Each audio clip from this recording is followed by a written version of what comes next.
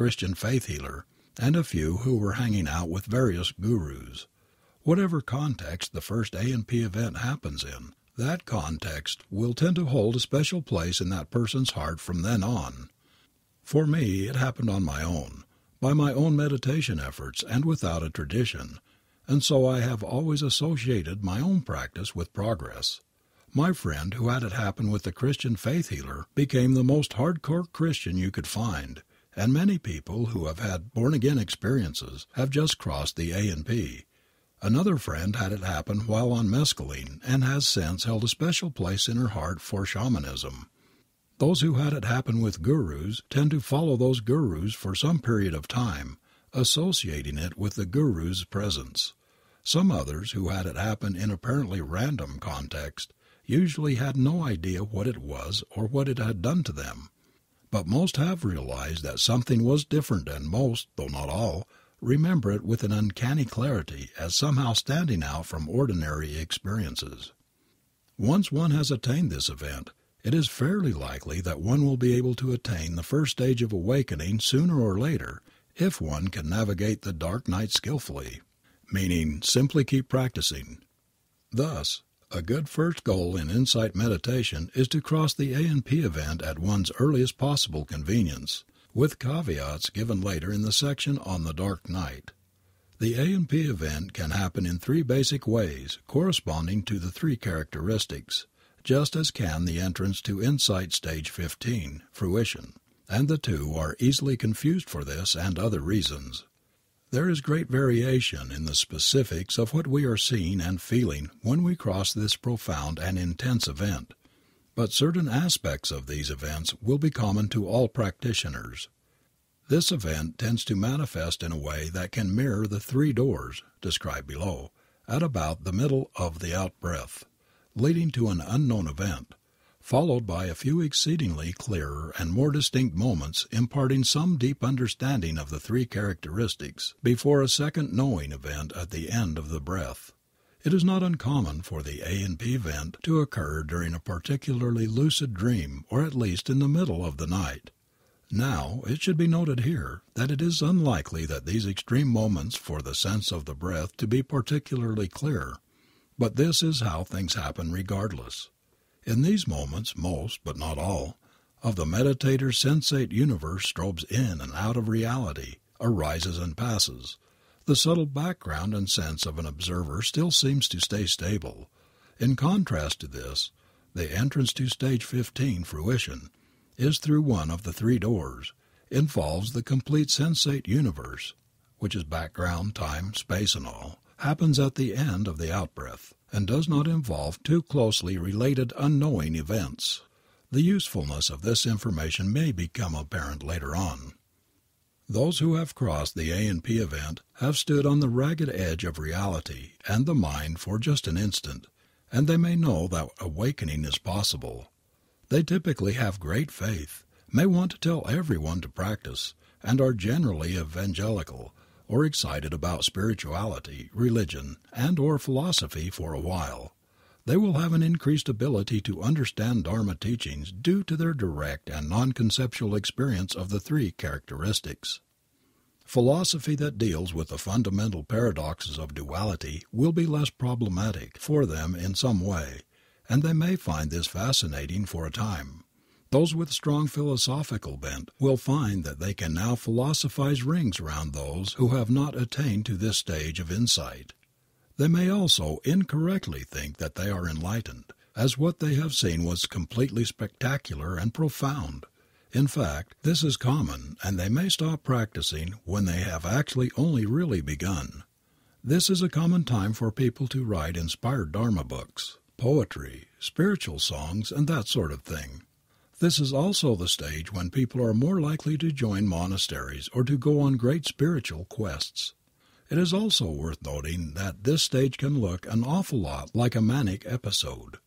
The rapture and intensity of this stage can be basically off the scale, the absolute peak on the path of insight, but it doesn't last. Soon the meditator will learn what is meant by the phrase, better not to begin, once begun, better to finish, as they are now too far into this to ever really go back. Until they complete this progress of insight, they are "on the ride," and may begin to feel that the Dharma is now doing them rather than the other way around, as they will progress inevitably and relatively quickly, usually within days, into stages five to ten, which as you will shortly see, are not always pretty. The rapture and all the bells and whistles die down quickly, and the meditator may even be left raw as if hung over after a wild night of partying. The clarity fades somewhat, and the endings of objects become predominant as they progress to the knowledge of 5. Dissolution Entrance to the dark night. Thus begins what are called the knowledges of suffering, or the dark night of the soul, to use St. John of the Cross's terminology. I consider this the entrance to the third Vipassana jhana, though U Pandita considers this the entrance to the fourth Vipassana jhana. I'll give my arguments for this later, in the chapter that deals more directly with the Vipassana jhanas. The dark night spans stages 5 through 10 in this map, namely, dissolution, fear, misery, disgust, desire for deliverance, and reobservation. Stages 5 through 9 tend to come as a package, with one leading fairly quickly and naturally to the others. Stage 10, reobservation, tends to stand out as its own distinct and often formidable entity. It should be noted that some pass through the dark night quickly and some slowly. Some barely notice it, and for some it is a huge deal, regardless of the speed at which one moves through these stages. Some may get run over by it on one retreat, fall back, and then pass through it with no great difficulties some time later. Others may struggle for years to learn its lessons. I am going to describe the dark night largely in extreme terms, but realize that this is just to give a heads up to what is possible, not what is necessary or guaranteed. As before, on retreat these things are likely to be more intense and clear, though those on retreat who are able to keep practicing are likely to make much faster progress as well. On the other hand, practice in daily life can become powerful and sometimes very speedy. These things are strangely unpredictable. Enough disclaimers. Once someone has crossed the arising and passing event, one will enter the dark night regardless of whether one wants to or not. It doesn't matter if you practice from this point on. Once you cross the A and P you are in the dark night to some degree until you figure out how to get through it. And if you do get through it without getting to the first stage of enlightenment, you will have to go through it again and again until you do. I mean this in the most absolute terms. The dark night typically begins with just about all of the profound clarity, mindfulness, concentration, focus, equanimity, and bliss of the previous stage dropping away. So also ends the cause and effect like phenomena of the breath, or walking, shaking, or jerking up and down in a way related to attention and noting, as well as all of the fine vibrations and vortex like raptures. Early on, the frequency of vibrations disconnect from the cycle of the breath, remaining largely stable at whatever frequency is going on at that stage once they can be perceived again in late dissolution or fear. Whereas one might have felt that one's attention had finally attained the one pointed focus that is so highly valued in most ideals of meditation during the arising and passing away, during the dark night one will have to deal with the fact that one's attention is actually quite wide and its contents unstable. Further, the center of one's attention becomes the very least clear area of experience, and the periphery becomes predominant. This is normal and even expected by those who know this territory. However, most meditators are not expecting this at all, and so get blindsided and wage a futile battle to make their attention do something that, in this part of the path, it simply won't do. If one has ever been meditating in a place with lots of mosquitoes buzzing in one's ears in a way that made it very hard to concentrate on the primary object, one can get a sense of what one's attention will be like in the dark night. Rather than fighting against this and ignoring the metaphorical mosquitoes, one should try to understand what it feels like to have one's attention be however it is just like listening to discordant chromatic jazz with lots of jarring harmonies and instruments playing more at odds with each other than together takes some getting used to. The quality of attention in the dark night is an acquired taste, and the sensations that arise tend to be very rich, complex, broad and unsettling. Those that fixate on staying one pointed will suffer more than those who learn to stay with what is going on regardless of whether or not it feels like good meditation. In that same vein, those who are using some other object as a focus will notice the same phenomena of the width of attention being wider and the basic sense of that attention seems to sort of be out of phase with phenomena. Those doing visualizations may notice that they see a black spot in the center of their attention, with some sort of patterns or visions around the edge of it, spreading wider and wider into the periphery. Those using a mantra may feel that the mantra is out of phase with attention, wide and complex and yet hard to stay with, and may acquire more complex harmonics and harmonies if it is in any way musical, like listening to a large, ghost chorus that is off to the sides of you, whereas before the mantra may have felt centered in the stereo field of attention. There will be individual variation in some aspects of these things, depending on the object, focus, ability, and each person's particular proclivities. But some basic aspects will be universal, and I will talk more about these aspects in the later chapter on the Vipassana jhanas. There are two basic patterns of vibrations in the dark night, and they are actually the dark night's defining characteristics. One may get overwhelmed by the descriptions of emotional difficulties, but keep these patterns in mind and try to stay on that level. One is fairly slow, somewhat regular and clunky, at perhaps 5 to 7 hertz, with not much else going on. It's an early dark night thing, and it tends to feel like a shamanic drum. The later pattern is fairly fast, perhaps 10 to 18 or more hertz, a bit more irregular and has faster and slower harmonics in the background and around the periphery of our attention.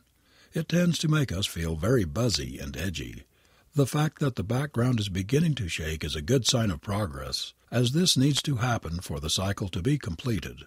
On the other hand, it is exactly the fact that the background has begun to shake and crumble that can cause people to freak out. Things were all fun and games when the primary object was shaking, but when the sense of the observer starts to shake, that can be creepy. Simply pay careful attention to exactly what is happening, staying with each pulse of each vibration as clearly as you can, trying to see each from its beginning to its end. Chances are you'll be just fine. There are two basic things that happen during the dark night, one emotional, the other perceptual. Our dark stuff tends to come bubbling up to the surface with a volume and intensity that we may never have known before. Remembering what is good in our life can be difficult in the face of this, and our reactivity in the face of our dark stuff can cause us staggering amounts of needless suffering. On top of this, we also begin to experience directly the fundamental suffering of duality, a suffering that has always been with us, but which we have never known with this level of intensity or ever clearly understood we face a profound and fundamental crisis of identity as our insight into the three characteristics begins to demolish part of the basic illusion of there being a separate or permanent us. This suffering is a kind of suffering that has nothing to do with what happens in our life and everything to do with a basic misunderstanding of all of it. Dealing with either of these two issues, such as our dark stuff and our fundamental crisis of identity, would be a difficult undertaking but trying to deal with them both at the same time is at least twice as difficult, and can sometimes be overwhelming. It goes without saying that we tend not to be at our best when we are overwhelmed in this way. The knee jerk response often is to try to make our minds and our world change so as to try to stop the suffering we experience. However, when we are deeply into the dark night, we could be living in paradise and not be able to appreciate this at all and so this solution is guaranteed to fail. Thus, my strong advice is to work on finishing up this cycle of insight and then work on your stuff from a place of insight and balance, rather than trying to do it in the reactive and disorienting stages of the dark night. I cannot make this point strongly enough. As a close friend of mine with a ton of experience in insight practices and a gift for precise language and teaching so aptly put it, the dark night can really fuck up your life.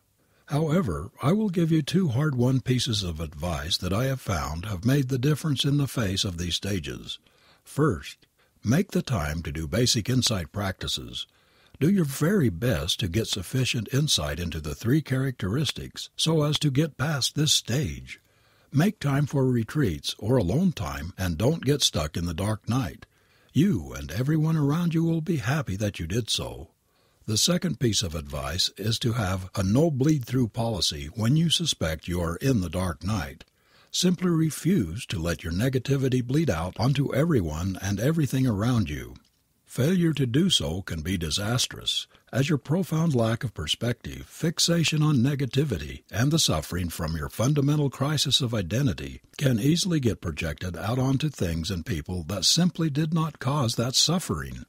No one appreciates this at all, and it does no good whatsoever. Combining these two pieces of important advice resolve thus. I have recently crossed the A and P event and I know this by the many obvious signs of that stage. Now I am feeling strangely reactive and negative about things that ordinarily I am able to handle with more balance and clarity. And I know that a good part of this is due to the inevitable dark night that follows the A and P, I realize that I am in a less than ideal position to skillfully deal with the personal issues that are driving me crazy, as I am likely to project the suffering from the illusion of duality and the odd side effects of the dark night onto these issues. I have been warned that this is an extremely bad idea from those who have successfully navigated in this territory, and I have faith that they know what they are talking about. Even if these issues are real and valid, I am likely to blow them way out of proportion and not be able to bring balance and kindness to them. By contracting into my own reactive darkness and confusion, I could easily hurt others and myself. Thus I resolve to keep my darkness to myself, tell only those who are skilled in navigating in dark territory, or at least share it with others in a way that does not project it out on my world and them and so will spare those around me needless suffering which they do not deserve. In short, I will use the meditation map theory to keep the reins of my dark stuff and to deal with it in ways that are known to help rather than harm. I will make time for insight practices and retreats, during which time I will simply see the true nature of the sensations of whatever arises, however horrible or compelling, and not indulge in the content of my stuff for one skinny instant, if this is within the limits of my strength and power. In this way I will be able to navigate this territory skillfully and not damage my daily life. Should I fail, I will actively seek help from those who are skilled in helping people keep a healthy perspective in the face of dark issues until such time as I can face the dark night as recommended. When I have attained the first stage of awakening, that will be a great time to see how much of my negativity was really valid and how much was just due to my own lack of clarity on the side effects of the dark night. From that place of clarity I will be much more likely to fix those things in my life that really need fixing and attention, and be able to dismiss easily those paper tigers that I have created for myself. By not trying to take on all of this at once, that is, by gaining deep insights before tackling the personal issues, I am more likely to lead the happy and wise life I wish for myself. I will attain to both liberating insights and insights into my issues, and this will be of great benefit to myself and all beings. One of the primary reasons that I wrote this book was to write this important resolution. I have suffered needlessly and sometimes profoundly from the failure of myself and those I love to follow this resolution. They have suffered also. Were you watching me say these things to you rather than simply hearing them, you would see tears in my eyes and hear my voice cracking with sorrow as I recall those past events, and even reflect on what is happening around me as I write this. I beg you, for the sake of all that is good in this world, do not fail to heed this advice. Unfortunately, not everyone seems to be able to do this. In fact, not everyone is even willing to attempt to follow this advice particularly those who buy into the dangerous paradigm that whatever I feel right is now real, in the sense that their feelings at the moment must be the only possible valid perspective on their current situation and are thus completely justified along with their reactions to those feelings. There are those who simply don't believe that such a wondrous and holy thing as insight practices could produce such profound difficulties. There are also those who do not believe in the maps, or that the maps could possibly apply to their own very special and unique life. Lastly, there are a few whose pride and insecurity issues will not allow them to admit that they might be affected by the dark night in this way. I would warn such people to stay out of the dark night until they come to a place where they might be able to approximate at least some aspects of the above mentioned resolution or apply the basics of the theory behind it. That means that if you are not willing to at least try to make and live by some version of my recommended resolution, you should not do insight practices and should not cross the A and P event. I am a big fan of fast sports cars, but I wouldn't give one to a six year old kid. Just so, I'm a big fan of insight practices, obviously, but I have come to the conclusion that those who are not willing to use them responsibly and intelligently should not use them, as it's too dangerous. They cause too much trouble in the world to be of little if any benefit. This is not likely to be a popular view, but I have experienced too much of what can go wrong when people fail to try to live up to such a resolution to come to any other conclusion. The problem is that many people cross into the dark night without doing formal insight practices. Surprisingly, it is fairly common. I did when I was about 15 and had no idea what was going on. I have no idea how to reach these people, but they tend to come wandering into spiritual communities soon enough. I hope they find people there who help them sort out what has happened to them and can give them the above advice. In my naive dreams I imagine that one day there will be training on the maps and basic spiritual development in some generic, non sectarian way in elementary school, just as we learned about biology and mathematics. And so this would become just another ordinary, accepted, standard part of human education. And so everyone would know about these things as if they were the ordinary, natural things they are. Until then, Hopefully the few who run into this technology will help spread it around and help people who have crossed the A and P event to recognize it and handle it properly. This resolution and the spirit implied by it are an aspect of training in morality, and this sort of morality is one of our best friends in the dark night. When we adopt the spirit of this resolution, we do our conscious best to craft our way of being so as to be kind and compassionate. Many people have commented that insight training is a monastic practice. If we are able to build our own virtual monastery through skillful speech and skillful action, then we do not need a monastery to protect us and the world from the potential side effects of our practices. We can live skillfully in the ordinary world and still make progress in insight. However, there are those who are willing to buy the theory and spirit inherent in the above resolution but are so swamped by their personal issues that they simply cannot follow the above advice after they get into the dark night, despite their kind and skillful intention to do so. My advice to them is to diligently and quickly seek professional help in the form of psychotherapists and their ilk until such time as they are able to follow something like the above mentioned resolution. Realize that this is not an optimal way to go, as the inherent lack of perspective of the dark night makes aspects of the therapeutic process more difficult. But for some there will be no other option, and this solution is better than simply floundering. On the other hand, at least such people have tons of stuff bubbling loudly up for them to deal with, making some aspects of the therapeutic process easier. However, I would try to do just enough healing so that you can push into the first stage of awakening with minimal bleed through and then finish whatever therapeutic process you begin in the dark night after you are out of it.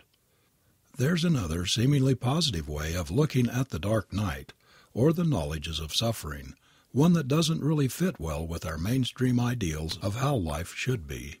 It is the view of the renunciate, which basically says, Ah, now I see your pain of your materialistic life, of your cravings that will never bring you happiness, of your worldly attachments and that house of cards you call a life. Far better to give it all up and take up the way of the Dharma.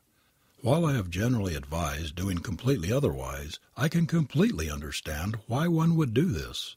However, the problem comes when we have things like debt, children, aging parents and the like and sorting out the ethics of these conflicts is complex. Regardless, the dark night does teach important lessons, and learning them is essential to moving to what comes next. These lessons do not require specific lifestyle choices for mastery.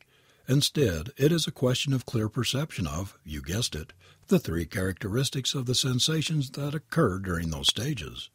As I mentioned in Part 1, each training has a specific kind of renunciation associated with it, and they couldn't be more different. It is time to get back to describing dissolution. As the stage of arising and passing away ends, the meditator may be left feeling raw and incompetent, despite the fact that they are continuing to make valuable progress into deeper and deeper levels of profound insight. This feeling that something is wrong when things are actually getting better and better can cause all sorts of problems during the dark night, especially to those not familiar with the standard maps. On the other hand, having come through the A and P territory can be quite a relief, and so sometimes dissolution can seem quite welcome. Some will stop practicing here, as they feel they have released the kundalini and so are done for the time being. Dissolution feels like a very natural place to stop practicing, the only problem being that the later stages, fear and the rest, tend to follow it soon enough even if one stops though less intense practice leads to less intense, if often prolonged, dark night. However, those who wish to keep doing formal practice may find dissolution frustrating.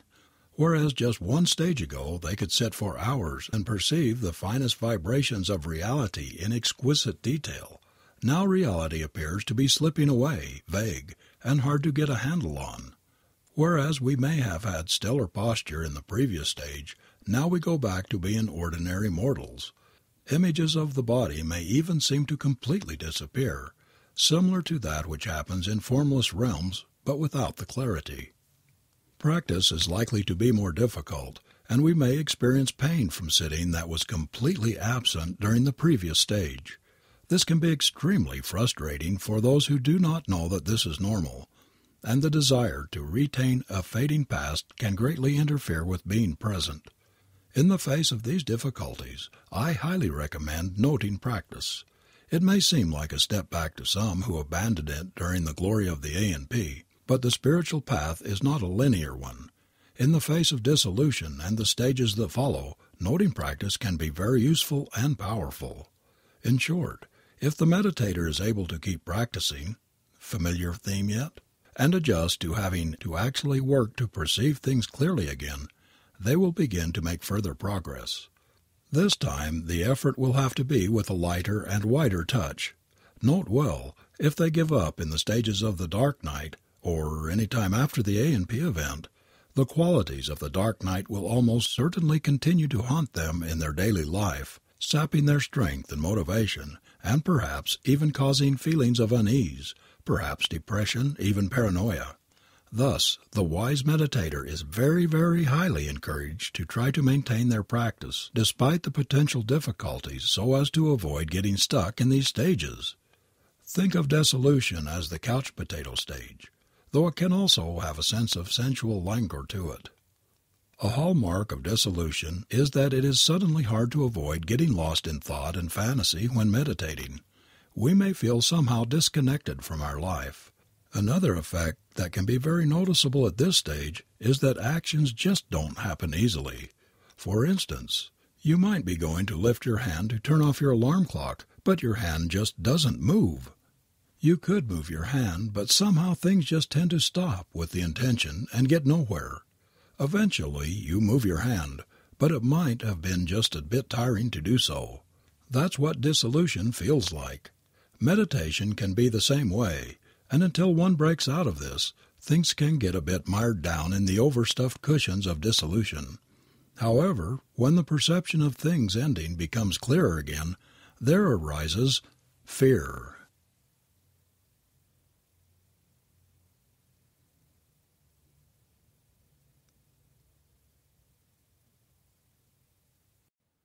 Section 12. 6. Fear. The clarity and intensity begin to return, but now this stage can involve all sorts of frightening distortions of perception when sitting, accompanied by great feelings of unease, paranoia, fearfulness, and or the willies. It can even sometimes seem that our body is falling in tatters through the floor, or that we are rotting away. If we have strong concentration tendencies we may see horrifying or disconcerting visions.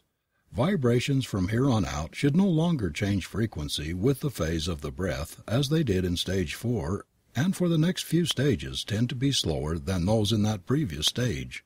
Strangely, fear can also be just a bit rapturous in the way that a horror movie can be, or in the way that riding a roller coaster at night can be simultaneously scary and exciting. However, the nice side of this stage tends to be greatly overshadowed by the dark side.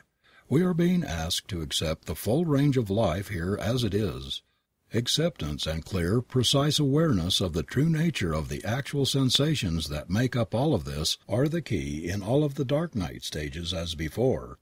On the mild side, this stage might manifest as just slightly heightened sense of non-specific anxiety. As fear passes and our reality continues to strobe in and out and fall away, we are left feeling 7. Misery. This stage can be characterized by the great feelings of sadness and loss.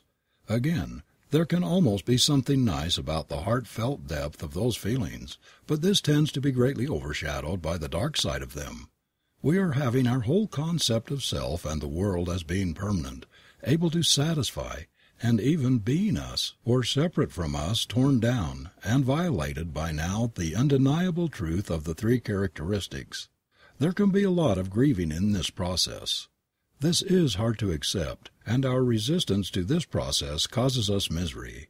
Becoming lost in content of these situations and being unable to see their true nature is a somewhat common cause of failure to progress and failure to live healthily. On the mild side, we may just feel a bit like we do after we have been crying. Misery is the transition point between the drum like 5 to 8 hertz part of the dark night and the very complex, irritating frequencies that follow. Attention continues to get wider and the center more blind. As things continue to fall apart, clearly demonstrate their unsatisfactoriness and their selflessness, this can cause 8. Disgust. We become disgusted with the whole thing. This is where the buzzy 10 to 18 or more hertz chaotic vibrations around the periphery really begin to get strong. Through this section of the dark night our ability to see objects in the center of our attention is poor, and it may feel like our minds are being stretched wide and yet contracting at the same time. We begin to feel completely tormented by our noisy and repetitious minds, a classic sign of this stage, by a body that is full of suffering and unpleasant sensations, and by a world that is falling apart. Perceiving thoughts as thoughts get harder and harder, and thus getting caught by our stuff gets increasingly easier. On the mild side, one might just feel subtly revolted and disappointed with reality in general, or perhaps have the slightly creepy feeling of crawling skin. On the strong side, we see nothing to cling to, no self to be found, and we begin to wish the whole edgy thing would just end. Also called 9 desire for deliverance. At this stage we are fed up with the whole thing, but at a level that transcends mere suicidal thoughts. Thus it is actually beneficial, though it seems otherwise. No longer do we look forward to anything but the complete ending of all sensations, which is the first taste of nirvana. We just wish the noise in our minds would stop cold, but we are unable to will this to happen. We wish the vibrations, which can be quite intense, harsh, and irritating by this stage, would all go away forever. If we fail to associate the pain ending with deep insights, but instead falsely associate it with changing something in our ordinary life, we are likely to wander far and wide until we come to realize the limitations of ordinary solutions. This is the stage when people are most likely to quit their jobs or schooling out of frustration and go on a long retreat or spiritual quest. Fascination with celibacy as somehow being a higher spiritual path can arise. Our renunciation trip can be very disoriented to partners, particularly if we were going to the opposite extreme of intense sexuality during the stage of the arising and passing away. which probably occurred relatively recently, so try to be sensitive to their needs if you can. Somewhere in there, there can arise the tendency to try and get one's life and finances in order, so that one can leave the world behind for a time and have something to come back to without having to worry about such things for a while. A profound resolution to push onward can arise at this stage driven by our powerful frustration and the powerful compassion in it. We make the last push for freedom and push against the seemingly impenetrable wall of 10. Reobservation.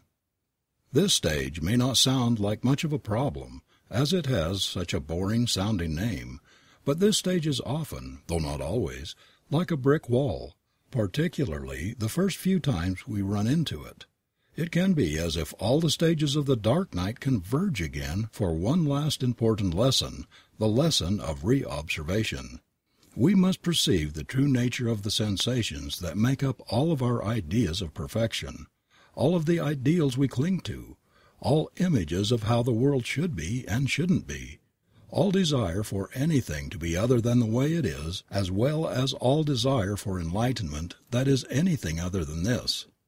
It may seem impossible to sit for even a minute, as the levels of restlessness and aversion to meditation and all experiences can get quite high. This stage and part of stage three, the three characteristics, can share some common features, but this should be seen as a strong warning to those who are prone to being overly certain about where they are. I get a reasonable number of emails from people who claim that they are in reobservation, and shortly thereafter they are describing A and P territory, meaning that they have just been in the three characteristics territory, not reobservation. Continuing to investigate the true nature of these sorts of sensations and our map theories is often difficult, and this is a common cause of failure to progress. Now I am about to describe all sorts of emotional or psychological manifestations that can sometimes happen at this stage. The more extreme is the description of a possible side effect of this stage, the rarer that side effect is likely to be, particularly those that sound like descriptions of mental illness. For someone who is staying at the level of bare sensate experience, as I strongly recommend, the only difficult manifestations that seem to be quite common are a strong sense of aversion to formal meditation and experience, and a deep sense of primal frustration, though these tend to fall quickly in the face of good practice, and if our concentration is strong enough and our other factors are in balance, we may move through this stage with no problem at all. The aversion to meditation and experience are due to the fact that the vibrations by this point can be quite fast and harsh, and the noise in our repetitive minds quite irritating. Some of my own descriptions of this stage while on retreat have included such phrases as the mind storm and bracing for work in D minor for six sense doors, hailstorm and stuttering banshee. If we are very powerful meditators it can literally feel as if we will be torn apart by these vibrations this is exactly what we are trying to accomplish. Even if the other odd manifestations do arise, if we are practicing well, they should not last very long at all, at best minutes, at worst hours or days. All of that said, and before I go on, those who are crossing this territory with strong concentration abilities and using some very rarefied object, such as a complex visualization on sacred geometry as one of many possible examples, may, if they are very good, pass through this stage with little or no difficulty at all, and all they may notice is that the thing gets wider and wider, the patterns get more complex and attain to wider, more spherical dimensions and perhaps manifold symmetries, and that it comes around to encompass basically the whole field of experience, kind of like watching an IMAX movie of a moving Technicolor spirograph in the front row, or some similar thing. I use this example partly due to my own experiments and partly to illustrate general points. Different objects will produce different specifics, such as colors, images, etc., while some universal aspects of what happens during this stage will remain basically the same. You see, reobservation is actually all fluff and no substance, but if you confuse fluff for substance, the effect will be the same as if it actually had substance. It is like a toothless dog with a ferocious bark. If you run screaming or faint from fear when the dog barks, then it needed no teeth to prevent your progress. The primary sign that the negative side effects that may occur in the dark night are actually not associated with insight stages, but instead are due to other processes is that they do not change much in the face of strong and accepting investigation, or stopping practice entirely. That said, this stage is sometimes called the rolling up the mat stage, and is when many who joined monasteries in the stage of the arising and passing away now give up and disrobe. People on retreats tend to need lots of reassurance, and often leave right then even with good guidance and encouragement. There can be the distinct feeling that it is impossible to go forward and useless to go back, which is exactly the lesson they should learn. The acceptance of right here and right now is required, even if it seems that this mind and this body are quite unacceptable and unworthy of investigation. No sensations are unworthy of investigation. One of the hallmarks of the early part of this stage is that we may begin to see clearly exactly what our minds do all day long, with a great clarity how the illusion of a dualistic split is even created in the first place, sensation by sensation, moment to moment. But somehow there is not yet enough spaciousness of perspective and equanimity to make good use of this information. This can be very frustrating, as we wonder how many times we have to learn these lessons before they stick. Great feelings of frustration and disenchantment with life, relationships, sex, jobs, moral codes, and worldly responsibilities may sometimes emerge at this stage in ways that can cause all sorts of disruption and angst. These aspects of one's life can temporarily be bland and pointless at this stage, though it may seem that this will always be the way one feels about them. This stage can mimic or perhaps manifest as some degree of clinical depression. Beware of making radical life changes that cannot easily be undone, such as divorce, or firing off angry emails to your boss based on the temporary feelings that may arise during this stage. For those that recognize that they are in this stage, some sort of active mental compensation for these potential effects can be helpful so as to keep one's life functioning. It can help one appear more together than one feels, and thus maintain relationships, jobs, studies, etc., at some sort of functional level. This can be very skillful if it is also combined with practice that allows the experiences of this stage to be acknowledged and understood well. Layers of unhelpful and previously hidden expectation, pressure, and anxiety can show their true uselessness, though this beneficial process can be very confusing and difficult. We may get the sense that we have never had such a strong feeling life, and until we get used to this new awareness of our previously subtle emotions, this stage can be quite overwhelming.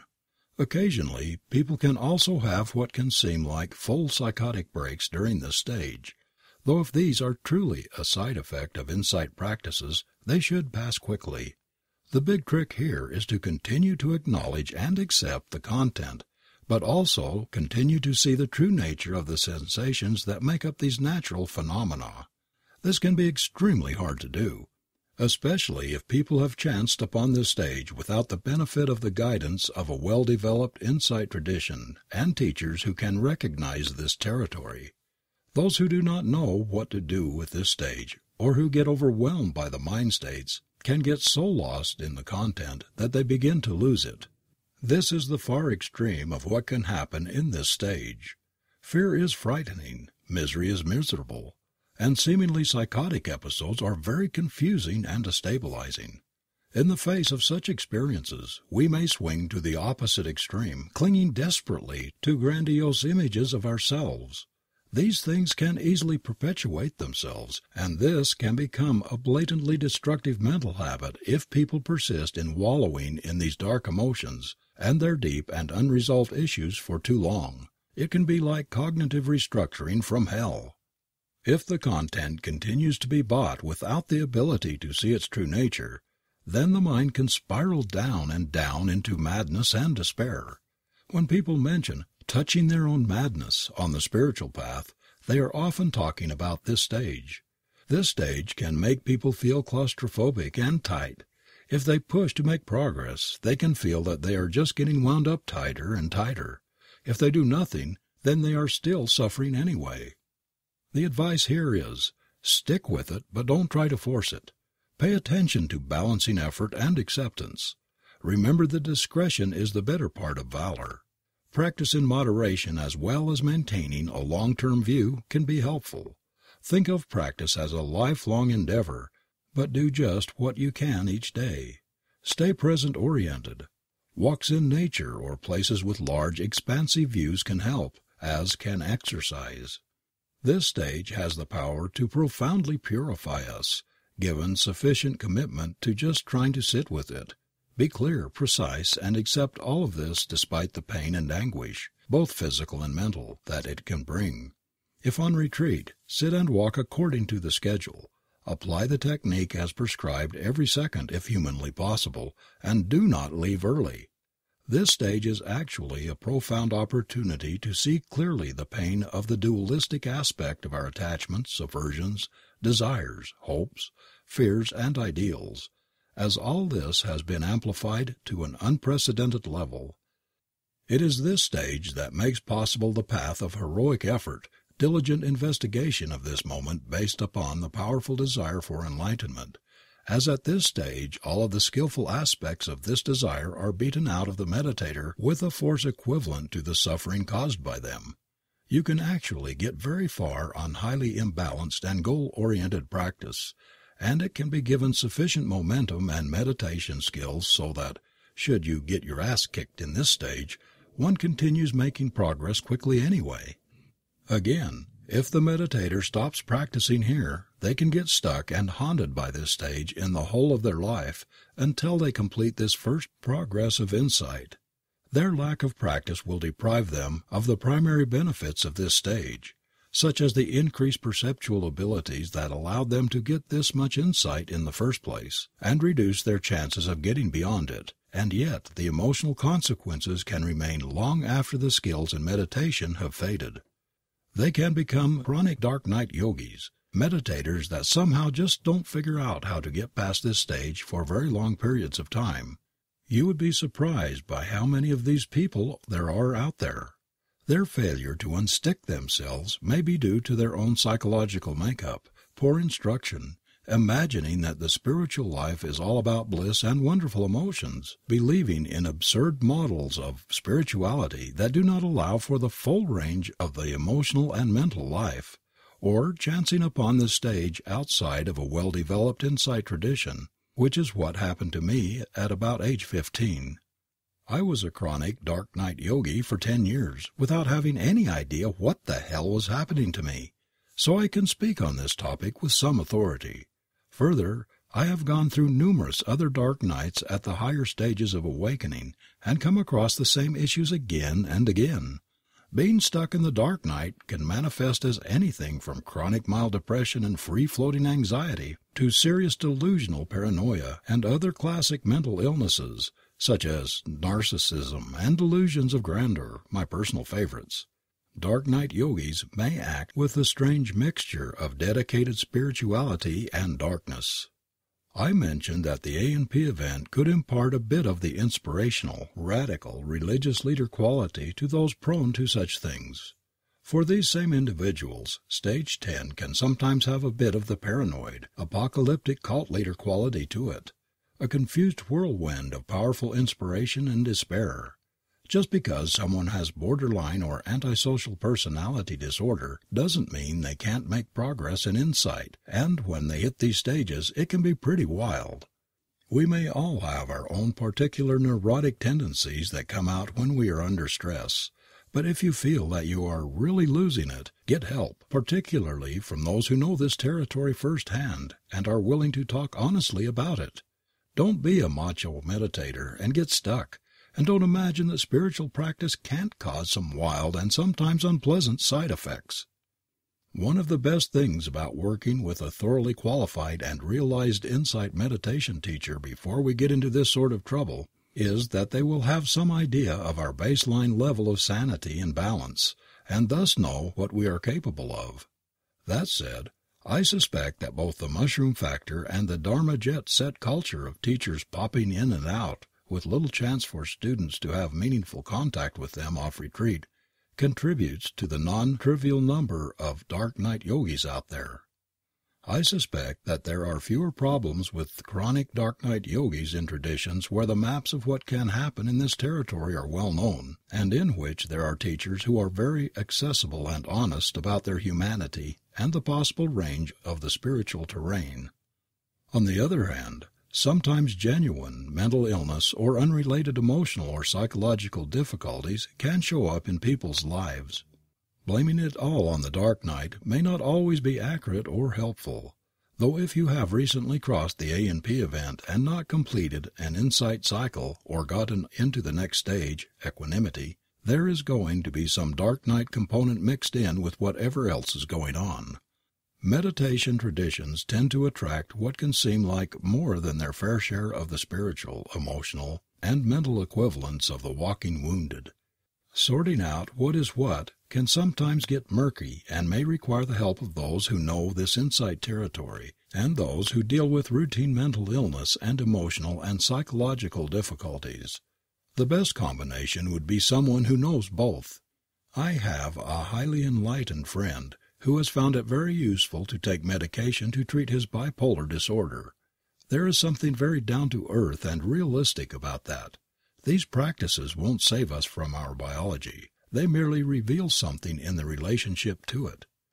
On the other hand, there are those that are so deeply indoctrinated by the models of working through our dark stuff that whenever it comes up, they turn to psychotherapy or a whole host of other ways of getting their issues to resolve or go away.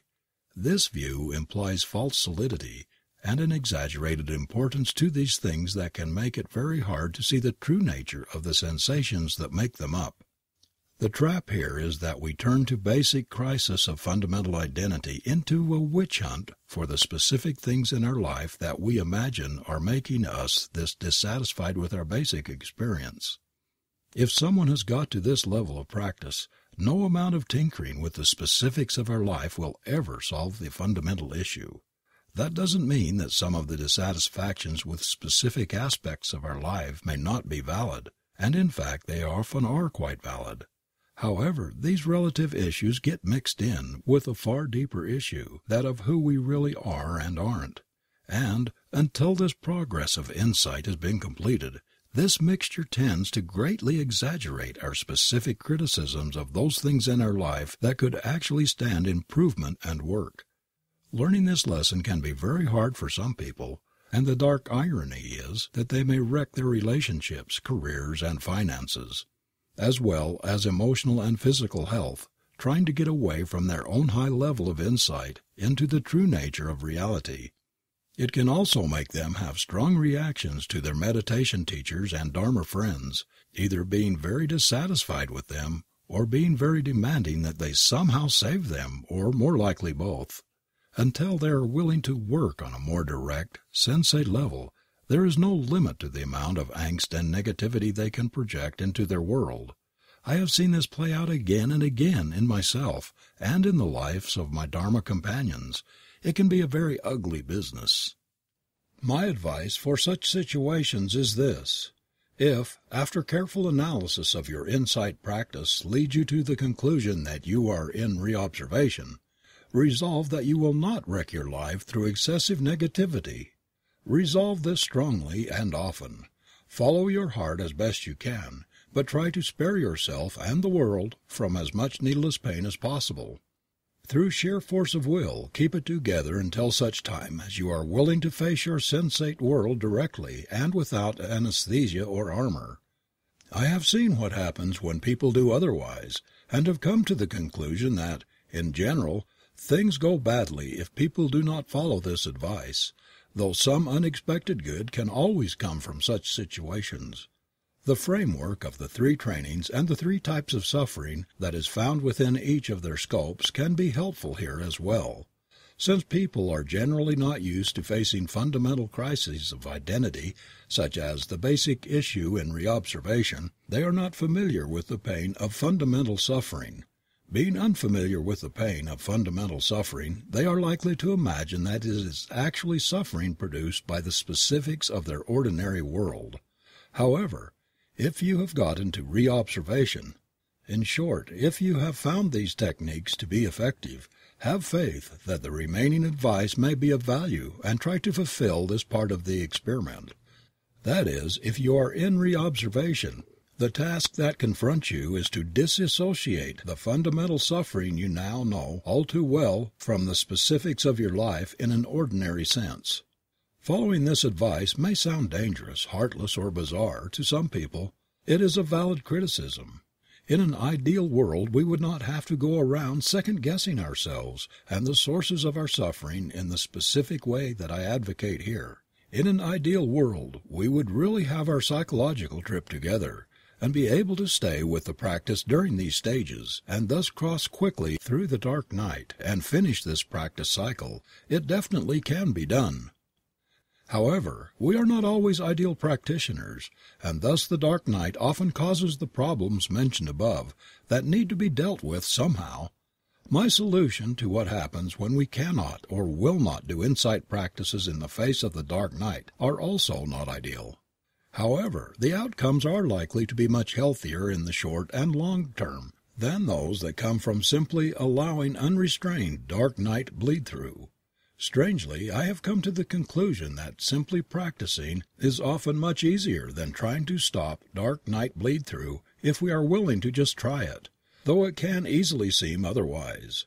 The old kindergarten evaluation, follows instructions, plays well with others, is still a valuable standard in the dark night. Not restraining one's negativity and reactivity in the dark night is a bit like getting stinking drunk and then driving in heavy traffic, rather than just sitting down and waiting to sober up. Not continuing to do insight practices in this stage is like going into surgery, opening up an incision, making some repairs, and then freaking out because the patient now has a big, bleeding incision and running away from the operating table, leaving them there to suffer. You could think of many ways to make the patient happy and try them all, but until you close up that wound they're going to be pissed.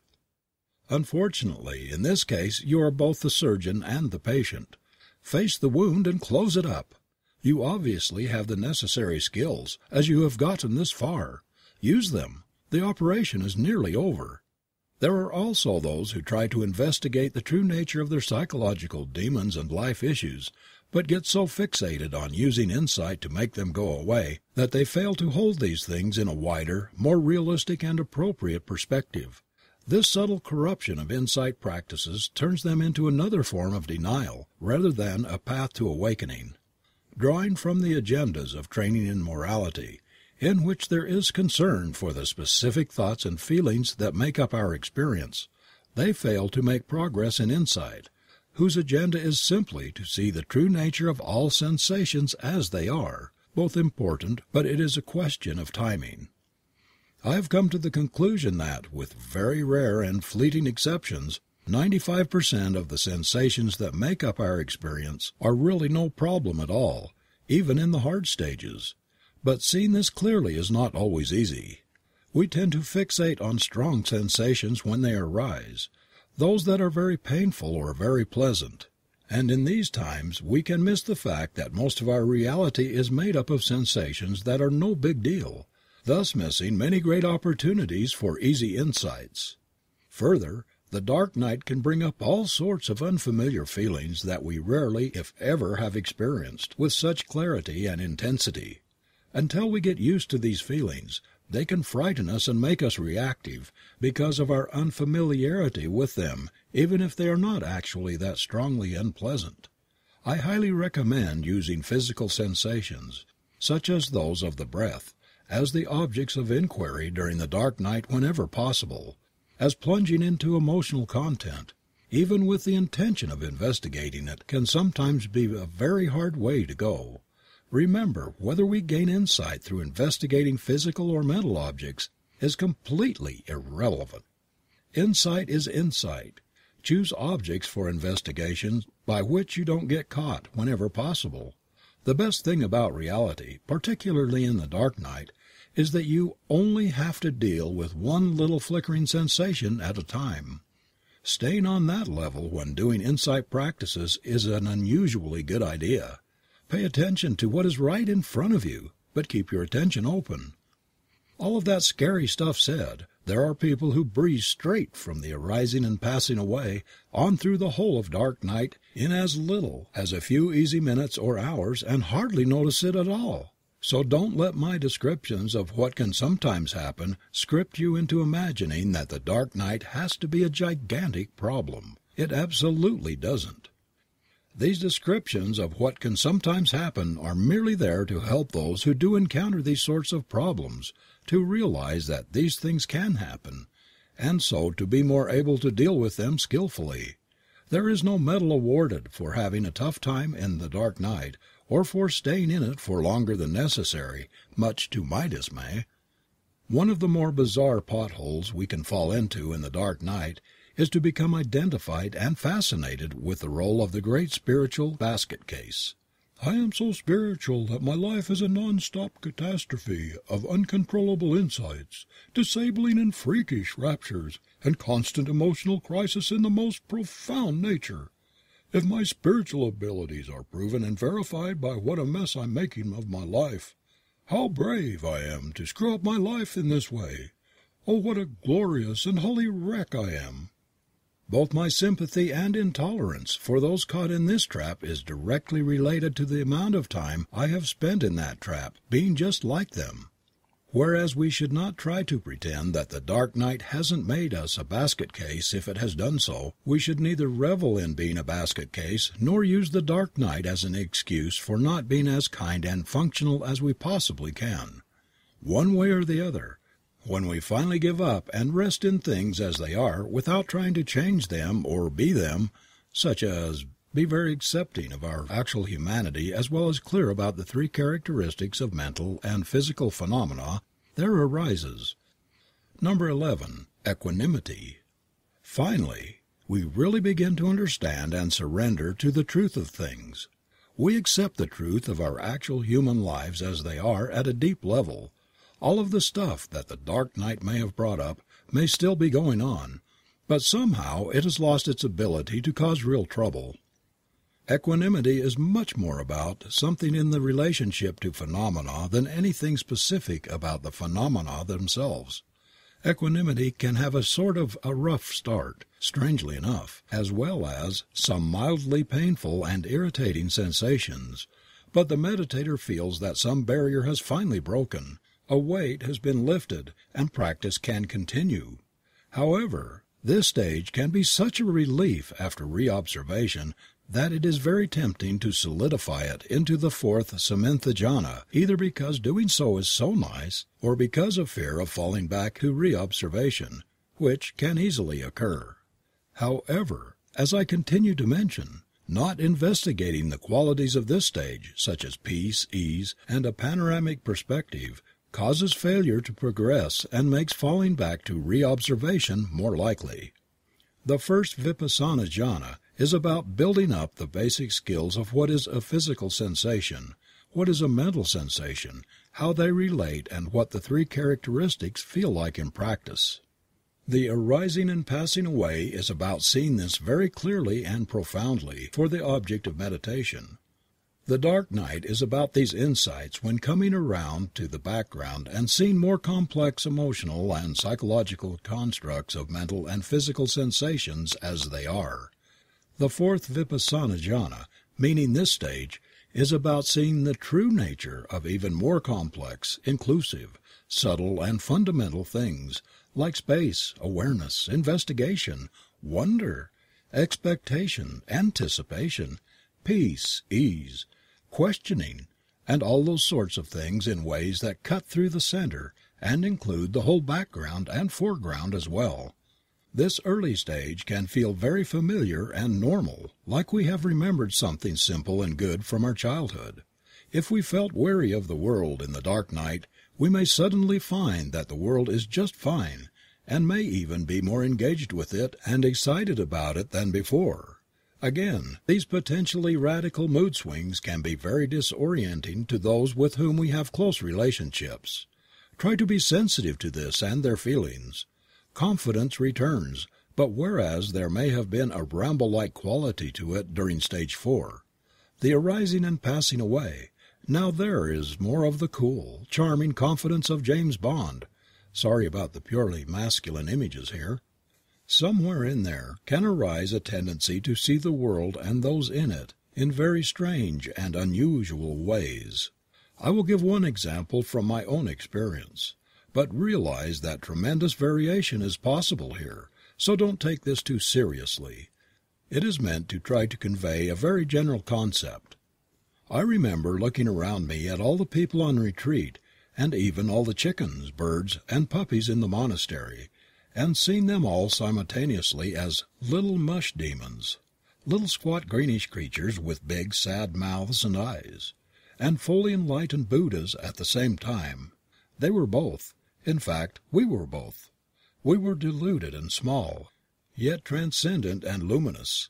I could see in some very strange way exactly how each of them, including me, was caught in the world of form and confusion, trying to find happiness, and yet doing so from such a small and frightened place. And yet all of this was vast Buddha nature.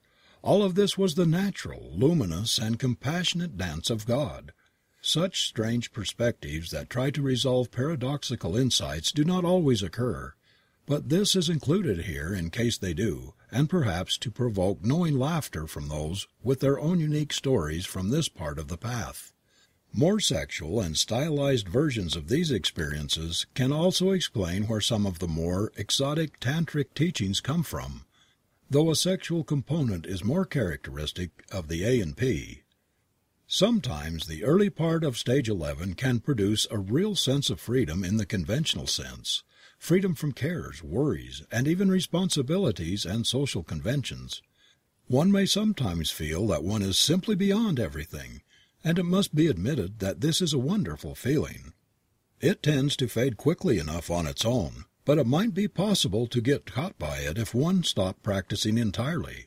Those who became spiritual fanatics or freaks after the A and P and during the dark night may now begin to act much more like their old selves, with their spiritual path being less of a big holy deal. About damn time. Visions of bright lights may arise once more, but they are really more associated with stage four, the arising and passing away. Again, as with the earlier stages, the meditator is able to sit for longer and longer periods of time and begins to clearly perceive the three characteristics with spaciousness and breadth. The big difference is that the ANP is more about the object of meditation and equanimity is much more about the whole sensate universe. There is less rapture and more equanimity than in the stage of the arising and passing away. There are rarely, if ever, the spontaneous physical motions and odd breathing patterns that come with that earlier stage.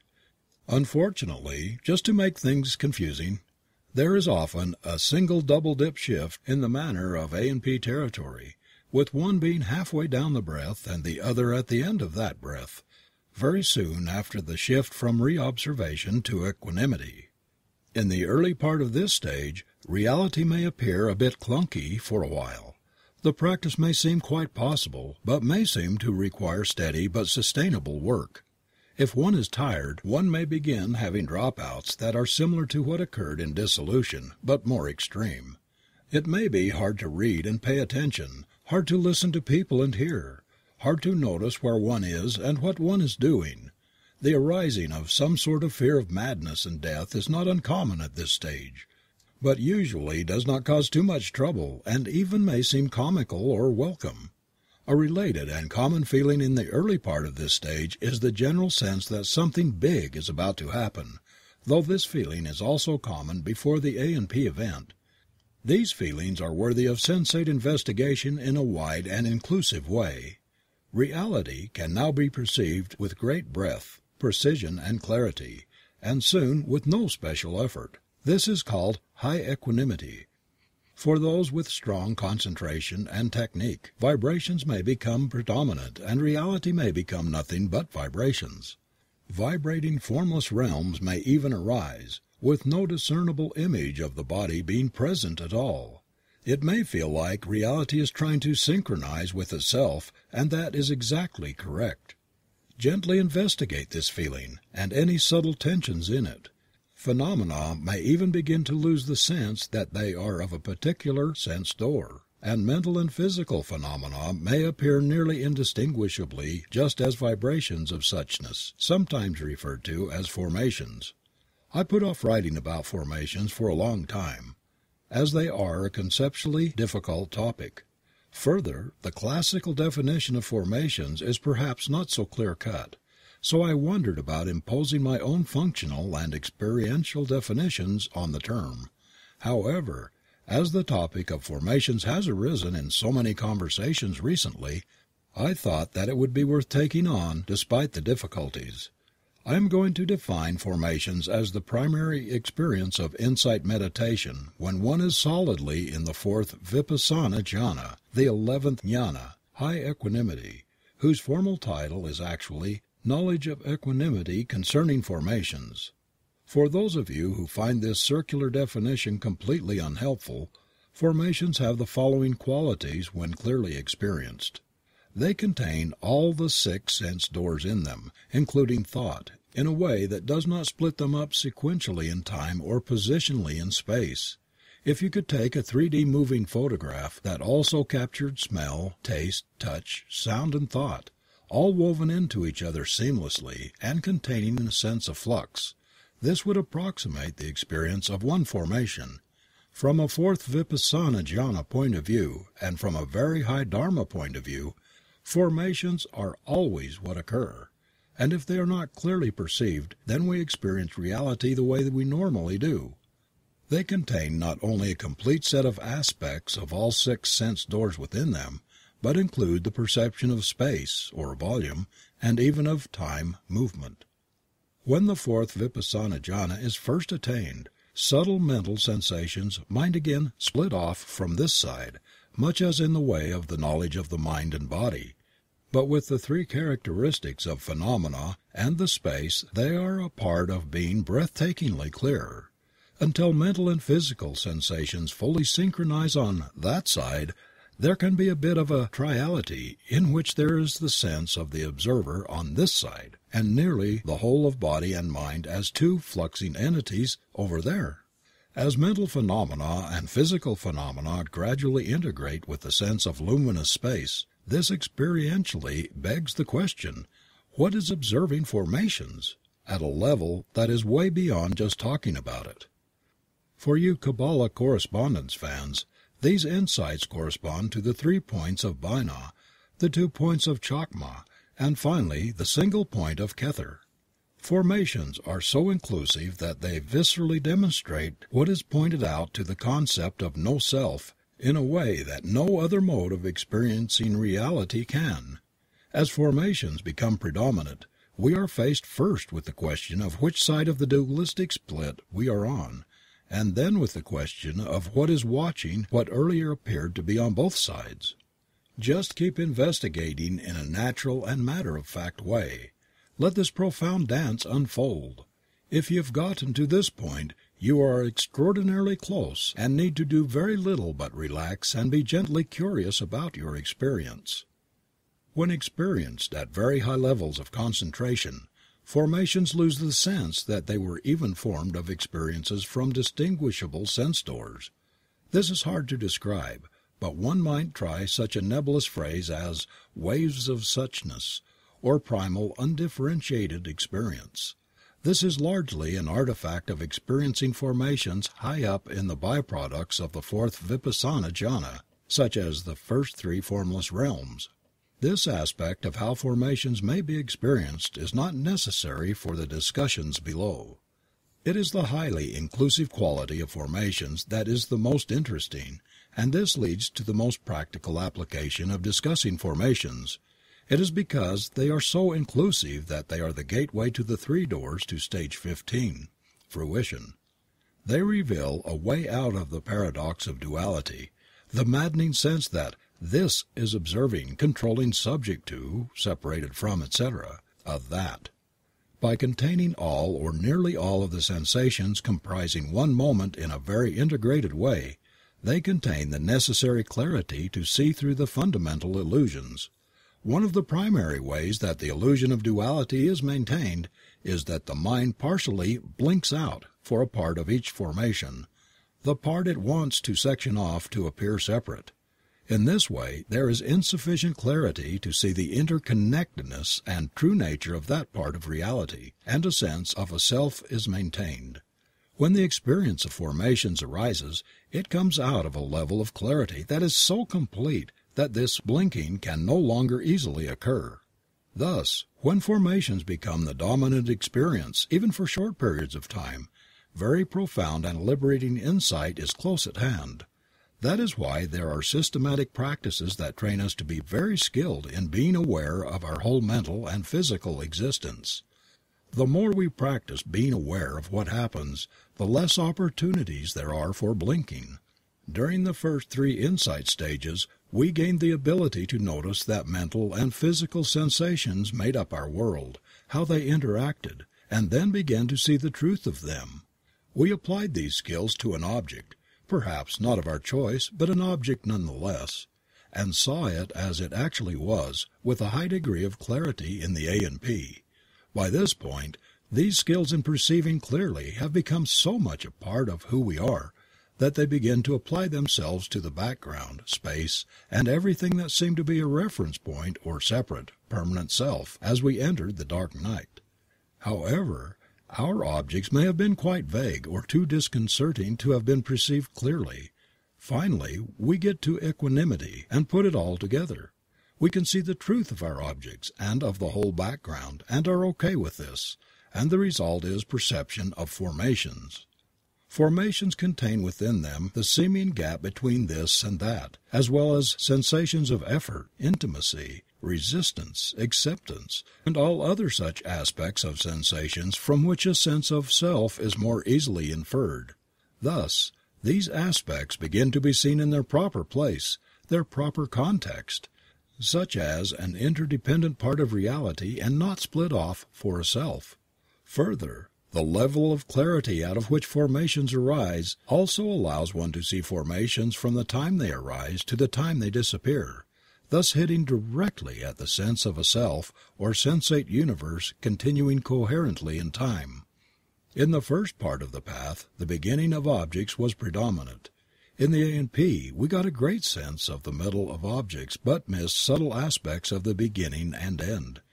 In the dark night the endings are about all we could really perceive clearly. Formations once again put all of this work we have done together in a very natural and complete way. Formations also explain some odd teachings that you might hear about, stopping thought. There are three basic ways we might think about this dangerous ideal. We might imagine a world in which the ordinary aspects of our world which we call thought simply do not arise, a world of experience without those aspects of manifestation. You can get very close to this in very strong concentration states, particularly the eighth Samatha jhana. We might also think of stopping experience entirely, as happens in fruition, and this obviously includes thought. Formations point to yet another possible interpretation of the common wish to stop thought, as do very high levels of realization. The seeming duality of mental and physical sensation is gone by the time we are perceiving formations well. Thoughts appear as one luminous aspect of the phenomenal world. In fact, I challenge anyone to describe the bare experience of thinking or mental sensations in terms beyond those of the five physical sense doors.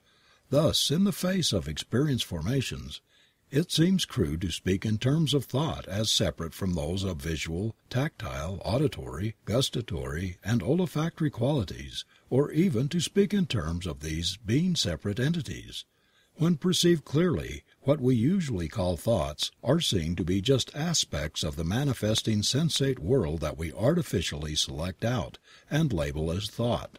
Just as it would be odd to imagine that an ocean with many shades of blue is really many little bits of ocean.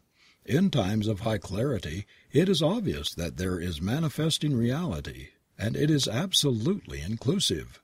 Look at the space between you and your MP3 player. We don't go around selecting out little bits of space and labeling them as separate. In the face of formations the same applies to experience, and experience obviously includes the sensations we call thought.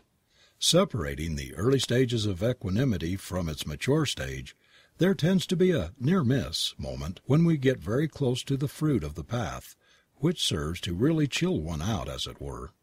From this point, enlightenment is likely to be attained quickly as long as the meditator continues to simply practice and gently fine tune their awareness and precision, paying gentle attention to things like thoughts of progress and satisfaction with equanimity.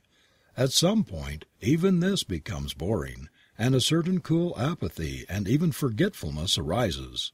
Around this part of equanimity there can arise the feeling that we are not really there, or that somehow we are completely out of phase with reality. Conducting ordinary business may be difficult in this phase if we are out in the world rather than on the cushion, but it tends to only last tens of minutes at most. The sense that one is practicing or trying to get anywhere just vanishes, and yet this may hardly be noticeable at all we sort of come back with luminosity again growing predominant. Then we get lost in thoughts about something, some strangely clear reverie, vision, object, or flight of fancy. By really buying in, we get set up to check out. When understanding is completely in conformity with the way things are, this is called conformity.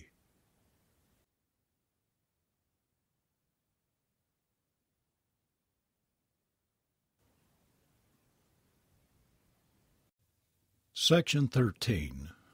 12. Conformity. This is why understanding things just as they are is so important. This stage lasts only one moment and never arises again until one attains the next stage of enlightenment. The same is true of the next two stages. Stages 12 to 14, conformity, change of lineage, and path also share the fact that they represent the three moments of the first entrance to transcendent ultimate reality, stage 15, fruition, through one of the three doors. In subsequent attainments of fruition at that path during the stage of review, the three moments before fruition are not called conformity, change of lineage and path. These three stages will get extensive treatment in the chapter on the three doors. 13. Change of lineage. Having understood things just as they are, this next stage, which also lasts for just a moment, does the damage, as a friend of mine joyfully put it. It permanently changes the minds of the meditators in ways that I will discuss in just a bit. They leave the ranks of the unenlightened and join the ranks of those that are. While the social designation of formal lineage transmission is a very useful thing to have received, the results of this stage are, in fact, what that symbolic act is all about. They have done it, and thus attain 14. Path. This stage also lasts just a moment, and after the first completed progress of insight it marks the first moment of the newly awakened being's awakened life. The first time around this is called stream entry, or first path in the Theravada, the fourth stage of the second path, or the first bhumi in the Tibetan tradition, and many names in Zen that are purposefully ambiguous. After a subsequent new progress of insight it marks the attainment of the next level of awakening, and there are lots of names for those that will be discussed shortly. It is directly followed by 15. Fruition. This is the fruit of all the meditator's hard work, the first attainment of ultimate reality, emptiness, nirvana, God, or whatever you wish to call it. In this non state there is absolutely no time, no space, no reference point, no experience, no mind, no consciousness, no nothingness, no somethingness, no body, no this, no that, no unity, no duality, and no anything else. Reality stops cold and then reappears. Thus, this is impossible to comprehend, as it goes completely and utterly beyond the rational mind and the sensate universe. To external time if someone were observing the meditator from the outside, this lasts only an instant. It is like an utter discontinuity of the space time continuum, with nothing in the unfindable gap. The initial aftershocks, however, can go on for days, and may be mild or spectacular, fun or unsettling, or some mixture of these. There are times when it is fun to show off, and this is one of those times. Aftershocks I have noticed after paths include, but are not limited to, The visceral feeling that sensory reality is so intense that the nerve in one's forehead and upper neck may not be able to handle the strain. The feeling that one has become diffused into the atmosphere without a center, purpose, function, sense of direction, or even of will. A feeling of joy and gratitude beyond what is normally possible welling through one's being. The sense of discovery of that which one has most needed. The profound sense of coming home a quiet awe like the stillness after a great storm, and rapturous, transcendent highs that make anything that happened after the A&P seem like dry toast. Remember how I said in the section on the psychic powers that strong concentration and intent make magical things happen? Just after the attainment of a path, particularly the first path, is a time when formal resolutions have an outrageous amount of power. The Buddha said that the greatest of all powers is to understand and then teach the Dharma, meaning to attain to full realization, however you define it, and then to help others do the same. I have been advised to use this unique period in my practice as well, and I resolved to attain full enlightenment for the benefit of all beings as quickly as was reasonably possible. Despite all the complex consequences of having done so, I do not regret my decision in the least and highly recommend that you do the same. On subsequent passes through fruition of that path the mind tends to be refreshed, bright, quiet and clear for a while. The milder forms of the above listed phenomena may occur. It is as though someone hit the reset button and cleared out all the junk for a little while. There is a nice bliss wave that tends to follow and may take a few seconds to develop. If you have not learned the concentration state yet, Doing so in the afterglow of a fruition can make them much easier to attain and master. 16. Review. In this stage the meditator just keeps practicing largely as before.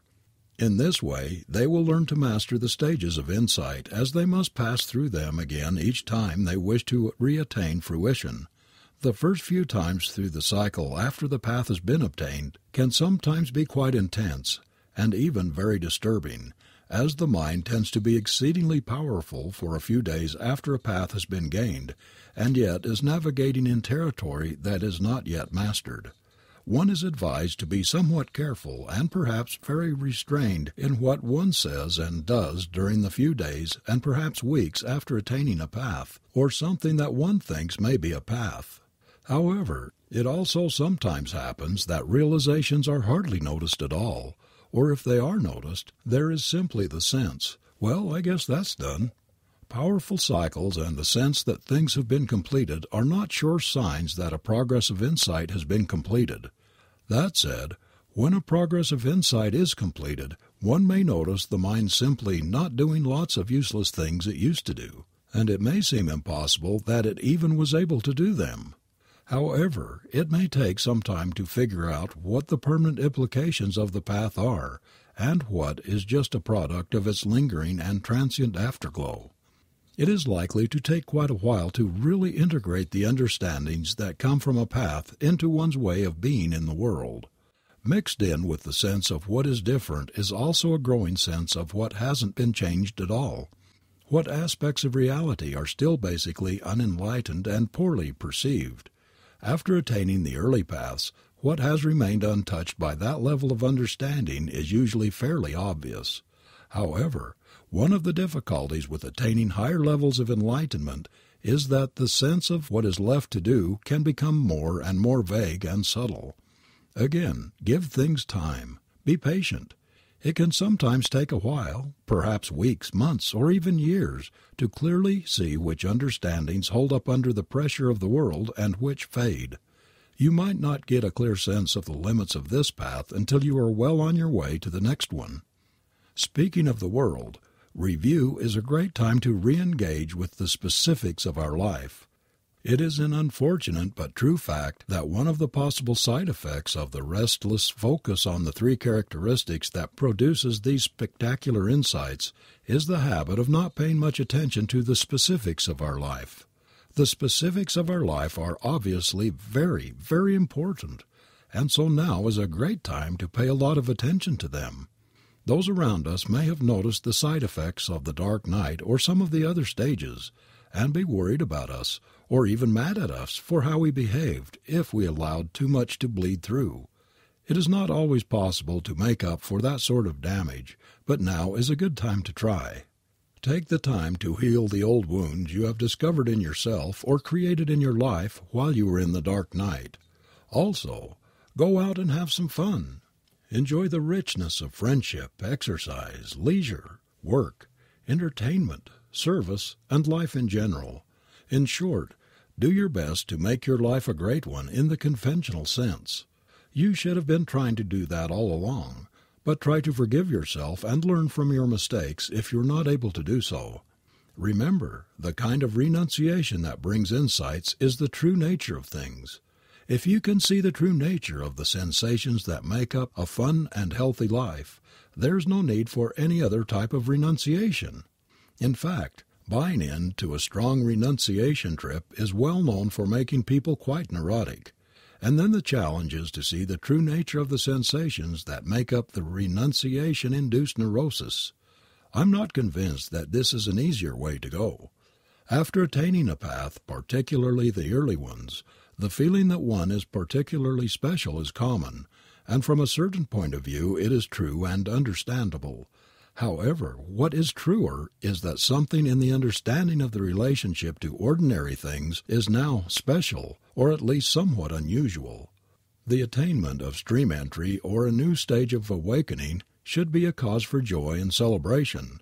Unfortunately, people who have never attained these things tend to react oddly or even poorly to such disclosures and sentiments. Strangely, many people are very excited about the idea of people getting enlightened, but not the idea of you getting enlightened. Those with higher levels of understanding than yours will know where you are coming from, but will also know how much farther there is to go from their own experience and their tendency to focus on that can be frustrating. One's teachers and more advanced companions may find it amusing to be reminded of what it was like to be caught up in the fascination with low levels of realization, but they know that eventually even that has to be seen in some other way. One of my favorite Chogyam Trungpa lines is, You will never be decorated by your guru. Even if you are, I doubt if it will be of any great benefit to you. Thus, two ironies of the spiritual life that one can encounter here are that success can cause feelings of isolation and that the spiritual path can be a very lonely one indeed. Sometimes writing can help, as can finding those few people who seem simultaneously to be interested in hearing the details of what you are going through without reinforcing your fascination with these in ways that make it harder to see successes in their proper proportion. It is also not uncommon to feel that what one has experienced is just so staggeringly profound that no one is likely to have ever really seen such amazing things, perhaps including one's teachers. However, if they are the real deal and qualified to teach you, they are very likely to have their own extensive list of spectacular and profound experiences and realizations. However, as such things are so rarely discussed openly, one may have a hard time believing this. As I have had to learn the hard way, those who are particularly prone to extroversion and immoderate speech in the face of recent insights can easily get themselves into somewhat embarrassing and humbling situations. On the other hand, eventually you may begin to outgrow or surpass your current teachers in understanding and ability. This in and of itself can be confusing and frustrating, causing role reversals that not everyone handles well. You might be astounded at how easy it is to bruise the egos in the conventional psychological sense of those who have seen through the illusion of the ego in the high Dharma sense. As review continues, one gets very familiar with the territory of one's current path and its stages, and they may pass by more and more quickly and easily, it can begin to seem that the only way to move through the review stages of insight is not to investigate reality too closely. At some point, fruition will no longer be as attractive and one will feel that one really should be practicing more clearly and precisely. This is a strong sign that the next set of stages is ready to arise. That said, There may be times when one simply doesn't want to make progress as one can't afford to risk another dark night at that point in one's life. Strong resolutions to stay in review, a lack of really precise investigation, and lots of indulgence in concentration states can help one stay until one is ready to move onward. However, progress of some kind can only be postponed for so long, and the Dharma has a relentless way of pushing us onward. The Vipassana jhanas. The Vipassana jhanas are a way of describing the stages of insight that is a bit more broad than the map that breaks the stages down into the 16 jhanas. They are two descriptions of the same territory, and both have their uses. The Vipassana jhanas differ from the concentration jhanas, Samatha jhanas, in that they include the perception of the three characteristics, rather than the pure samatha that require ignoring the three characteristics to get them to appear stable and clean. However, the two may share many qualities, including very similar widths of attention and other aspects. There are eight vipassana jhanas, the first four that are formed and the last four that are formless, with the odd exception of the fact that the eighth vipassana jhana, neither perception nor yet non perception, cannot be easily investigated, as it is generally too subtle to clearly reveal the three characteristics. Thus calling it a vipassana jhana is a bit problematic. However, it is part of the standard pattern of progress, so is worthy of inclusion and helps to explain some of the material found in the old texts. Remember how I mentioned in the chapter called Concentration versus Insight that the original texts used the same four or eight jhanas to delineate the states of concentration and the stages of insight? Remember how I said that the delineation of the stages of insight didn't occur until the later commentaries? In the second half of the 20th century, considerable work was done to try to resolve these maps. As with most terminological issues in the spiritual life, there is some disagreement about just how the jhanas and the stages of insight line up, and I will touch on these in this chapter. The practical application of delineating the vipassana jhanas is that the traps that awaited us in the samatha jhanas can arise during the progress of insight, and so being able to apply the body of advice that deals with these occurrences can be very helpful. For instance, we may be going along in the progress of insight but get stuck when we stop investigating rapture, which is a part of the early jhanas and also some of the early insight stages. Thus realizing that there are some relationships between samatha and vipassana jhanas can keep us on the lookout for aspects of our experience that we may be missing or artificially solidifying as it is so tempting to do so. Going the other way, if we have some mastery of a set of insight stages, we can use these stages to learn to get into samatha jhanas by concentrating on solidifying their predominant positive qualities. There are also those that say the jhanas and stages of insight do not line up at all, but this is too doctrinal, not in accord with what one experiences on the cushion or in some other posture and doesn't help resolve the problems created in the original texts of the Pali Canon.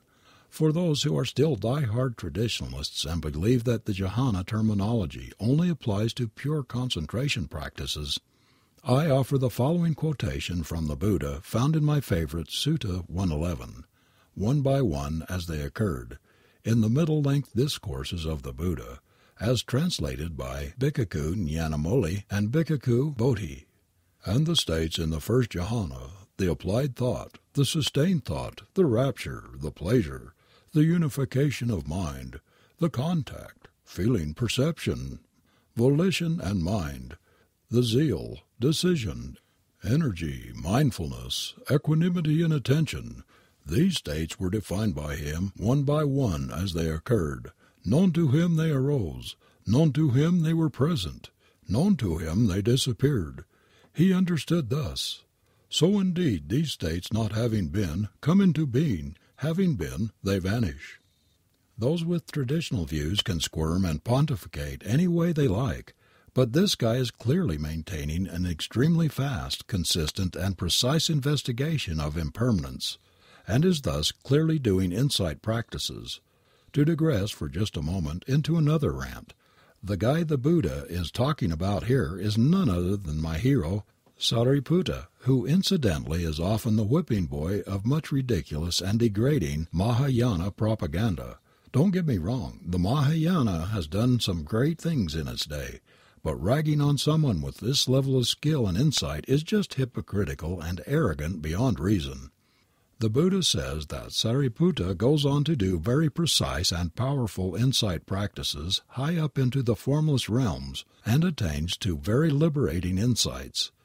I often hear Nouveau Tibetan Buddhists making comments that clearly indicate that they feel themselves to be quite qualified to denigrate his practice and don't seem to notice how ironic this is, as if they are almost always those whose own spiritual progress doesn't qualify them to lick the muddy sandals of someone with a fraction of Sariputta's talents. When one in a thousand of the meditators I meet who make these absurd and insulting statements about Sariputta can do what he could do, or understand what he understood, I'll eat this book.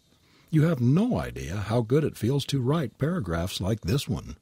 Back to business. All of this map stuff is only helpful if it keeps you practicing clearly and in a way that brings results. I will discuss more of the pros and cons of maps soon enough. Bill Hamilton's model. The Vipassana jhana model I like the most because it is the one that most clearly fits with my extensive investigation of the Vipassana jhanas is the one that was used by the late, great Bill Hamilton. He was also quite a mighty meditator in his own right, if a highly underappreciated one. True, he was a quirky old bat on a good day, but he also died an arhat and a mighty scholar who had complete mastery of the formless realms. There was nothing particularly spectacular about Bill's life, other than his understanding of it, and he died in poverty and obscurity in basic denial of the severity of his pancreatic cancer. I never met anyone who had given the question of the Vipassana jhanas more consideration, and his fascination with complex models was remarkable. A quick digression here about Bill, as I dedicated this book to his memory. Bill Hamilton was not only a meditation master, he was also a rogue teacher and basically felt like an outcast from the modern international Vipassana community.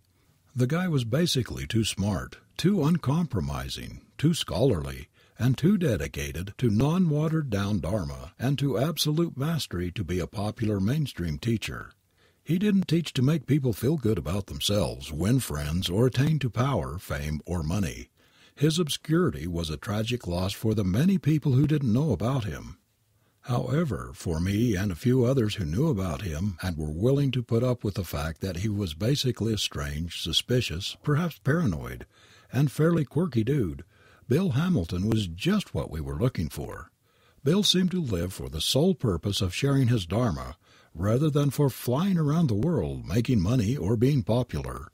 Unlike the few other Western Dharma teachers with his level of mastery, you could call Bill on the phone and talk for hours about this stuff and then you could do it again. His very unpopularity made him a true and accessible teacher. The other nice things about Bill were that he would talk about actual mastery, though you had to drag it out of him, and also had incredibly high standards that I found quite refreshing. Bill also taught in a very interesting way. His style was basically to seem extremely skeptical that any of your descriptions of any experiences could really have anything to do with the attainment of anything. This was basically quite irritating, but it made his students question deeply whether or not they were actually experiencing what they thought they were, and so look more deeply at the truth of each moment. It also served as a helpful counterbalance to his interest in models and specifically named levels of attainment. His teaching style didn't win him any friends, but it was powerful and served his ends. Part of my fantasy is that a bit of his edge, uncompromising attitude, and deep understanding may have come through in his work, though it must be stated explicitly that Bill never let on that he was particularly impressed with anything I ever described in my own practice. Back to discussing Bill's Vipassana jhana model. This table explains which jhanas fall into which jhanas, and is a rearrangement of the table at the beginning of the chapter on progress of insight. The first Vipassana jhana, the Jnanas are 1 through 3, mind and body, cause and effect, three characteristics. The second Vipassana jhana, Jnana 4, the arising and passing away. Third Vipassana jhana, the Jnanas is 5 through 10, the dark night. Fourth through the eighth Vipassana jhana, the Jnanas are 11 through 14, equanimity, conformity, change of lineage, path. Thus, when in each of those jhanas one can learn something from its jhana aspect, and when in each of the jhanas one can notice what insight territory is available there. Further, as the division between samatha and vipassana is not actually not nearly so straightforward as some would make it out to be, there can be a lot of natural movement back and forth that can occur between vipassana jhanas and samatha jhanas, even when trying to keep to just one side. As the three characteristics are always presenting themselves, even in seemingly created, blissful, stable samatha territory, those with strong mindfulness and concentration may have to work to avoid perceiving them. Also, those doing strong insight practice may again and again chance into territory that has a more samatha feel, and if they are expecting things to be purely by the jnana descriptions, they may get lost or confused by this. Lastly, those who have attained at least stream entry are constantly cycling through the jnanas from the fourth to the eleventh and then to fruition. So even if they try to do pure samatha practice, the pull towards each next jnana vipassana jhana is strong, and they basically are always from then on doing some fusion of the two even when they try to keep things purely on the samatha side. I will illustrate the vipassana jhanas with a description of some candle flame meditation I did when on retreat and playing around with the samatha jhanas by using kasinas. Kasinas are various traditional practices that involve using physical objects as colored discs, candles, etc., as a starting point to attain samatha jhanas powers and the like. They are described in the standard references I list in the chapter on the concentration states. The retreat when I first really nailed down the details of the Vipassana jhanas was a 17 day retreat that I went on when I was an anagami the third stage of awakening in one of the models of awakening to be discussed shortly. I didn't begin playing with this territory until around the second week of the retreat, and by that point my concentration was very strong and flexible. It didn't take me more than a day before I could go through the following cycle. Initially, I would stare at a candle flame until I really could stay with it, then there would be a natural shift. I would close my eyes and I would see the visual purple phenomena where the after image of the flame was burned onto my retina. This would fade in a few seconds to be replaced by a red dot in the center of my visual field. The red dot was clear, very round, pure, bright, and seemingly stable. However, within a minute or so it would begin to shake, roll off to one side, and I would notice all sorts of things about how intention and observation messed with the position, stability, and clarity of the dot. First seeing the dot is the first samatha jhana, and in this case is the equivalent of mind and body, where mental phenomena became clear external objects. Noticing things about intention influencing the position and stability of the dot is cause and effect.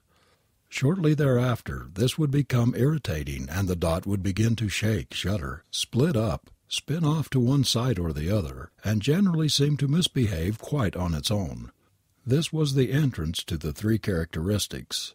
After a while of this, this practice would shift, become naturally stronger, and this slightly larger red dot would appear in the center again, that stayed there largely on its own but it had a gold spinning star in its center that would spin on its own with a speed and direction that varied with the phase of the breath, which I noticed when I broke my focus enough. This addition of motion, the image happening on its own, and somewhat wider attention, wider dot, not to mention bliss when I broke my concentration a bit and focused on my body, is the entrance to the second Vipassana jhana. The red dot with the spinning gold star would gradually acquire purple, green, and blue rings around its outside, and then there would be a sudden shift where the red dot would vanish and be replaced by a slightly larger black dot.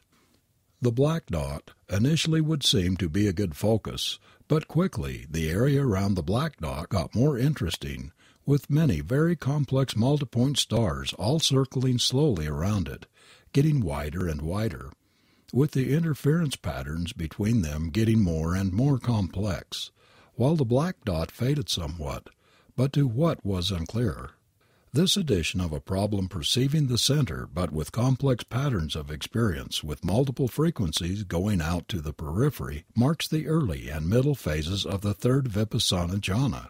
Further, as the thing got wider, there was this slightly disconcerting feeling that attention was out of phase with the visuals. As the complex patterns around the outside began to become more spherical as the edges wrapped around towards me, they began to be made out of lines that had more of a rainbow quality to them, with many complex motions and manifold symmetry. This was harder to pay attention to, and simultaneously comprehend it all, marking the mature third Vipassana jhana and the later stages of the dark night. Note, as this was being done with almost no fixation on psychological content and with very strong concentration, I did not have any of the typical feelings that sometimes accompany this territory when it cycles through with less concentration. Instead, it stayed at the level of geometry, image and light except when I widened my attention somewhat to notice other aspects.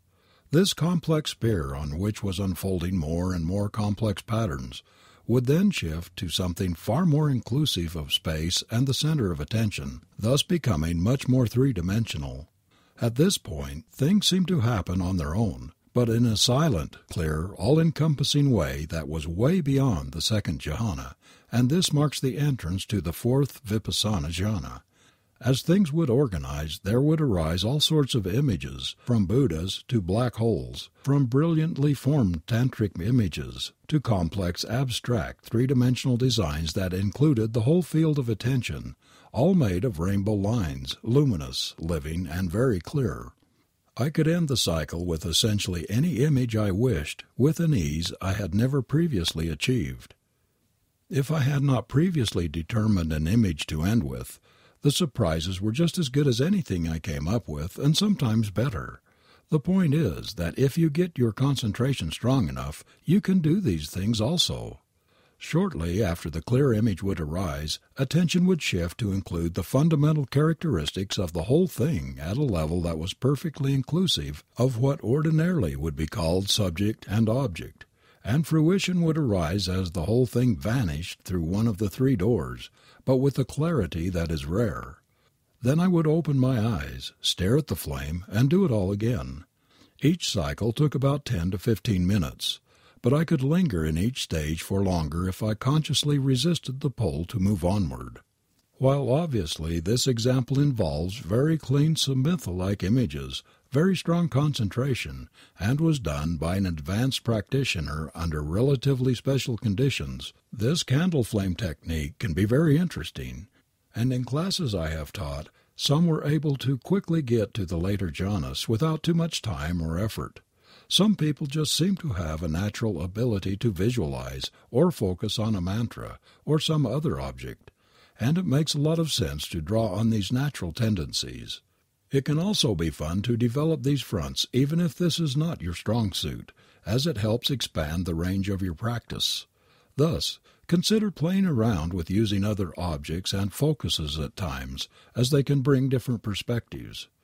To give another example, using a different object, if one is using a mantra, one may notice that at some point one shifts to being able to stay with mantra clearly and perceive it as an object, which is the first jhana starting with mind and body.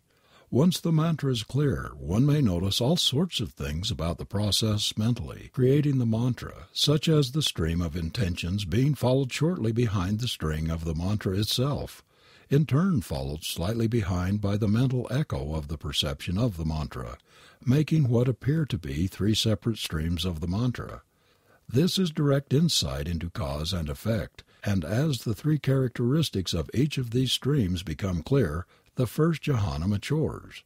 Then the mantra will shift to presenting itself, and will become very clear, as if it is reciting itself. This is obviously the second jhana, and one may experience A and P like phenomena around here. As the practitioner shifts into the third jhana, the mantra gets wide in the stereo field, complex with interesting harmonies if one is so inclined, and yet it may seem to be out of phase with attention, or it may seem distorted, annoying, like something that was once beautiful but has become noisy. One may experience dark night related phenomena in this phase. As the shift to the fourth jhana comes, the mantra may become part of a very wide, more quiet background, as attention becomes inclusive.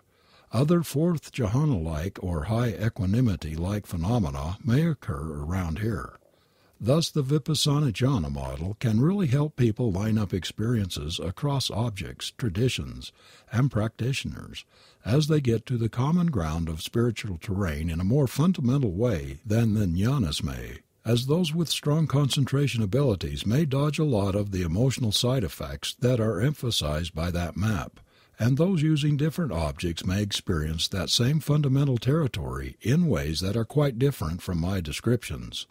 However, now that you know the Vipassana jhanas, if you practice well or ask good questions of those you speak with, you should have a much easier time of lining things up and making sense of things.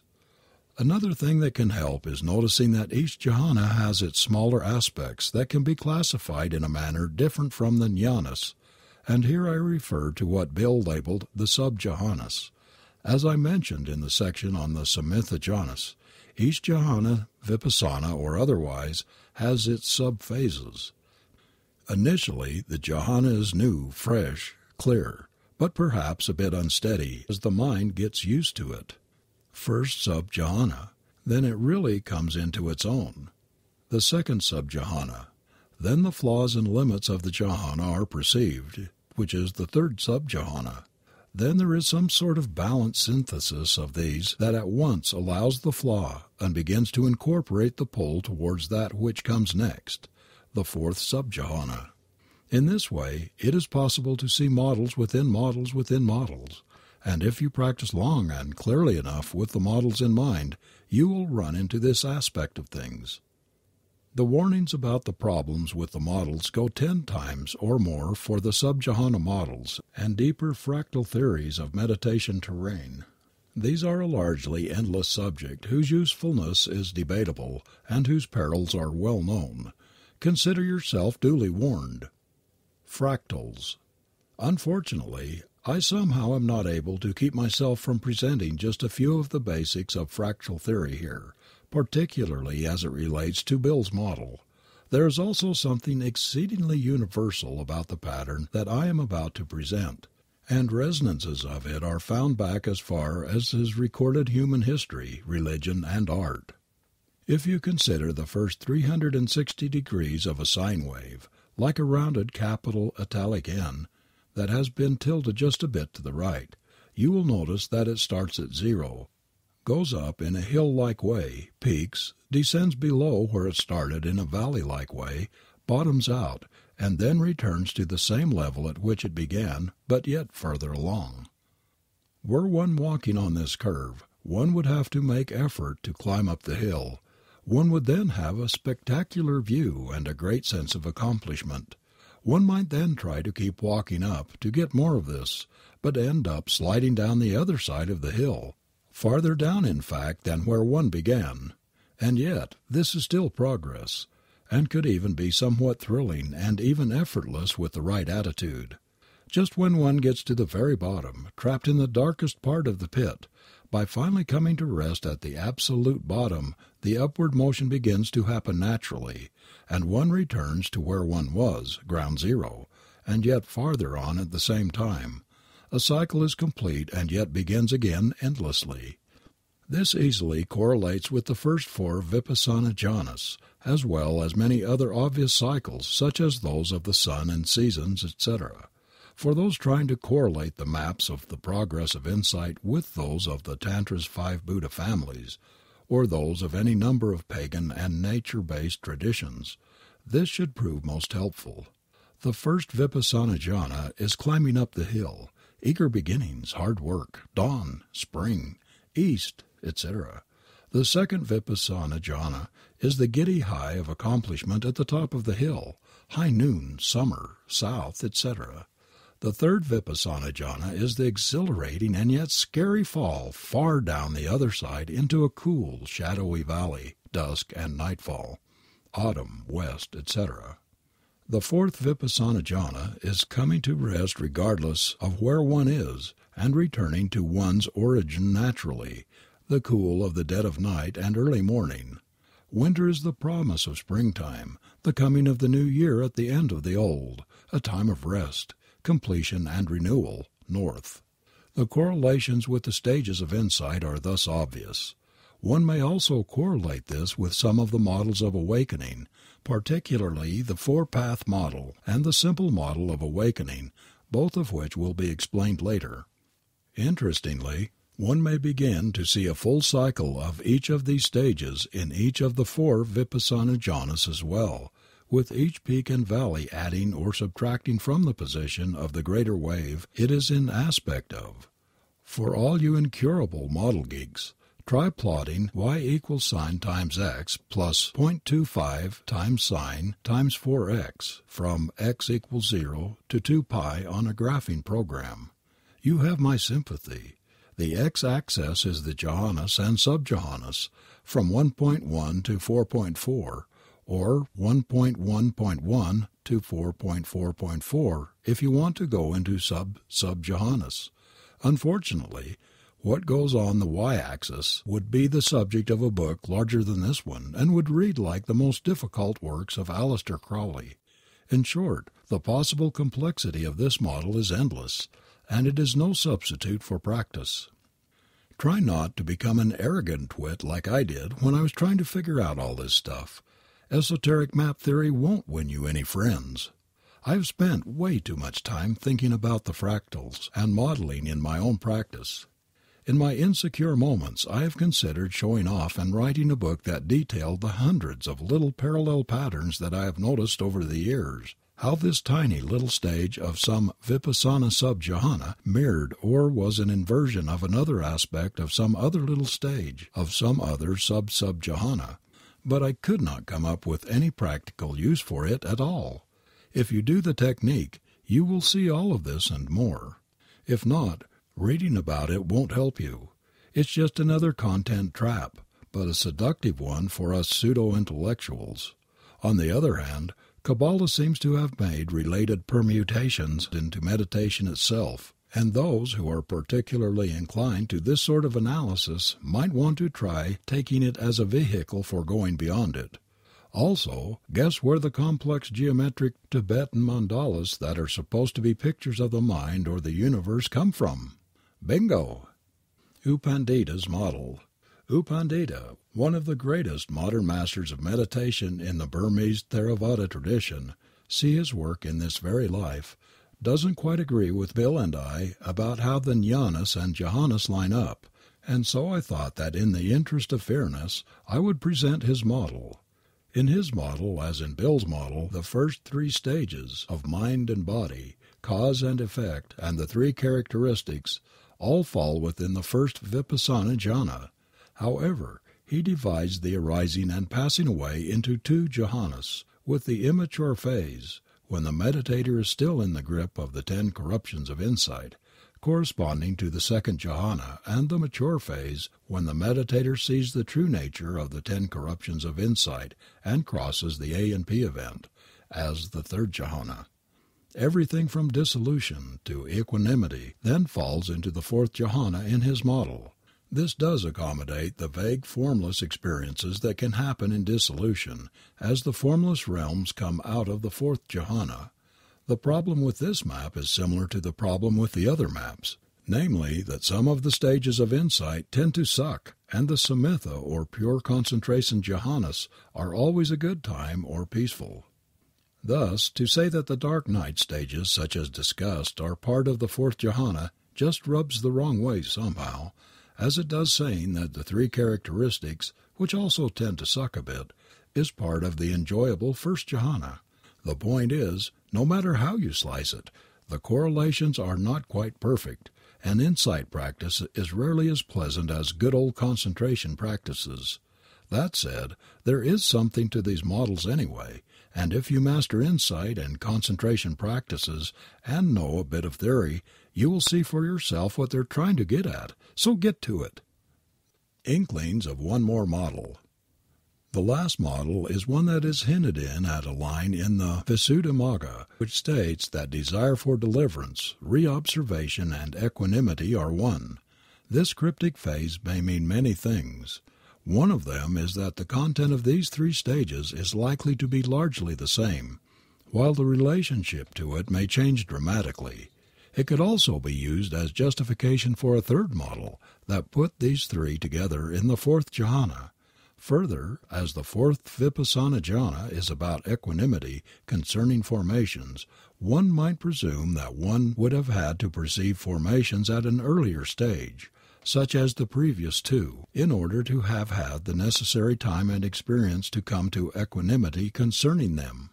Go see for yourself and consider which of these three models presented here fits your actual experience, or throw this book and all of its models out the window and investigate the three characteristics precisely regardless of what happens. Actually, such decisions might be better made after reading the next chapter.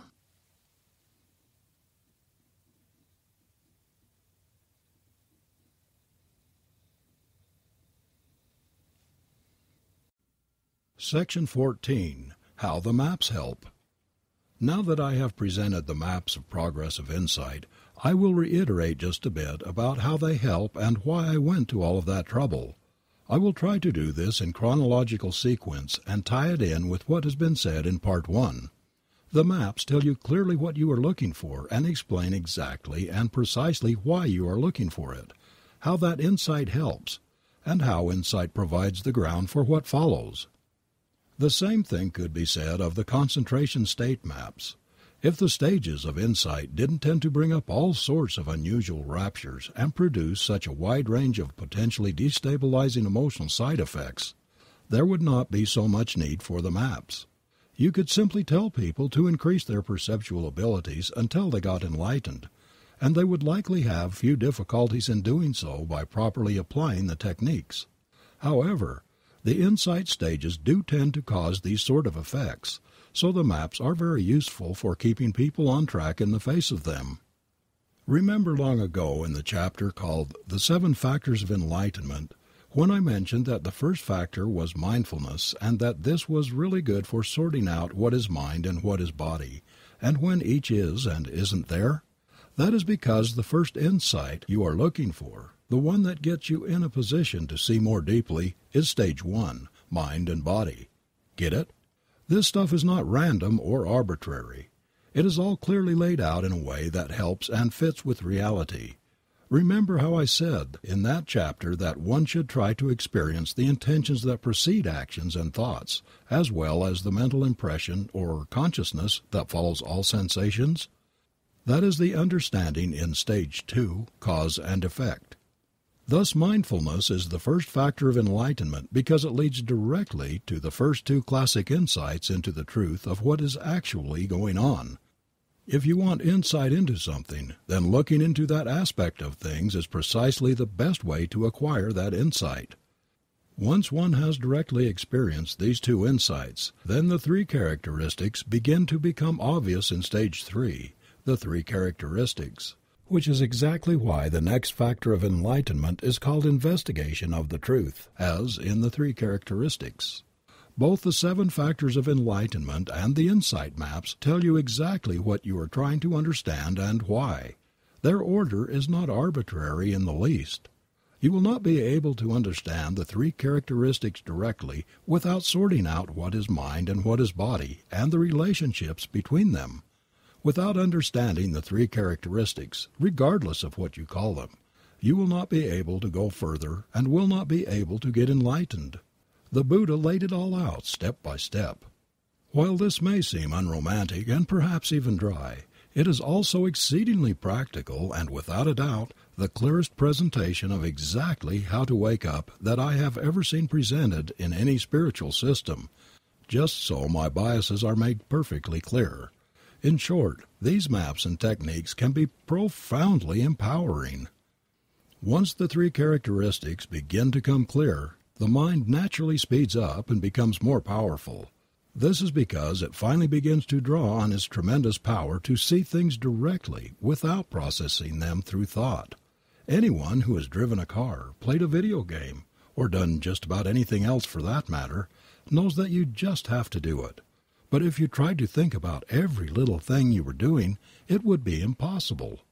This increase in mental power, due to non conceptual and direct experience, is related to the third factor of enlightenment energy. Energy may now even be blazing up and down one spinal cord.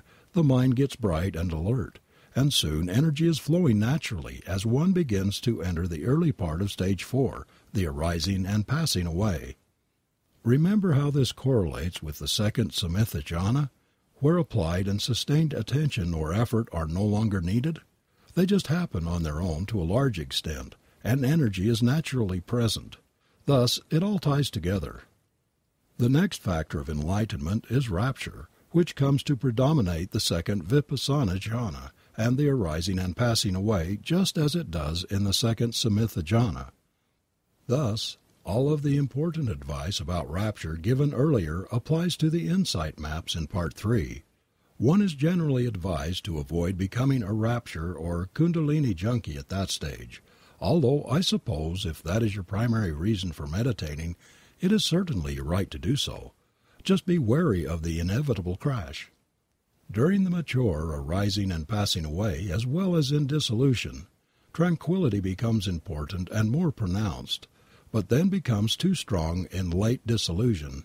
Thus it becomes important to build the sixth factor of enlightenment, concentration. Finally, when the dark night really kicks in, as it will once can again find one's objects and stay with them, fear through reobservation, then equanimity in the face of all experience becomes vital for progress, as stated in Part 1. Thus, equanimity can arise and that path can be attained. As mentioned before, the maps fill in the seemingly huge, frustrating, and nebulous gap from doing something like sitting on a cushion, paying attention to the sensations of your breath, and finally getting enlightened. The maps also tell you exactly what the common errors of each stage are they warn people about not getting stuck in mind and body by solidifying it into a jhanic state, which it closely resembles. They provide comfort and explanation when things might get jerky, unpleasant, or even downright painful in stage three, the three characteristics.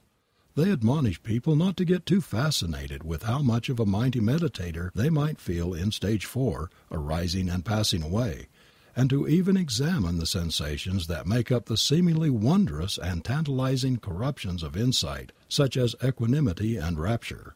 They warn of the possibility of thinking that one is enlightened when going through that stage, as well as saying that it is normal for wild and sometimes explosive experiences to occur. I spoke with a friend who basically wanted me to help him rationalize that his recent A&P experiences occasionally allowed him to touch high equanimity my advice was that a much more helpful form of inquiry would be to notice the sensations of fascinations with this issue, and the sensations of the rest of his sensate universe coming and going moment to moment. If he couldn't manage this, he should be putting his time into trying to figure out how to get together enough vacation time and money to do another long retreat and or how to increase his daily practice time and the thoroughness of his investigation.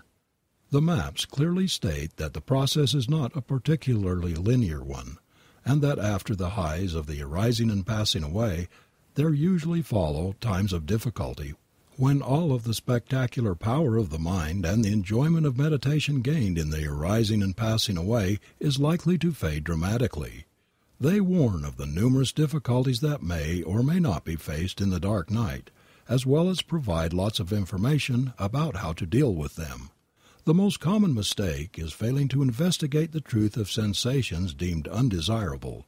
It is hard to get on more intimate terms with reality when we feel a bit too emotional, vulnerable, open hearted, or shaken, and so progress in the dark night is not always easy. While I do generally wish to avoid biting the hands that have fed me, I must say that not telling practitioners about this territory from the beginning so as to give them a heads up to what happens is so extremely irresponsible and negligent that I just want to spit and scream at those who perpetuate this warped culture of secrecy. While many teachers may not want to do so because they don't think people will ever get this far, that in and of itself is a scary assumption that should cause some serious questioning of their teaching methods, techniques, and perhaps even motivations. Imagine that there is a meditation medication called Damitol that is used to treat some form of suffering. Perhaps it is a pain medicine or an antidepressant. However, in a subset of patients its long-term use is known to cause pronounced anxiety, paranoia, depression, apathy, micropsychotic episodes, a pervasive sense of primal frustration, pronounced lack of perspective on relationships, reduced libido, feelings of dissatisfaction with worldly affairs, and exacerbation of personality disorders, all of which can lead to markedly reduced social and occupational function. Imagine that these side effects are known to persist sometimes months and even years after someone stops taking the medication with occasional flare ups and relapses, with the only permanently effective treatment being to increase the dose, along with supportive care and counseling, and hope that these side effects pass quickly with little damage. Now imagine that you are living in the dark days of paternalistic medicine, during which doctors are prescribing this stuff without fully disclosing the potential side effects, despite the fact that they are fully aware of them. Imagine that drug companies are not forced to disclose known side effects. Does anything in this scenario make you a bit uncomfortable? I should hope so. Let's say, for the sake of argument, that I'm a fanatic who is blowing this thing way out of proportion. Let's assume that Damitol only causes these effects in one out of every 10,000 patients. Would you have these side effects included on the little piece of paper that comes in the bottle? Let's say it's one in a hundred. At what point does it become absurd for those doctors and drug companies are being allowed to get away with this?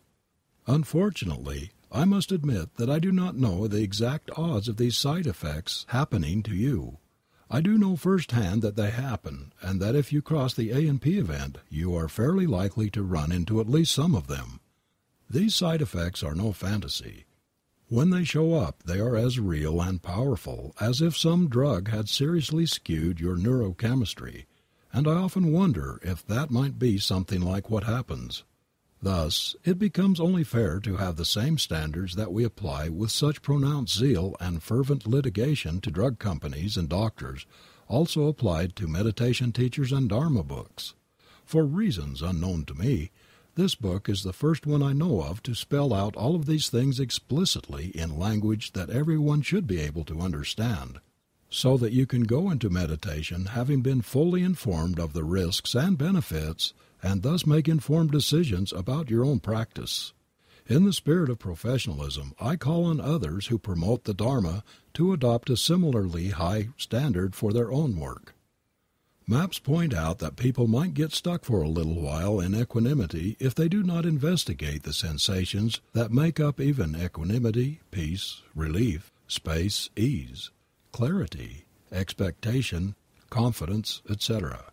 The models also go into great detail about what actually happens in each stage of enlightenment and what does not happen. Presented later though this aspect of the maps is much more controversial than the maps of the progress of insight. Thus the maps at their best tell the meditator in clear and systematic ways exactly what to do, what to look for, why, and exactly how not to screw up at each stage. They are no substitute for clear practice and investigation of the sensations that make up one's experience, and they are poor aids to those who refuse to heed them and follow their advice. As I continue to mention, they can also be used as a basis for useless and even harmful competition between gung ho meditators with insecurity issues. It can and has been argued convincingly that one certainly doesn't need to know all these maps at all so long as one practices well. Despite the dangers of competition and over intellectualization, the maps still have tremendous value when used as they are meant to be. One very valid criticism of the maps, as I mentioned before, is that people are often very susceptible to suggestion, often called scripting. Describing these stages can cause people to have something that resembles these experiences, just because they have been told that they are expected. The part of the maps that deal with the emotional side effects is notorious for causing this particular kind of mimicry. For example, it is basically impossible to sort out what is just fear and what is insight at stage 6, which is fear, based upon the presence of fear alone. The aspect of the maps that deals with unusual raptures, both physical and mental, is less suggestible, and is a more reliable indicator of the stage of practice. However, the fundamental increases and shifts in perceptual thresholds are extremely hard to fake, particularly if you have access to a map that goes into the extensive details presented here. Shifts in perceptual thresholds are the most reliable markers on the path of insight, the gold standard by which these stages are defined. For example, if you recently saw very fine vibrations that changed frequency with the breath, then had a big zap through spaced out for a while, and now feel paranoid with some steady 5 to 7 hertz stuff that quickly leads to chaotic, edgy vibrations with complex harmonics, that's very likely the insight stage fear. Thus, increasing one's perceptual thresholds in terms of speed, consistency, and inclusiveness should always be the focus of one's insight practices. Skilled teachers who use and are very good with these maps will take into account all three emotions, raptures, and perceptual abilities, along with the pattern of these that has unfolded previously, and use them to come up with an educated guess as to what is going on with the student. With years of experience, we may eventually get good at doing this for ourselves. I have found that my guesses about my own practice are usually more accurate after I've had a year or two to reflect on what has occurred.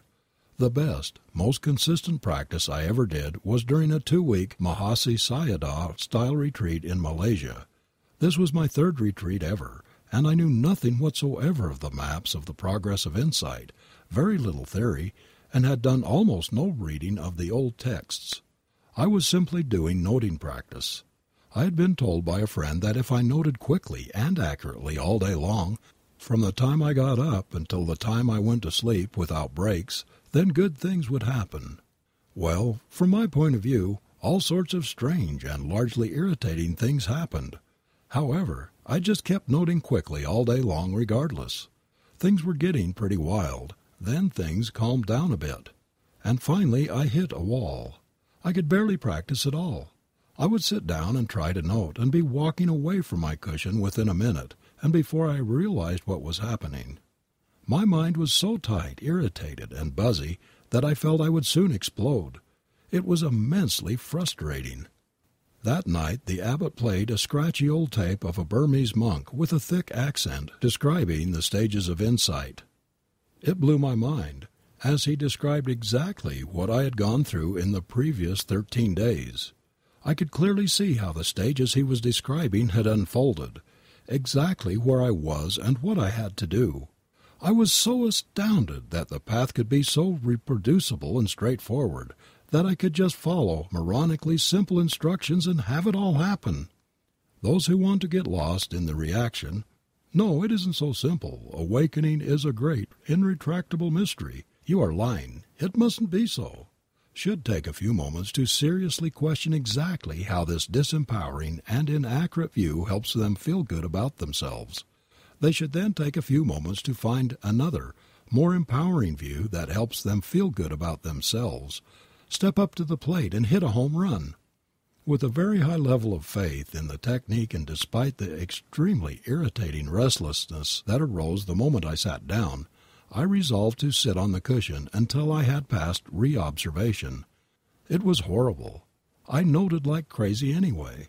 Within five minutes it broke. Everything opened up and fundamental formations arose. Thus, knowledge of these maps is absolutely not necessary for progress, but it may be helpful if it keeps one practicing and helps one realize that what is happening may be perfectly normal. Unfortunately, the story continues on a dark note. I did not know these maps well at the time.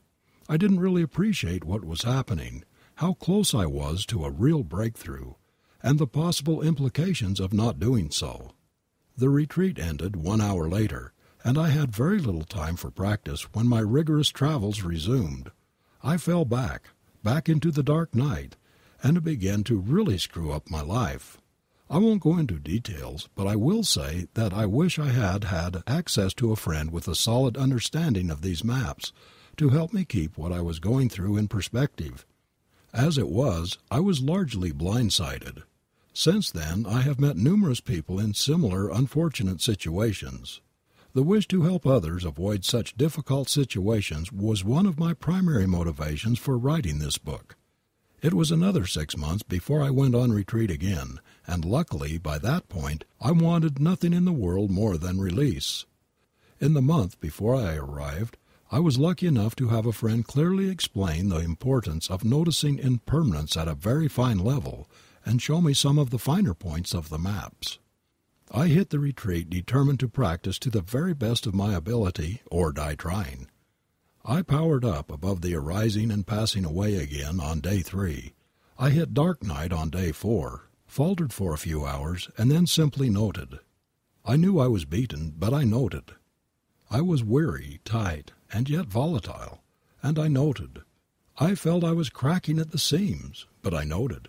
I stayed with what was happening, clearly perceiving and reluctantly accepting the sensations that made up my world the weight lifted, and then the little mush demon Buddha thing showed up. Soon thereafter I soared effortlessly in realms of pure vibrating suchness, free from the ordinary cares of the world. Soon this became boring, and then I just sat and walked. On day six of my fourth retreat, I got the first taste of what I was looking for stream entry. There is no way to explain the waves of gratitude that washed over me except that one small ripple of them was the other part of the motivation for writing this book. As promised, the spiritual path is not a linear one. During the next few days I swung wide from the greatest spiritual highs to the extremes of what can happen during reobservation. My mind was powerful beyond reason, and yet I was a complete novice at this new territory. I was a bit like a 16 year old who has just been given a Ferrari with no brakes and a pair of night vision goggles. I simultaneously saw myself being staggeringly wise and also a complete basket case.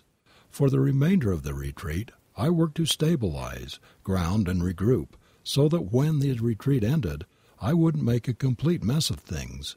I was only moderately successful. For the next few weeks I, the great stream enterer, managed to alienate most of the people who had the misfortune to speak with me for any length of time.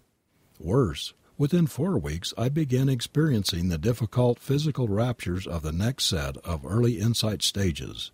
New territory was showing up, probably because I was still practicing hard, three or four more hours a day, and it was kicking my gung ho butt.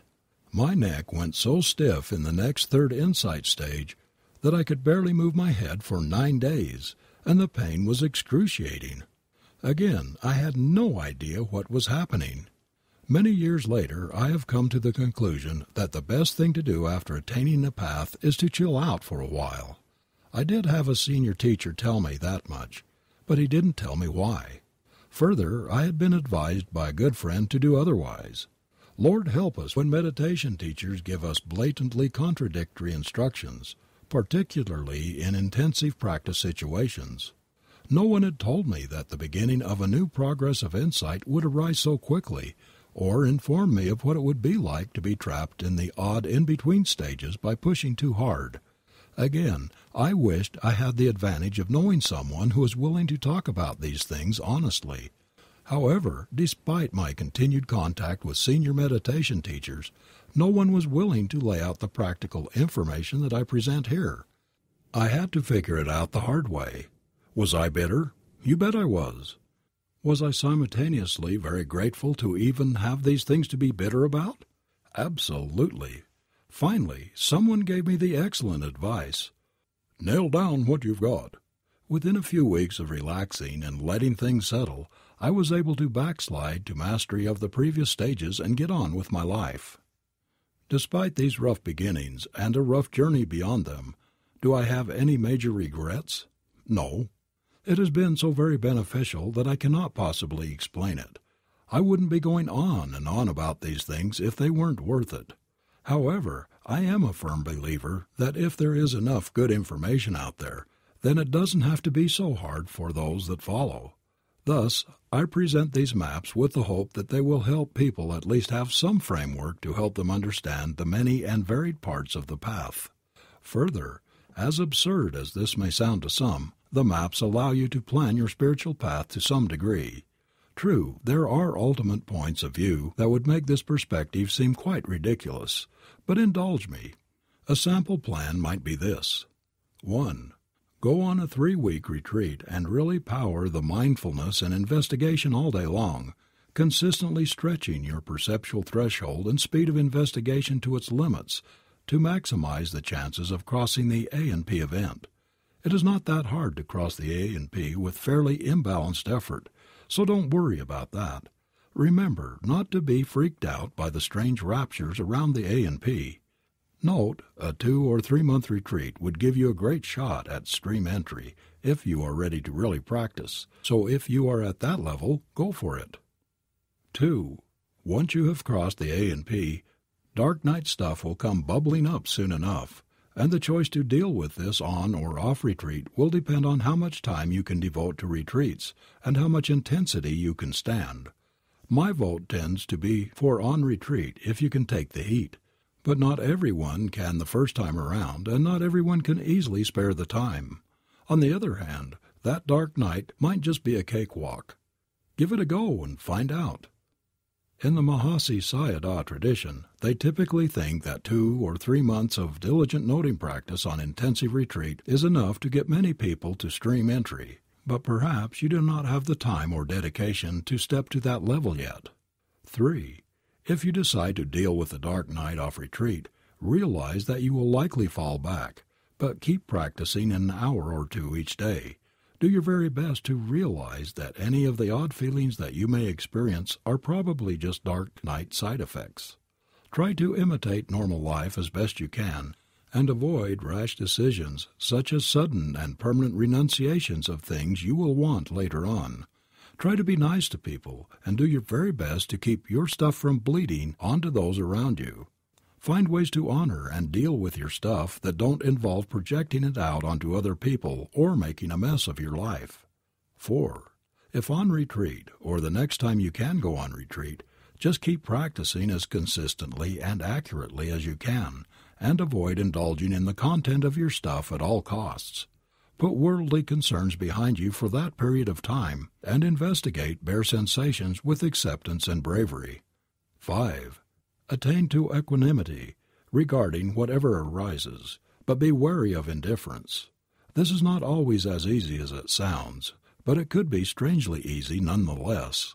Once the weight lifts, just keep sitting or walking or whatever, with no sense of special effort, but keep up gentle, ordinary, and consistent attention to the open field of awareness, with gentle emphasis on the three characteristics. After really getting into high equanimity, stream entry should arise soon enough. If it doesn't, repeat the above cycles until it does. 6. From this point, you are in there, and progress of some kind is now inevitable. This first finger hold on ultimate reality is extremely important as without it you can wander far and wide and yet get nowhere. Advice for what to do next is given later on. 7. It should be noted that in this way of thinking about things there are only about five stages, and they are relatively simple to identify. The first is before you get any strong concentration, and the advice is to get your concentration stronger through good technique. The second is the first vipassana jhana, which involves staying with your objects, getting faster and more direct, and working through basic hindrances. The third is when things get cooking, the A and P, the second Vipassana Jhana, which is usually obvious. The fourth is the dark night, which is usually obvious. The fifth is equanimity, which is usually obvious, though it can be confused with the A and P.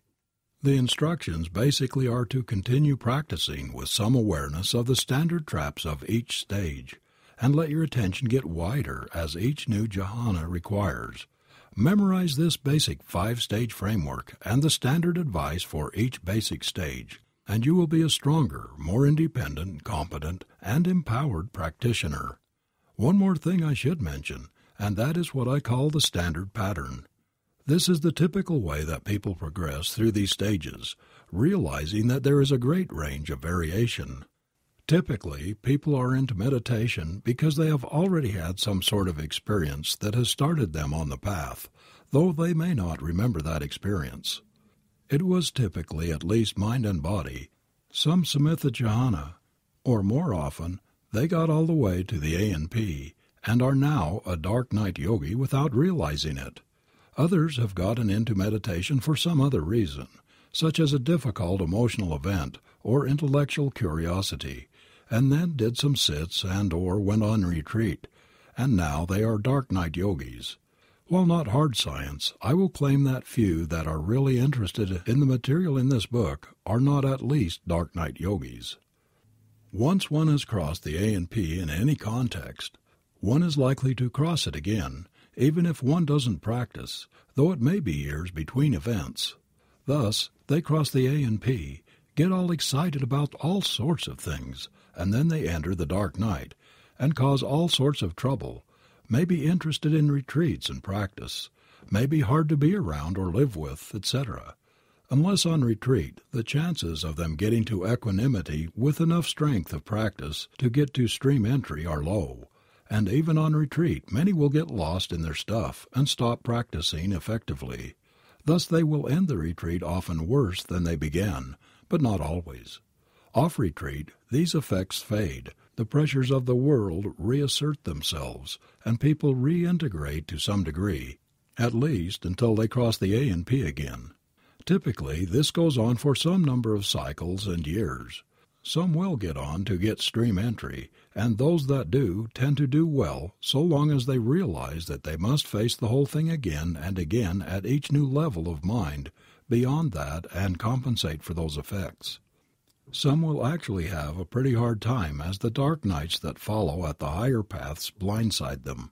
Overall, those who have good instruction, have their morality trip together, and practice well will do better than those who don't. One last bit of advice for those coming off retreat who are dark nighting hard. Stop practicing for a while and do things to ground down, such as sleep more, eat heavy foods, go to movies, do hard physical work or exercise, and the like if you need to function in the real world. It will help the dark night fade more quickly. There is not much useful to be gained for doing just enough practice to stay caught halfway in and halfway out, as that's a tough place to be.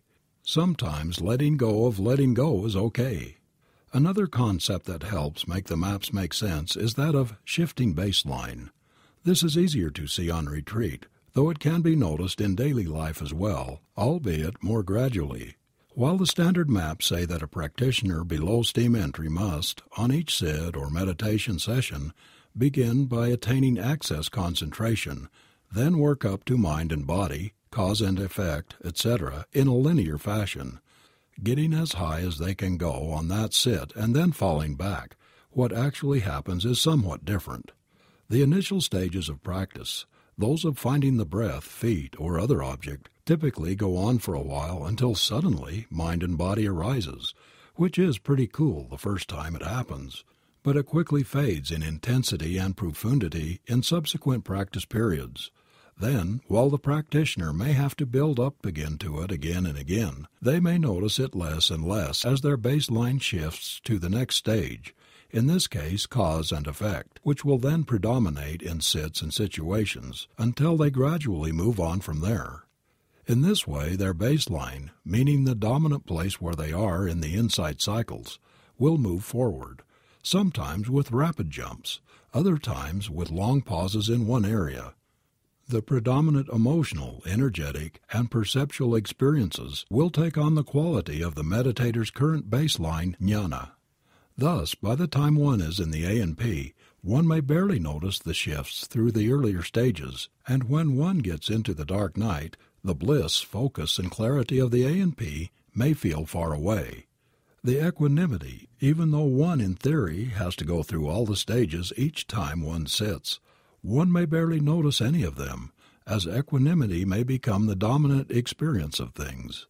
Others on retreat may find that they can power up through the A and P and into the dark night day after day, only to flounder when they hit the dark night, and the next day they start again. Even they will gradually notice a shifting baseline as the earlier stages fade and the later ones show more and more of themselves. However, once one leaves retreat, things tend to rapidly regress, though the effects of whatever stage one ended on will tend to linger for a while, and those who have crossed the A and P who did not manage to get stream entry or the next path will tend to have some dark night element in there somewhere until that fades and they cross the A and P again, which, as I said, can happen off retreat. All of this changes on stream entry and is one of the marks of it. Suddenly, rather than a generally upward going baseline with regressions when one leaves retreat, the thing cycles with great clarity and rapidity, all the way from A and P territory to fruition through one of the three doors and then round again. Thus, this would be a good time to discuss the three doors. The three doors. Insight practice is all about understanding the three characteristics so that when we deeply understand them we may see beyond the three illusions and enter ultimate reality through one of the three doors. Stages 12 to 14 and subsequent attainments of fruition at that level of awakening present as radical and complete understandings of the three characteristics at the level of formations, at the level of the whole sensate universe, lasting three or four moments of one tenth to one quarter of a second each.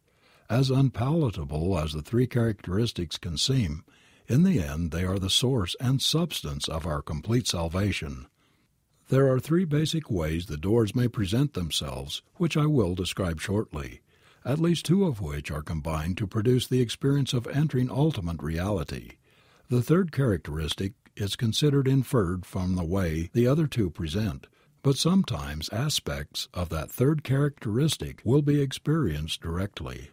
Regardless of the way that door manifests, there are some common characteristics of doors that point to something beyond all of this. They reveal something completely extraordinary about the relationship between the watcher and the watched that it would take a very warped view of the universe to explain, though I will try shortly. One way or another, these fleeting experiences cannot be explained in terms of our normal, four dimensional experience of space and time, or within our ordinary experience of a subject and object. One way to sort out a door to ultimate reality from an A and P event is that the three doors involve the whole experiential space time continuum as well as the object of investigation, as these become the same thing, an integrated whole. This does not hold absolutely for A and P events if we are being honest with ourselves, as the subtle background of sensations that provide reference points is not completely included. Further, a and P events tend to be very rich and thick, whereas there is always a sort of silent, luminous transparency to the way the three doors present. As stated earlier, the A and P event occurs very much as the three doors, is then followed by an unknowing event, but then there are a few moments, usually about three or four, as the breath drops all the way to the bottom, followed by another unknowing event and a state shift. Without doubt, the clearest and most illuminating experiences of the three doors come from attaining fruition in the formless realms or in the realms of the psychic powers, though these are not necessary, just very interesting, memorable, and educational. Another perspective would say that the three doors always happen at the level of psychic powers, but this is a matter of semantics. The strength of one's concentration practice and recent continuity of practice will also help determine how clear these experiences are. I had to go through them hundreds of times with an eye to exactly how they presented before I was able to write a chapter such as this one. The entrance to fruition through one of these doors is always completely unexpected. I will explain the aspect that each characteristic lends to each door and then combine these to explain what actually happens. When particularly clear experiences of the three quick moments of the three doors occur, they can provide fundamental clues that can be used for further debunking of the three illusions, as well as explaining where so many of the teachings that try to describe the true nature of things come from. For instance, the impermanence door aspect has to do with mind moments, the particle model, arising and passing, vibrations, understanding that from which all this arises and that to which all this returns, understanding the source of all reality, the universe strobing in and out of existence and that sort of thing. When the Tibetans talk of non existence they refer to the fact that all experience is utterly transient, the wave model, and thus abides or exists not at all, but is constantly in absolute flux and ephemeral. The impermanence door aspect relates to realizing what is between the frames of the sensate universe or formations, and it tends to have a dat dat gone quality to it. The suffering door aspect has to do with the fundamental attachment, dropping attachment like a hot coal that one finally realized one was holding, really letting go, compassion, ultimate bodhicitta, the true love of God, being purged in the flames, renunciation, relinquishment, feeling the fundamental queasy tension in the illusion of duality for just a bit longer than one ever would normally, and that sort of thing. The suffering door relates to the mind, releasing its fixated hold on the whole of relative reality and allowing it to fall away, leaving awareness to discover itself. Remember, these words do not refer to fixed phenomena or experiences. It can also feel like the sum total of existence is suddenly ripped away from us. The suffering door aspect tends to be the most unsettling or wrenching of the three doors, the most deathlike. The no self or emptiness door aspect has to do with the teachings on the mirror like nature of the mind, the Spirit of God moving upon the face of the waters, and oh so mystical and overlooked line from Genesis, God making man in his image, merging with a tantric image of a Buddha, seeing one's original face, thinking of who created thought, and that sort of thing. It relates to directly observing the collapse of the illusion of duality, the collapse of awareness into the intelligence or cognition of the perceived. It is a bit like staring back at yourself, or something intelligent regardless of whether or not it looks like you, with no one on this side to be stared at, and then collapsing into that image. The emptiness door aspect tends to be the most pleasant, easy, and visually interesting of the three. Each of these doors has to do with complete understanding of the ultimate aspect of relative reality and thus realizing the ultimate nature of ultimate reality. Each door also relates in some way to completely countering one of the three fundamental defilements. The impermanence door relates to countering fundamental ignorance. The suffering door relates to countering fundamental attachment. The emptiness door relates to countering fundamental aversion. From a true self point of view, the impermanence door relates to the permanence of ultimate reality. The suffering door relates to the compassionate nature of ultimate reality or the ultimate bodhicitta, and the emptiness door relates to the fact that the void is what we truly are, in true self parlance at least. When I use the word fundamental, I always mean something to do with basic illusions of duality, or the gradual or sudden elimination thereof. Thus, I use the word fundamental when what I am talking about has nothing to do with specific content, emotions, physical sensations, mind states, psychological manifestations or understandings, or any other specific and limited categories of sensations. I will now try to describe six possible combinations of these three aspects that create the actual experience of the three doors. While there can be a lot of variation in the specifics of how these three doors present, they will always fall into one of these basic patterns.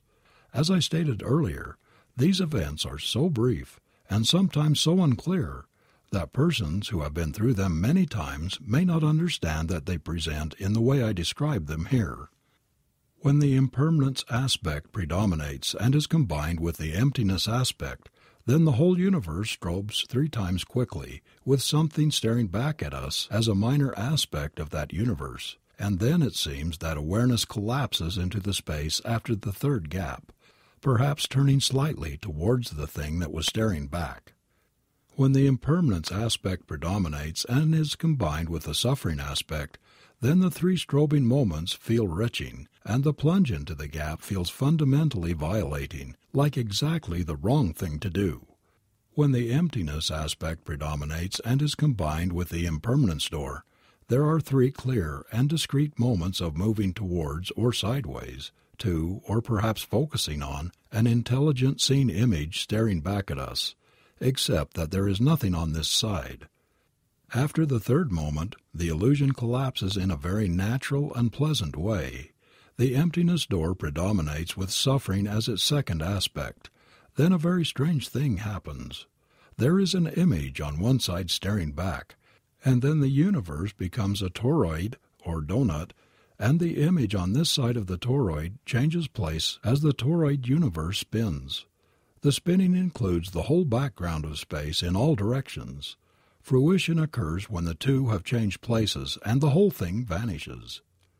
When the suffering aspect predominates and is combined with the emptiness aspect, again the toroid thing happens, except that it can be quite distorted or cone like.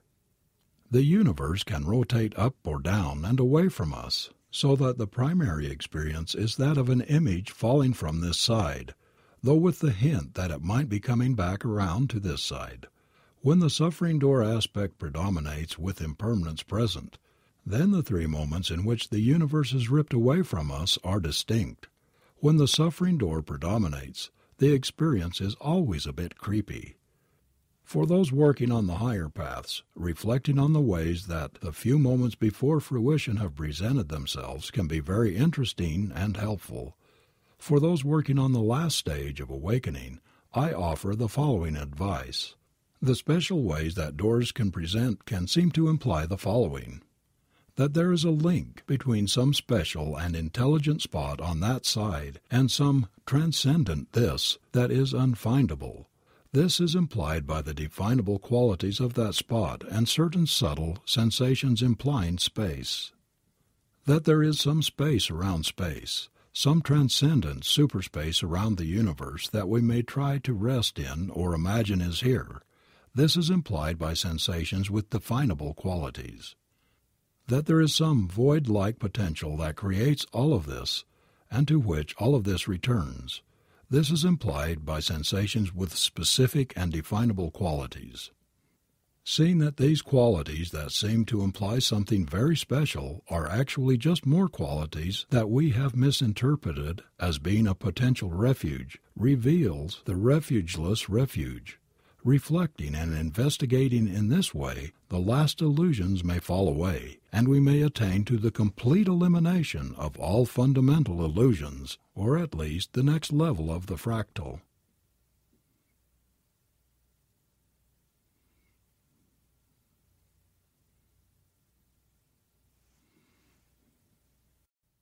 Section 15. Was that emptiness? Welcome to the world of models, states, stages, and visions of goals to attain. The curse and blessing of knowing all of this terminology and theory is that there is a natural tendency to begin to try to apply it to our own experiences and those of others and wonder what was what. Beyond that, not only have I just provided enough information for a few of you to become master posers on the spiritual path, I have just given some of you enough information to start obsessing way too much about where you are on the path. However, this is a trivial danger, and why senior Dharma teachers do not ever seem to put the important details about sorting out what is what into their books is completely beyond me. That it should be left to a young and cocky upstart like myself to fill in this gap is less than ideal. Note, when I use the word emptiness in the title of this chapter, I am using it specifically to refer to a fruition, and in this case generally to mean stream entry, and not any other meaning. Emptiness has many other meanings, but this is the specific one I care about at this moment. There are all sorts of pitfalls that can occur, but perhaps the most significant of them all is calling experiences emptiness, fruition, stream entry, or nirvana that simply weren't. It is a mistake that we are all likely to make more than once if we practice fairly well, know these models and care about them in the least, and even very enlightened beings with years of practice will sometimes wonder, was that emptiness? Meaning, was that my hit? Or was that the next stage of awakening? Some of us will be particularly prone to blowing this on a regular basis even if we are actually somewhat enlightened. Take heart. Failure can be a great teacher. The first and perhaps most important point is that from a certain point of view it is not an important question. If you have actually gotten enlightened to some degree, or attained to fruition, the permanent benefits of that have occurred regardless of whether or not you are certain about it. On the other hand, if you haven't gotten enlightened, but think that you have, it is worth being able to come back to reality. The range of clarity with which the three doors to fruition present themselves can be quite wide. Sometimes, even if it was actually the attainment of fruition, there may not have been enough clarity at the time for one's memory of the way that particular door presented and of the depth of the discontinuity to be clear enough to satisfactorily answer the question. There are also a large number of possible momentary unknowing experiences that can present in ways that seem convincingly like the attainment of fruition, even for meditators with years of experience with these issues. I will mention some of the most common events that can be mistaken for fruition here, though this is far from being a complete list. Momentary experiences of the formless realms that arise in Insight Stage 11, equanimity, particularly nothingness, and neither perception nor yet non perception are common culprits. However, if one is this close, the real thing is very likely to occur sooner or later. Formless experiences arising from pure concentration practices have fooled people for millennia into thinking they were fruitions.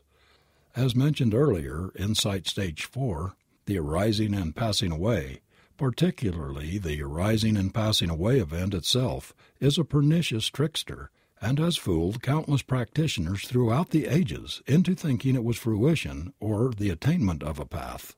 This may even fool somewhat enlightened beings who are working on the next path. Note, the A and P event typically shows up once per path unless a long period of time goes by without practice after it, whereas fruition is likely to be repeated naturally. Unusually heavy experiences of insight, stage 5, dissolution, can be formless and murky enough to fool some meditators on occasion, as can any really dramatic shift between any of the vipassana or samatha jhanas, as these involve three or four impulsions or mind moments followed by a momentary unknowing experience.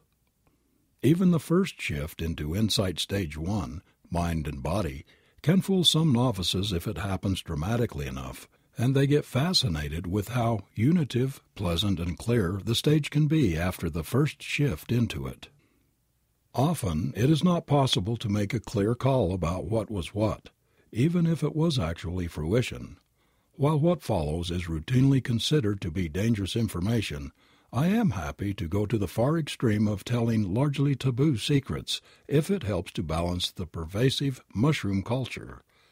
These are some basic guidelines that may be used when trying to answer the question, Was that emptiness? If there was any sense of an experience, even of nothingness or something that seemed incomprehensible, particularly anything involving the vaguest hint of the passage of time during it, write it off as something other than emptiness. This is an absolute rule. Similarly, if there was any sense of a this observing a that, or a self of any sort that was actually present for whatever happened, write it off as something other than emptiness. If you were there, that wasn't it. If there was not a complete sense of discontinuity, and if it makes any sense to think of time, space, perspective, or memory continuing across the gap, write it off immediately as something other than emptiness.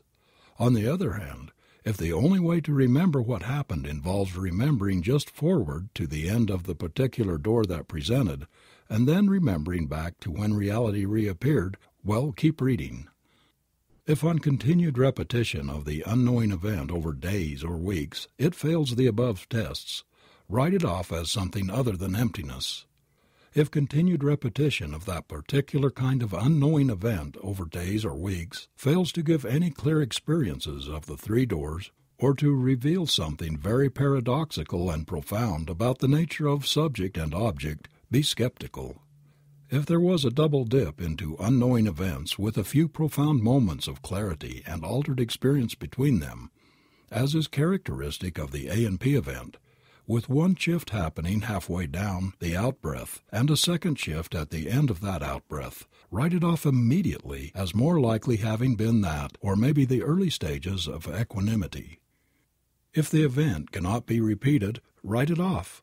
Those who have attained a path will attain more fruitions naturally, maybe one too many per day, as they basically can't help but cycle. If there is not a rather predictable pattern of stages and perspective shifts that begins to become clear, specifically following the course of the progress of insight listed above in some way, particularly as regards shifts in perceptual thresholds, write it off as something other than emptiness. This brings me to the cardinal rule when trying to sort out what all experience or attainments actually were. Try to repeat it again and again and be honest with yourself. It literally took me thousands of times through these cycles and experiences at many levels and over many years to get to the point where I could even begin to think about writing a book like this one. I am still quite cautious about hanging my hat on interpretations of my experiences, or what seem to be non experiences, until I have attained them fifty, a hundred, or even more times. If you don't have the necessary level of clarity and mastery to repeat the experience of interest again and again, either do enough clear and diligent practice to attain the required mastery or don't ask the question. Studying theory can only be so useful for this.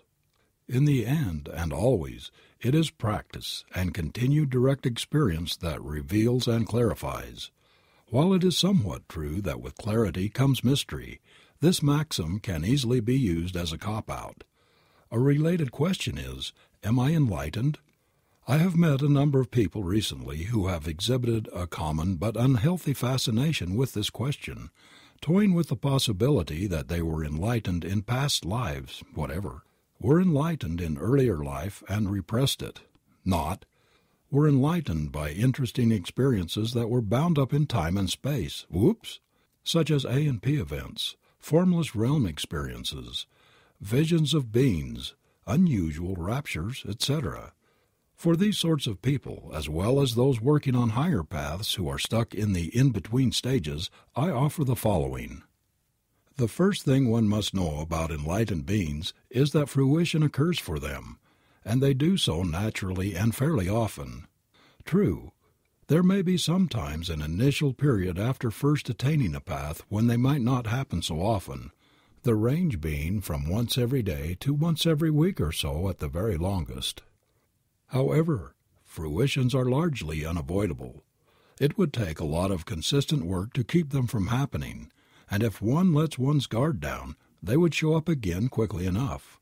In fact, the longer one goes without a fruition, the more the pull towards that which is not any of this intensifies. Even those who are working on the next path will typically have reoccurring fruitions from the current path sneak in, even if they don't want them to. This is one way to distinguish A and P events from fruitions, as A and P events quickly diminish in intensity, fade quickly, as the focus of one's practice, and fail to provide the consistent sense of release, ease, and sense of well being that attaining a fruition does. Before enlightenment, the meditator always had to develop access concentration, attaining mind and body, and working from there every time they meditated, unless practicing very strongly, often, and well, when one may be able to keep up enough momentum to avoid falling back to the beginning. After attaining the path one begins at the level of the arising and passing away and proceeds with much more skill and confidence. Simply reflecting on reality, even slightly, will result in a nearly instantaneous shift to a mind and body like state. At a whim, one can begin meditating at the level of the A and P, beginning with the double dip state shift at the middle and then end of the out breath that is the hallmark of that stage. Thus enlightened beings can perceive vibrating phenomena at a whim. In that same vein, the cycles of insight from stages 4 to 11 and then 15 always influence the conscious life of those who are enlightened. They are inescapable. They cycle endlessly in one's waking hours and even when dreaming. They subtly or overtly color one's mood, energy level, and perception of the world.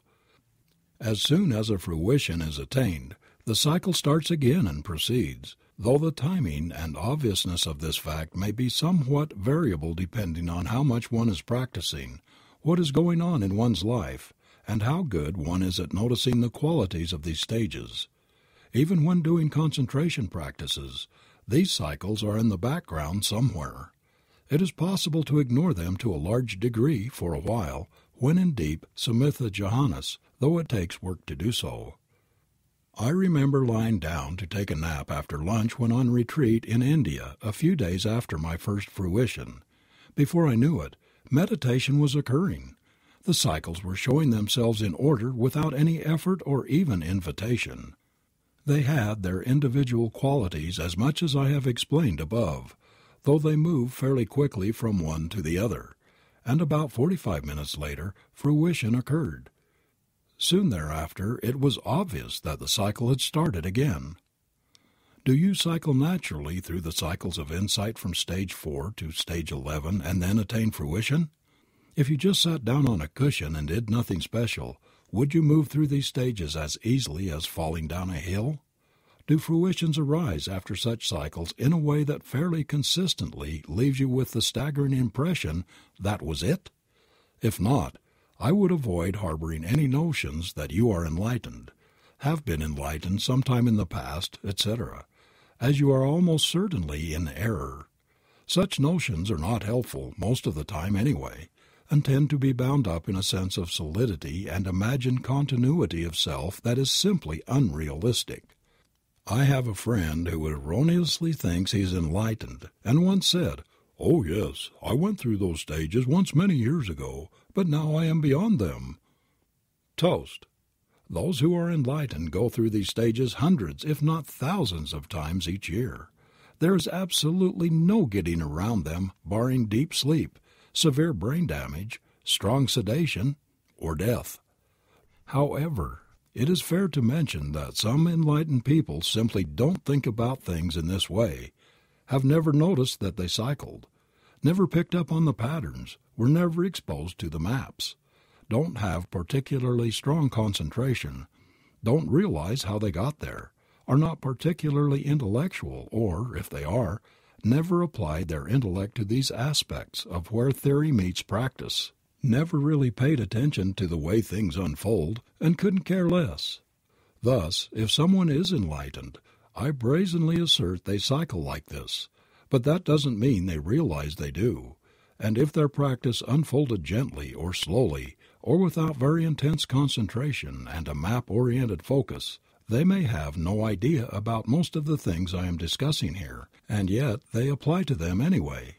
I poured massive amounts of energy into my practice, developed very strong concentration, and care about the maps obsessively, but that doesn't mean that other beings who are enlightened did or do. Back to describing the cycles. As review sets in, it can seem that one can control these cycles and stages.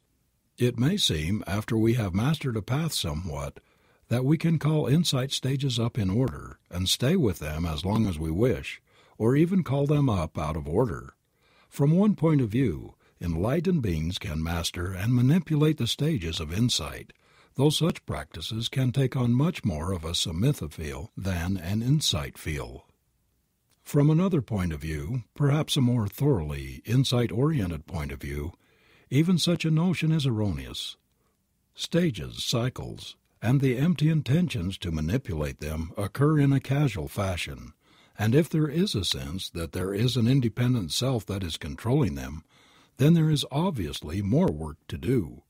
Now there's a high standard and worthy standard indeed these cycles, as with everything else, simply belong to the nature of things. Beyond the first path, what's next? Obviously, it can be easy for a meditator to think that they have completed a progress of insight and gotten stream entry when in fact they haven't. It is also possible for a meditator to have actually completed a progress of insight and yet think otherwise, but this is much less common. Sometimes a practitioner will be correct in thinking that they have, but their teachers will remain unconvinced. Sometimes a teacher may think that the student has and yet be wrong. Regardless, just keep practicing and see what happens. This is the most fundamental principle of all these stages. A particularly useful traditional guideline is to wait a year and a day before completely making up your mind. This is slippery stuff sometimes, and many states and stages can easily fool a student or teacher into thinking that they are something they are not. When a meditator successfully completes a progress of insight, they have permanently debunked certain illusions to some degree, but many remain. These tend to include a new fascination with the understanding that has arisen from that path. However, if one's realization doesn't stand to the test of time, or if there is not some sort of fundamental and unalterable reduction in suffering, write it off and keep going. Even if one does complete a progress of insight, it is easy to imagine that more has been debunked than actually has. So continue to practice training in morality throughout your life as before to avoid being bitten by those unskillful potentials that remain but are hidden. Strangely, the temptations to screw up can become more subtle and seductive as practice deepens. These tend to be at their worst around the next arising and passing away or during the next reobservation. An extended series of progresses of insight tend to proceed as follows. They may be called paths in the Theravada and bhumis in the Tibetan, though there are some problems that arise in trying to resolve the inconsistencies in these two models that will be touched on a bit later. Thus, a more general treatment follows, and the description of the stages here are not taken directly from any particular tradition. From one point of view, all of this is not necessary information, as continued practice just as before will continue to move things along quite naturally. On the other hand, if one has expectations about what might come next that are not in accord with reality or interfere with practice, then this information might be helpful. The meditation masters of this stage of awakening by continued practice as before they can quickly learn to rise through all of the stages, starting from the rising and passing away, through the dark night, up to equanimity and fruition in a single setting, or even during some of the activities of daily life. Merely sitting down on a cushion, or being awake for that matter, will involve naturally moving through these cycles, though the speed and clarity of these can vary widely depending on the practitioner and circumstances. They may even find it interesting to purposefully hang out in some of the stages of the dark night just to learn more about them and from them, as they have some very important lessons to teach and are very interesting territory. However, they may also come to realize that this is really just a new beginning in some ways, sort of like graduating from high school, but then becoming a lowly freshman in college. The period after completing a progress of insight, and after gaining some strong sense of mastery of its stages, is also a great time to work on one's concentration practice abilities. The reason for waiting is that concentration practices and insight practices tend to have a certain inertia to them. If you have recently been trying to get into really stable samatha states, this can make it harder to see things flicker for a while. If you have recently been training hard to see things flicker, it can be hard to get into really stable samatha jhanas. Thus, what you don't want to do is to gunk up the natural mastery phase of your practice until you are comfortable enough in these stages to get stuck in one and not have it be a big deal. This usually takes at least a few weeks, but this is a very crude guideline, and everyone is different regarding issues of timing. Judge for yourself how well you handle the stages such as reobservation and decide if you would be all right if you got stuck in it for a few hours. The time after gaining some mastery of these stages is also a great time to work on one's stuff. Actually doing concentration practices and working on one's stuff go very well together, as concentration states tend to cause our stuff to come bubbling to the surface where we can work with it. The time during a mastery phase is also a great time to make sure that one's daily life is functioning well, particularly if one made a mess of it while trying to get enlightened or more enlightened. Mastery of these stages tends to peak at some point, and the sense can arise that one has really got it. Fruitions tend to occur fairly quickly, clearly, and easily. Given time and practice, the meditator may begin to become somewhat bored with their current level of attainment and with their ability to attain these stages and fruition. Their practice can begin to seem sloppy, and the quiet bliss wave after fruition can diminish somewhat unless they do not attain it for some long period of time, which would probably require resolutions to that effect. The understanding that there is more suffering to uproot grows they begin to see more levels of reality that are clearly not well understood or illuminated by their current understanding, hints of which probably showed themselves very soon after their attainment of that path. Subtle thoughts and mental patterns may be noticed at the edge of one's perceptual threshold. Attention begins to incline towards the next level of reality that must be understood and away from familiar territory. More fresh insights begin to show up. The meditator begins to investigate reality with more effort and clarity as before, and begin a new progress of insight from the beginning, something like access concentration and then mind and body and the rest. This might play out as follows. Fairly soon after the sense of strong mastery, one will simply be meditating along, perhaps a fruition will occur, and then suddenly the mind drops into this new state rather than a new review cycle beginning again. It is stable, interesting, and somewhat jhana like. It is sort of like re-inhabiting one's life or reconnecting with the sense of the observer. It is also likely the next mind and body. This could also happen when one was just going about one's day.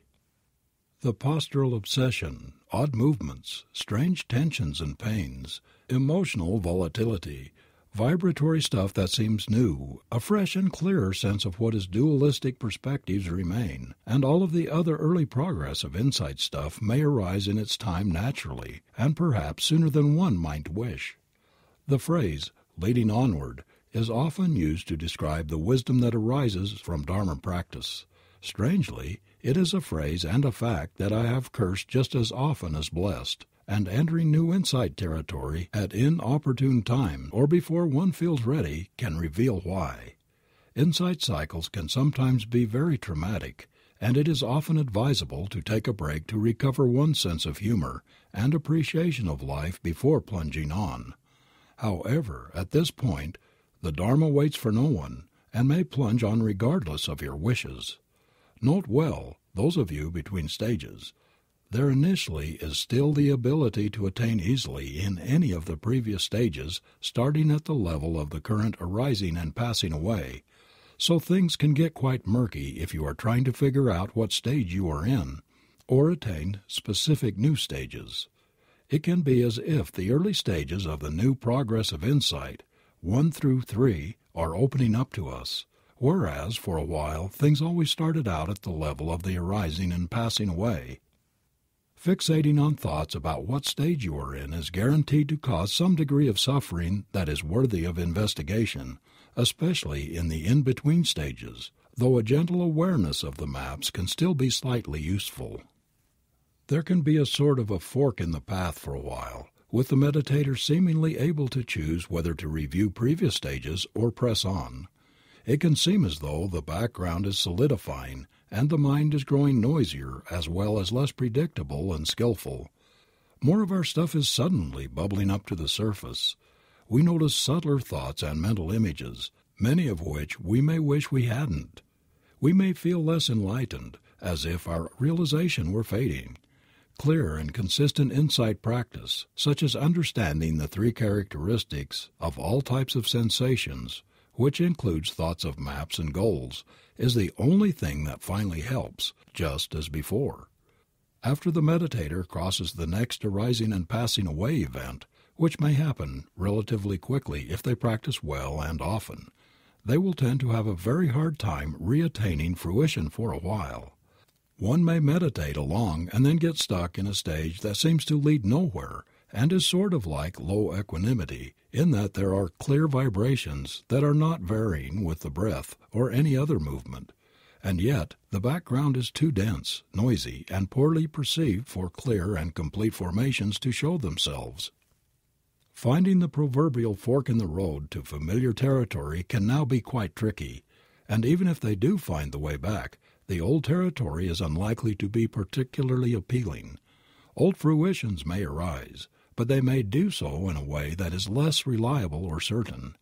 Suddenly the meditator is on the right again, and will soon have to face the fullness of the next dark night with all of its implications. It may even be more challenging than before, but could just as easily be less so. A friend of mine sailed through one dark night in about six minutes, and the next one took him many years. There's no predicting these issues of timing. It can happen that many times they will try to meditate to equanimity but fall back when they get to re observation. They may thus try to reattain previous stages, as they may feel in over their heads. They may get on to the next stage of desire for deliverance, wish very strongly to go beyond all of this, and do so by reattaining to a fruition of the current path instead of attaining the next one. However, even if they are able to retreat to the old territory, they will still be haunted to some degree by the dark night in their life and will have to learn to navigate skillfully in this territory one way or another. Sometimes remastering the current path is helpful for building a sufficient foundation from which to proceed well into the new territory.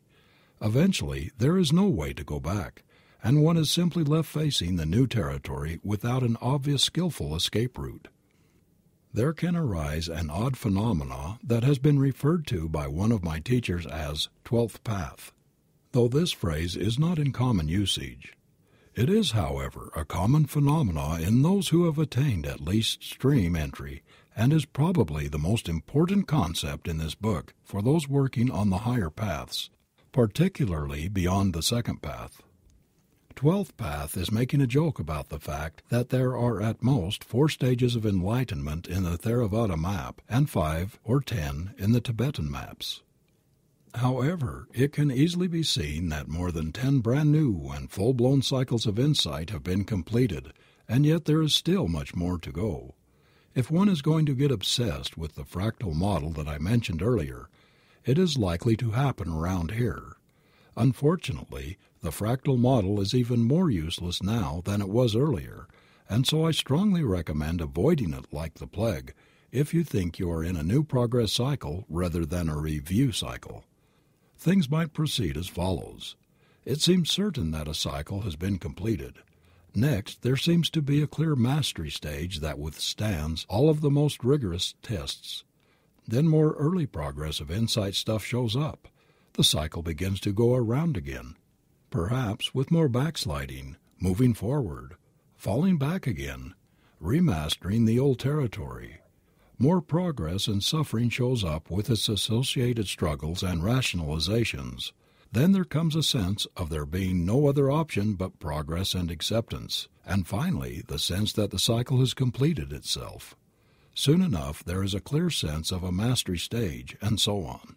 In this way it may seem that some large number of paths or bhumis have been attained, twelve in the joke, when in fact they have not. Or have they? Unfortunately this is a tough question, and one that cannot easily be resolved. One may think that one is now at a higher stage of realization that is clearly different from before, but the magic numbers, four or ten, simply may not seem to apply to one's journey. It can also happen that, with increased clarity and progressive deepening of one's practice, distinct progress of insight patterns may seem to be repeating within each of the smaller units of the larger pattern of the progress of insight, very much in the way of fractals, as detailed earlier. Beware! Do not get sucked into identifying with these idealized states as actually being where you are. New progress cycles and their accompanying vagueness can be very confusing if we are fixated on models but are not aware that the in between territory is nearly impossible to map successfully in real time. We may sometimes feel that we have just gone through the larger progress of insight cycle, when we may have actually gone through only a small part of it. We may begin to think we see first, second, third, and fourth vipassana jhana aspects of each of the four larger vipassana jhanas. We may even begin to see patterns similar to those of a full progress of insight within each of the stages of the larger progress of insight, or even within parts of each stage. A similar observation can arise in concentration practice with the samatha jhanas, but this tends not to be nearly as problematic or dramatic. I have come to the conclusion that fear, anxiety, confusion, indecision, and even certainty about these issues are clear markers of what needs to be investigated, such as those things themselves. In this way, these aspects of suffering have become trusted friends, clear signposts and red flags, as well as aspects of the goal, which is the path in the end. The more we realize that those very processes are it, those very sensations are it. The closer reality is to understanding itself. The closer reality is to understanding itself, the less fundamental suffering there is. I have also come to the conclusion that the best reason to take these detailed maps to this extreme is that eventually they become way too ridiculous and cumbersome. Thus eventually they can be laughed at and yet make their few useful points also, while leaving us with no option but to be with reality, one aspect of which is the sensations that make up thoughts about maps. We can learn to laugh at ourselves and our deep seated but futile desire to simplify fresh patterns of sensations and solidify them into a sense of attainment that we have. On the darker side, when we are unable to do this, unable to laugh at our deluded attempts to fix or freeze a sense of what some illusory we has done or attained, the phenomena of the twelfth path and the complexity of the territory between paths can cause considerable doubt, pain, frustration and cynicism, the flip side of which is grandiosity. The more afraid we are of not making progress, the worse these sorts of feelings can become. The more we compare our practice to the misunderstood sensations that make up the sense of others, the more needless suffering arises. These sensation patterns must be investigated clearly and seen as they really are, as always. When this all ends is a subject of considerable controversy, though like an idiot I'm going to take on the topic of full enlightenment shortly. Anyway, it should be noted that a long term view is very helpful sometimes, particularly if it helps one just be with what is happening today. It will often not be clear which event was actually the new arising and passing event, or which event was really a new path, until one has the benefit of a few more months or years of practice. One may experience many strange events, state shifts, insight and profound openings, all of which can be very compelling for some period of time. However, there tend to be just a few of these memories that, on careful reflection, stand out in the mind as being really significant and by which one can clearly mark permanent shifts in one's fundamental relationship to the experiences of life and the world. In the next chapter I will lay out a number of models of awakening that involve various numbers of shifts in understanding, one may be tempted, as I foolishly have been, to count the landmark events in one's practice and try to correlate them with these models based purely on the number of them that seem to have occurred. This is a setup for trouble, so please learn from those who have learned the hard way and do not try it, as tempting as counting paths can be. A vastly superior form of inquiry and investigation is to examine carefully anything that seems to involve a sense of split of a this and a that, particularly at the rate of one to ten times per second or even faster, if you can pull it off. What sensations seem to be the watcher, and what sensations seem to be watched? Try to see the true nature of these sensations one by one as they occur. It must be said that after three or four of what seem like complete insight cycles or paths, it can take quite a while to get a clear sense of what subtle dualities remain. You may find yourself walking around for days to months thinking, dang, I've really got it now. I'm just seeing it no matter what happens. Cool. I might have cracked the whole thing, dude. Give things time and be aware of assuming that you have attained to more than you have. It is a very common and embarrassing problem, but those who know this territory will understand. However, those who do not know this territory may not be so forgiving, so be aware of claiming a specific level of realization, particularly final realization, however you define it, until you have carefully checked things out for a very long time. I would advise thinking along the lines of, well, my working hypothesis is that it seems that I have achieved whatever, but I will keep an open mind and be cautious in what I say. Use the descriptions of realization that follow to give yourself a general sense of the territory and what tends to need work and investigation. Avoid wherever possible the traps mentioned above, but when you realize you have fallen into them, which is ever so human and common, then accept this, learn from it, and laugh. Should you realize that you have failed to heed this advice, that you have bought into some limited definition of yourself as a realized being of some defined rank or level, despite the warnings, you can try to deny it for a while. That's okay. You can imagine that you are very sure you know where you are, as that sort of artificial solidification of reality is common enough. You can get pissed off at yourself. That's normal. You can beat yourself up if you think it will help, though it rarely does. You can get better, though such responses tend to wear out their welcome. You can pump yourself up, dwelling on your imagined or real successes, though this tends to ring hollow soon enough. You can try to pretend you don't care what stage or level you have achieved, though eventually this gives itself away. However, when you feel you are done with these things, accept, learn, and laugh. Repeat as necessary, and then get back to investigating those sensations.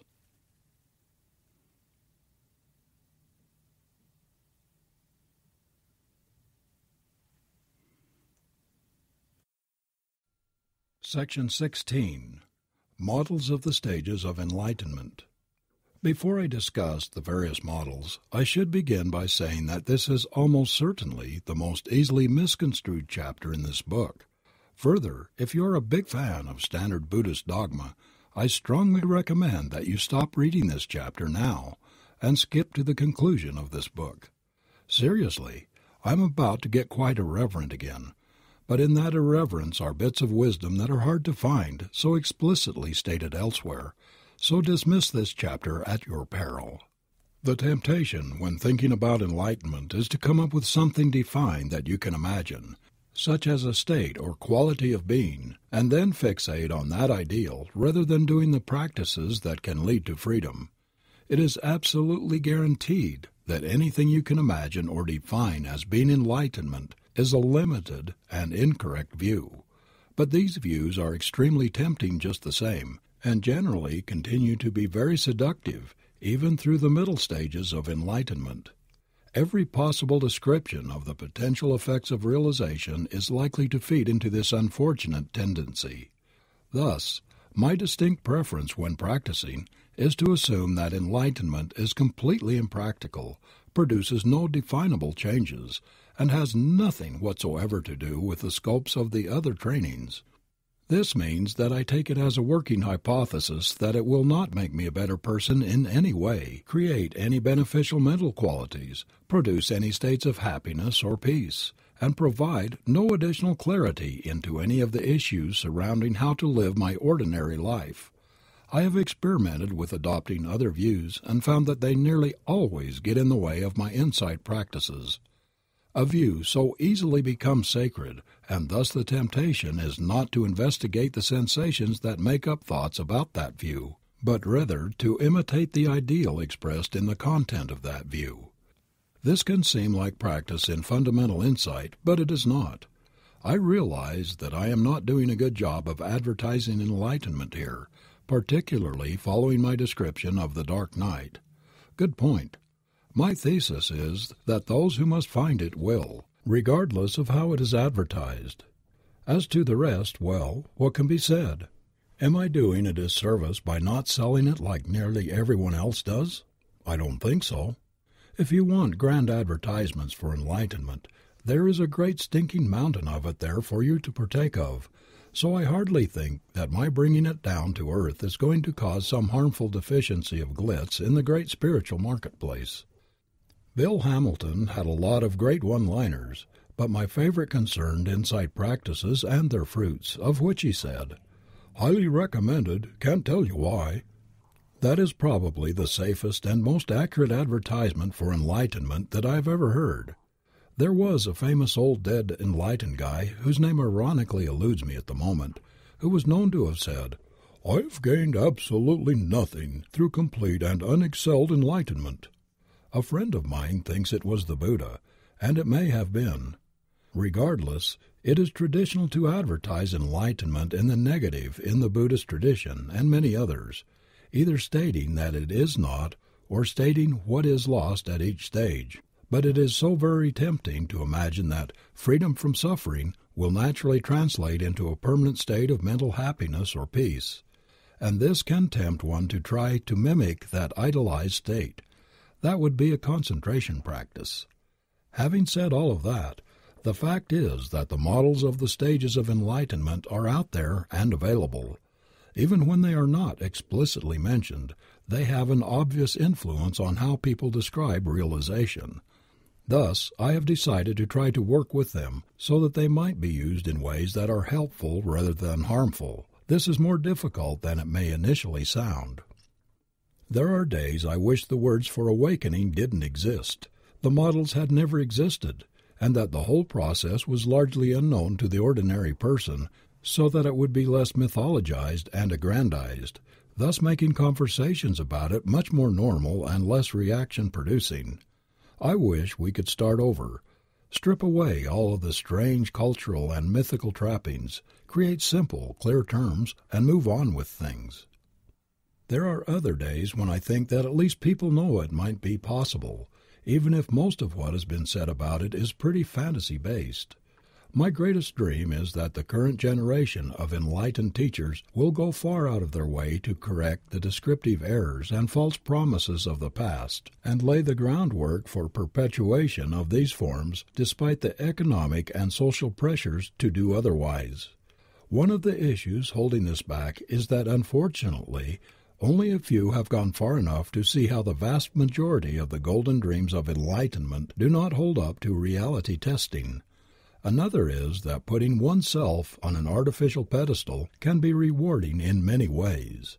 One way or another, the number of voices trying to bring things back in line with what can actually be done is small in comparison to the forces that want to make it into something grand and thus largely unattainable. Before I get too far into the details, I should explain that the most essential principle which I wish to drive home is that this is it meaning that this moment contains the truth. Any model that tries to drive a wedge between the specifics of what is happening in your world right now and what awakening entails needs to be considered with great skepticism. With the simple exception of the fact of poorly perceiving the sensations occurring now and habitually coming up with the illusion of a separate, continuous individual, nearly all of the rest of the dreams are problematic to some degree this basic principle is essential to practice, as it focuses things on here and now, and also happens to be true. Back to the complexities. The mental models we use when on the spiritual path can have a profound effect on our journey and its outcome. Most spiritual practitioners have never really taken a hard hitting look at their deepest beliefs about what enlightenment means, or what they imagine will be different when they get enlightened. Many probably have subconscious ideals that may have come from sources as diverse as cartoons, TV shows, kung fu comes to mind, movies, legends, 60s gurus, popular music, popular magazines, and other aspects of popular culture in general. More formal and traditional sources include the ancient texts and traditions of Buddhism, Hinduism, Taoism, Sufism, Kabbalah, however you spell it, Christianity, Western mystical traditions, alchemy, theosophy, Golden Dawn related traditions, etc. The ancient Greek mystery schools, including the fragmentary writing of those like Heraclitus, and the non aligned or ambiguously aligned teachers such as Kabir, Kahlil, Gibran, J. Krishnamurti, and many others. Modern fusion traditions, such as the various new versions of Buddhism and other traditions that are present in the West, also have a wide range of explicit and implied ideals about awakening. Plenty of people also seem to take their inborn higher ideals for themselves or others that have arisen from sources hard to define and made these part of their working if unusually poorly defined models of enlightenment. There is also a strong tradition in the West of believing that enlightenment involves perfecting ourselves in some psychological sense, though this is also prominent in certain Eastern and traditional models as well, in slightly different forms. Just about all of these sources contain some aspects that may at times be useful and other aspects that at times may be useless or even send people in the wrong direction. The number of contradictions that can be found even within each specific tradition on the subject is much larger than I think most people imagine.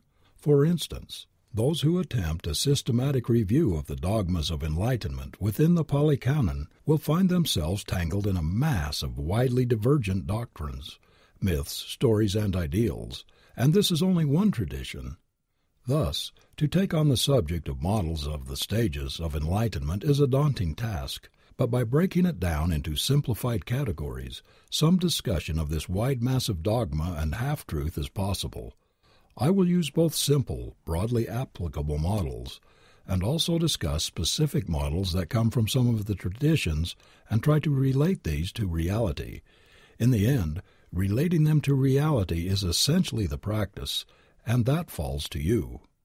I consider this attempt to be just one addition to an old tradition that attempts to reform the dogma and bring it back in line with verifiable truths, albeit one that is more specific and comprehensive than any that I have found. Each new culture, place, time, and situation seems to need to do this again and again, as the forces within us and society that work to promote models that are out of touch with the truth of things are powerful and perennial with money, power, fame, ideals of endless bliss and pleasure, the enticing power of the ideals of self perception, and the pernicious inertia of tradition being chief among them. In that same vein, this chapter is very much a situation in which I claim a very high level of realization, write as if what I have achieved is sufficient authority to write a chapter such as this one, and then present it as if this is a definitive text on the subject, sufficient to contradict significant portions of 2,500 years of traditions and teachings, and writings of countless previous and current commentators.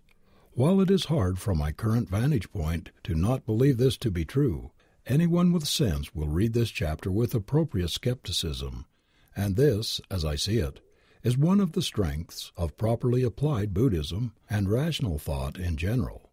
The Buddha was forever asking people not to take his word at face value, but instead to do the experiment and see if they could come to the same conclusions. I recommend the same. If you are able to achieve something beyond what I state is possible, more power to you, and please let me know how you did it. I would feel real regret if I thought that this work had hindered anyone from achieving their full human potential, and am always looking for practices and concepts that are useful. Here is a list of the basic categories of models that I use, though most traditions contain a mix of most or all of these. There are probably other aspects of the dreams of enlightenment that I have failed to address, but this list should cover most of the basic ones. I look at each of these as representing some axis of development, and basically all of them are good axes to work on regardless of what they have to do with enlightenment. That said, from what I have already said, it will not be hard to pick out my favorites. 1. Non duality models. Those models having to do with eliminating or seeing through the sense that there is a fundamentally separate or continuous center point, agent, watcher, doer, perceiver, subject, observer, or similar entity. 2. Fundamental perceptual models. Those that have to do with directly perceiving fundamental aspects of things as they are, including perceiving emptiness, luminosity, impermanence, suffering, and other essential aspects of sensations regardless of what those sensations are. 3. Specific perceptual models. Those that involve being able to perceive more and more, or all, of the specific sensations that make up experience with greater and greater clarity at most or all times, and usually involve perfected, continuous, panoramic mindfulness or concentration at extremely high speed. 4. Emotional models are those that have to do with perfecting or limiting the emotional range, usually involving eliminating things like desire, greed, hatred, confusion, delusion, and the like. 5. The action models are those that have to do with perfecting or limiting the things we can and can't do in the ordinary sense, usually relating to always following some specific code of morality or performing altruistic actions, or that everything we say or do will be exactly the right thing to have done in that situation. 6. Power models. Those that have to do with gaining inabilities, either ordinary or extraordinary, such as psychic powers. 7.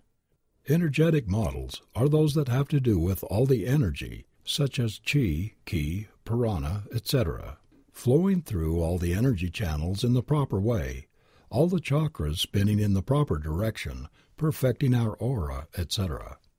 8. Specific knowledge models.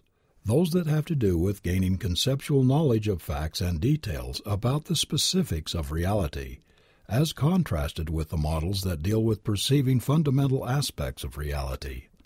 9.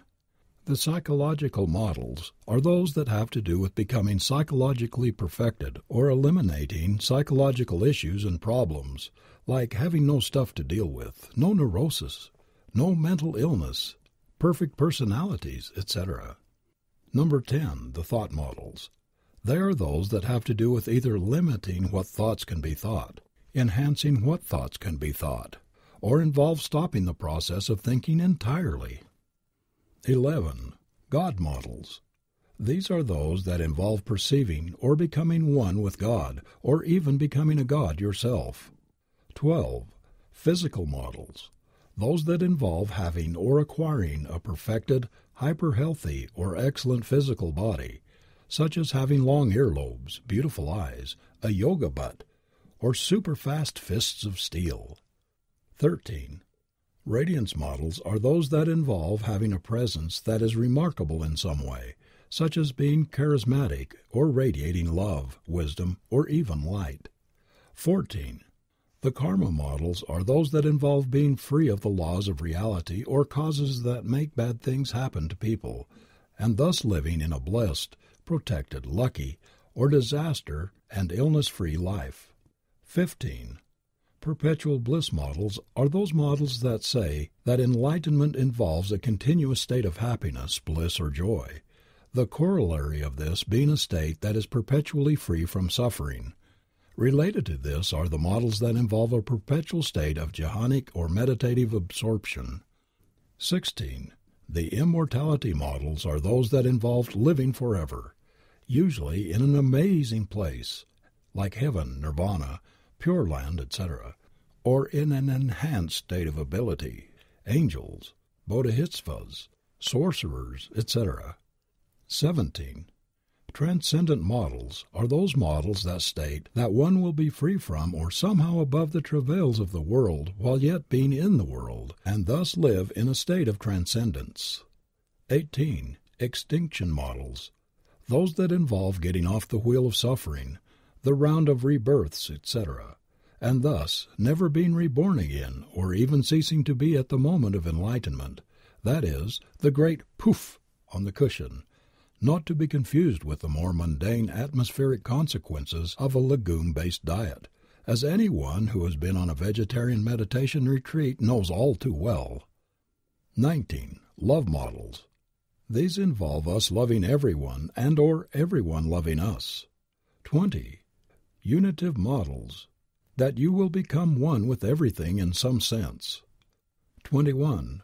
Social models say that you will somehow be accepted for what you may have attained, that you have attained something when people think you have, and variants on these themes. Like me, you have probably run into most or all of these ideals of awakening in your spiritual quest and probably within yourself at some point in time, either consciously or unconsciously. Given all of these high ideals, it is not surprising that we find the task of awakening daunting, if not preposterous. Imagine yourself as the universally accepted, radiant immortal angel, bodhisattva, bright eyed yoga butt having all loving, one with the universe, endlessly mindful, perfectly healthy, emotionally perfected, psychologically pure, endlessly altruistic, non thinking, desire free, psychic superhero, star child of light.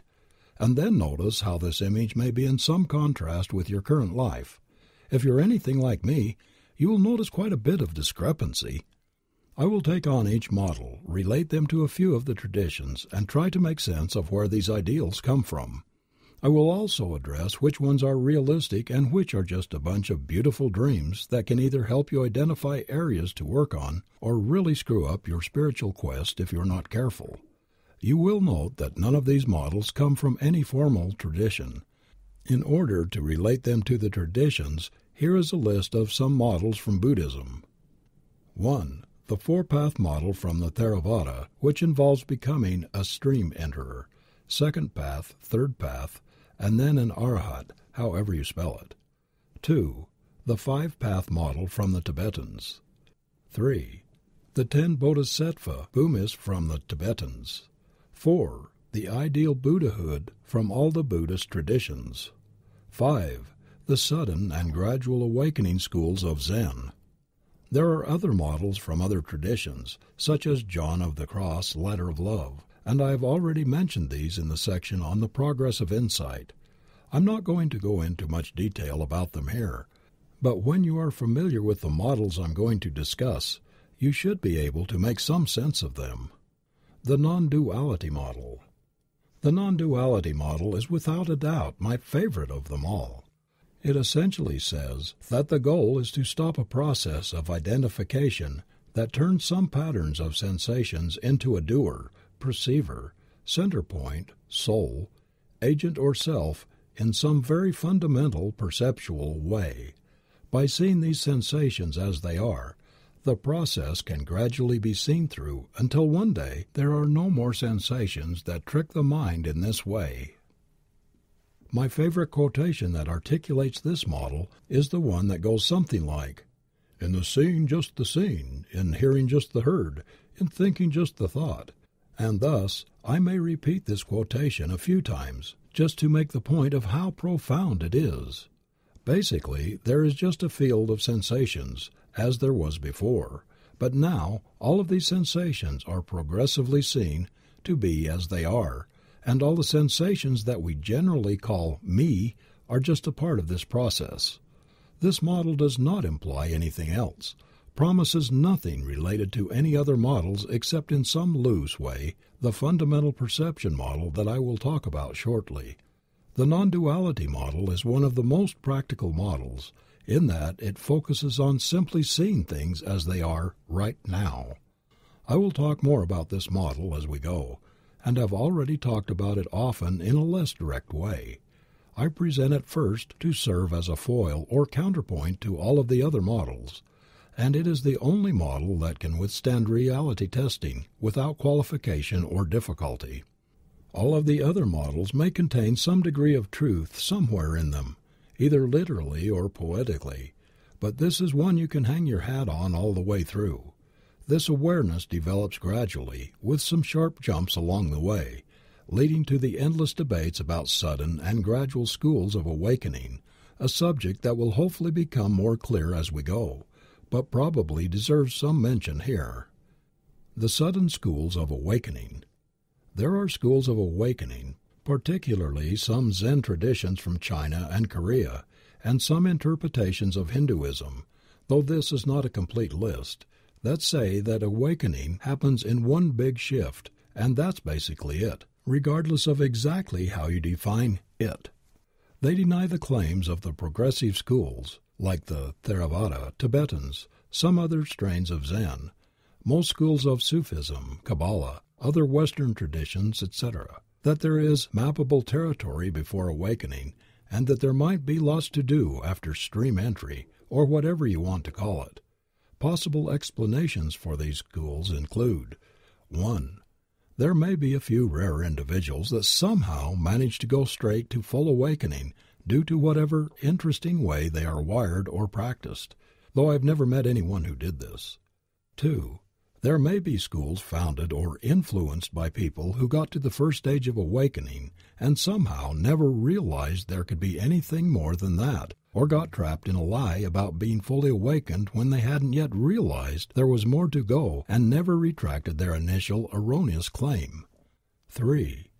There are people who just thought that was the dogma somehow and stuck with it regardless of any issues of actually having insight.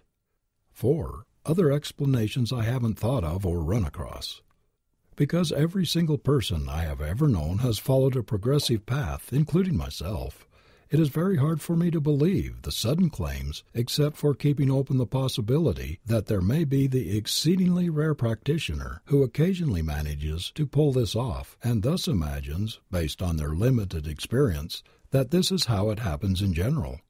In short, if you manage to do this, more power to you, and please let me know. Otherwise, I would bet on the gradual, progressive schools, and if you attain something that you are pretty impressed by, give it time to see how it holds up when the troubles of the world come knocking at your door over the months and years after that shift of perspective. Fundamental perception models. These are related to the non duality model and also useful for practice are the fundamental perception models. I say models because various traditions emphasize different qualities of reality as being essential. For instance, the Theravada uses the three characteristics of impermanence, suffering and no self, as you already know well by this point. The Mahayana traditions, Tibetans in particular, may emphasize shunyata or emptiness, and the Vajrayana traditions may emphasize luminosity or the space-like meditative equipoise of Dzogchen. They may also talk about Mahātī or express fundamental truths in some other way. These models may directly state or imply that enlightenment involves continuously perceiving these aspects of things in all sensations at a conscious level, so that every waking instant we are flooded with the sense of impermanence or luminosity or whatever as our dominant experience. While attempting to perceive this at all times is excellent practice advice, particularly when on retreat. Were these models true, then realization would seem to involve flooding the consciousness of the individual with a ton of information at all times. While there may be moments or bursts of this sort of perception in enlightened individuals, this is not what finally happens. Instead, with strong awareness of how things are, a process of identification stops. The switch is thrown, as noted above in the non duality models. By following the practice advice of the fundamental perception models, we may come to stop this process. However, as the Buddha said, do not imagine that you must continue to carry the boat once you have crossed the river. While enlightened individuals can at a whim notice the true aspects of sensations, just as color is clear to a person with good eyesight, assuming they are not color blind, so these things are clear to an enlightened being to various degrees as they progress along the path. That said, just because one can perceive something doesn't mean that particular aspect is the dominant aspect of consciousness at all times. In short, the fundamental perception models are very useful for practice, but do not quite accurately describe the final result. The specific perception models. These models essentially state or imply that an enlightened being will be constantly hyper aware of every single sensation that arises in their field of perception, including not just the ultimate aspects of the fundamental perception models, but also every single little detail of content of those sensations, achieving at all times the perfected fusion of the completely open and panoramic perspective of high equanimity with the laser-like precision of the arising and passing away at its height. It implies that rather than stopping a process, enlightenment is about becoming so fantastically alert that you see not only the true nature but also the specifics of each and every sensation that arises at all times. This is not even close to what happens in reality. While enlightened beings will cycle through those stages, when mindfulness is low each of those stages will present in a low key way, and only for moments here and there will there be anything like that kind of awareness. Though when enlightened beings are on retreat and are really powering the mindfulness and concentration, they can temporarily achieve something that resembles these high ideals. The specific perception models are another instance where practice instructions get turned into an ideal of what is supposed to happen in exactly the same way as it happens with the fundamental perception models. They become one more example of carrying the boat after we have crossed the river. Again, mindfulness comes and goes, sleep comes and goes. Though the Tibetan teachings on dream yoga are very intriguing, concentration comes and goes, Various perspectives and perceptual thresholds parade through, and the cycles of the jhanas continue on and on. The ideals in this model and many models that follow it are sometimes used as a weapon by those who like to criticize those who rightly or wrongly claim to be enlightened. Examples include, Don't you remember when I said such and such? Did you notice how I cleaned the bathroom? Or how could you have forgotten to pay the power bill?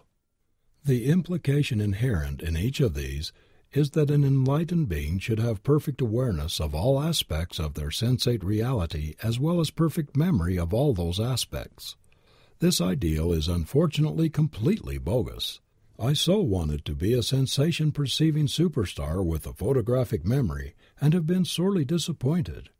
As basically everyone out there has some aspect of this model in their working definition of what enlightenment must be, these ideals can be a particular problem in relationships, particularly business relationships and romantic ones for those who are out of the closet about enlightenment. In this basic vein, this brings up another selling point of realistic, down to earth, human models of what awakening brings.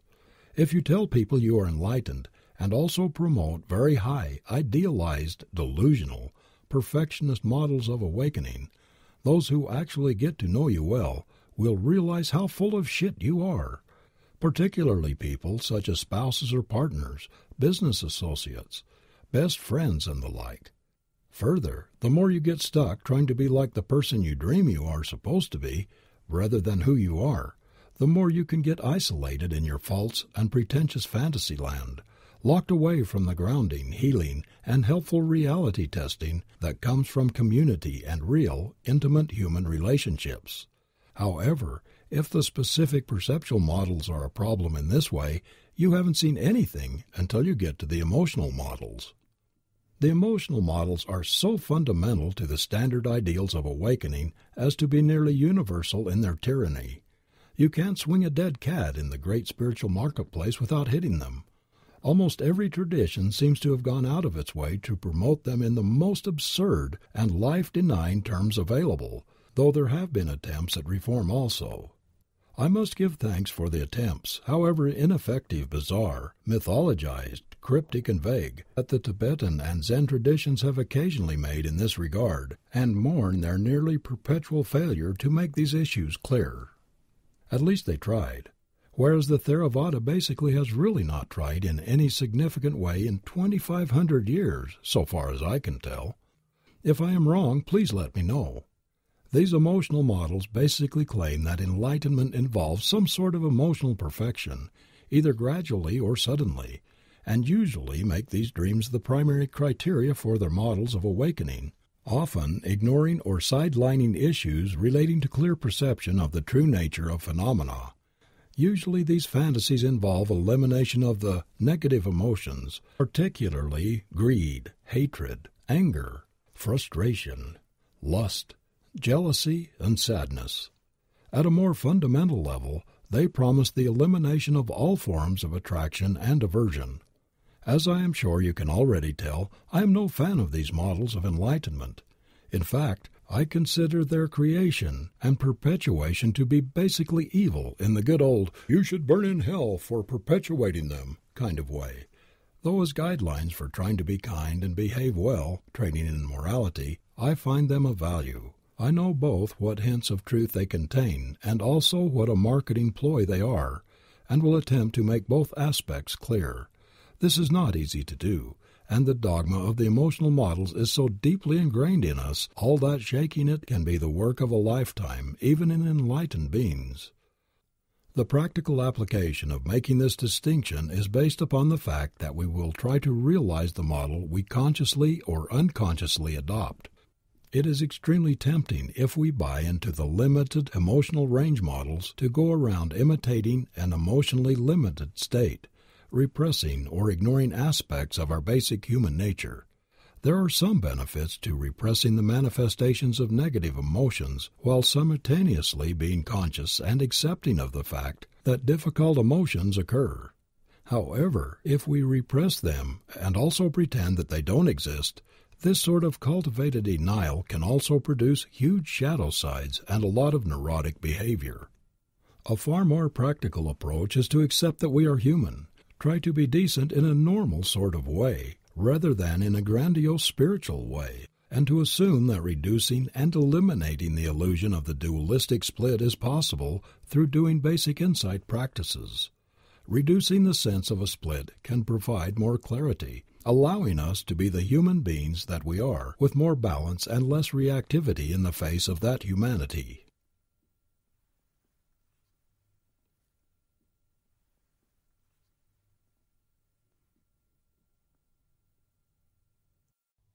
Section 17 The Theravada Four Path Model The root problem in standard Buddhism comes to us from the Theravada Four Path Model. This is the original model presented in the Pali Canon and the oldest model we have to work with. All the subsequent schools, Mahayana of various strains and the Vajrayana, react to it in their way, but are still influenced by it even if they say they are not. So you need to know it to understand the debate. Actually, the problems began long before in ancient Hinduism, which had a huge impact on Buddhism despite what some Buddhists will tell you, and probably before that. But this is as good a place to start as any. I shouldn't blame ancient India for what is really a perennial human wish. Let's face it, we all want emotional perfection, as a large chunk of the pain felt in modern life relates to people's emotions causing trouble. I will claim that not perceiving our emotions clearly is a far greater problem than the emotions themselves. But I am clearly in the minority in this regard. As I stated in the chapter Harnessing the Energy of the Defilements, there is a lot to be said for aspects of what we usually consider the bad emotions. It is important to realize that empty compassion underlies all our emotions, whether filtered through the illusion of duality or otherwise. The Theravada four path model is a model involving four stages of awakening, namely, first path or stream entry, in Pali, Sotapanna; second path or once returner, Sakadagami; third path or never returner, Anagami. And finally, fourth path, Holy One, Saint or Conqueror, Arahat, Arhat, Arahant or Arhant, pick your favorite spelling. The terms once returner and never returner have to do with the issues relating to the dogma and those who have attained to second path cannot be reborn more than once before attaining arahatship, and certainly not in the lower realms, hell realms, hungry ghost realms, or animal realms, and that those of the third path, if they do not attain to arahatship in this lifetime, will at worst be reborn into a heaven realm where the conditions are optimal for achieving enlightenment. However, the core of the Theravada four path model is the dogma that enlightenment involves progressively eliminating the ten defilements in the following manner. Stream entry eliminates the first three defilements skeptical doubt, attachment to rites and rituals, and personality belief. Second path attenuates the fourth and fifth defilements, usually translated as greed and hatred, or more technically as attraction and aversion to everything that is not a jhanic state. The third path is said to eliminate those same fourth and fifth defilements, however translated. Fourth path, that of arahatship, eliminates the remaining five defilements of attachment to form jhanas, the first four jhanas, attachment to the formless realms or the second four jhanas, restlessness and worry, conceit, and something called the last veil of unknowing. It is important to note that arahats are said to have eliminated conceit, in limited emotional range terms, can appear absolutely arrogant and conceited, as well as restless or worried, etc. That there is no fundamental suffering in them while this is going on is an utterly separate issue. That said, conceit in the conventional sense and the rest of life can cause all sorts of conventional suffering for arahats, just as it can for everyone else. While I am on the subject of conceit, perhaps I should take on the subject of the word ego in a more comprehensive way than I have done so far. The pop psychology meaning of the word ego is something like arrogance, pride, narcissism, and a failure to take into account the feelings, rights, and or existence of others. This is also the definition that is most commonly behind such mainstream Buddhist statements as that action or statement that I really didn't like had a lot of ego in it. I think that this definition of ego can sometimes be slightly useful for training in morality if we are very kind to ourselves and those around us. But often it seems to me to be a pop spirituality turned into a weapon and a form of denial of someone else's difficulties, feelings, and sufferings. Worse, People often take this definition, mix it in with their own insecurities and unfortunate fear of existing or asserting themselves in the conventional sense, and then take this neurotic mixture and use it to continue to flog themselves and those around them. Please don't do this. It is misguided and will not help you or anyone. This pop psychology definition of ego also has nothing to do with enlightenment in the formal sense and so don't bring it to mind when you read this chapter, except to dismiss it. Another definition of ego is the formal psychological one put forward by Freud. In this definition, ego is the moderator between the internalized parent or police of the superego and the primal drives of the id, those being largely for reproduction and survival. In this sense, ego is an extremely good thing and should be cultivated consciously and without restraint. This definition has to do with the more formal psychological concept of ego strength, a strength that is very positive and necessary for the deep and often difficult spiritual growth that we all want for ourselves.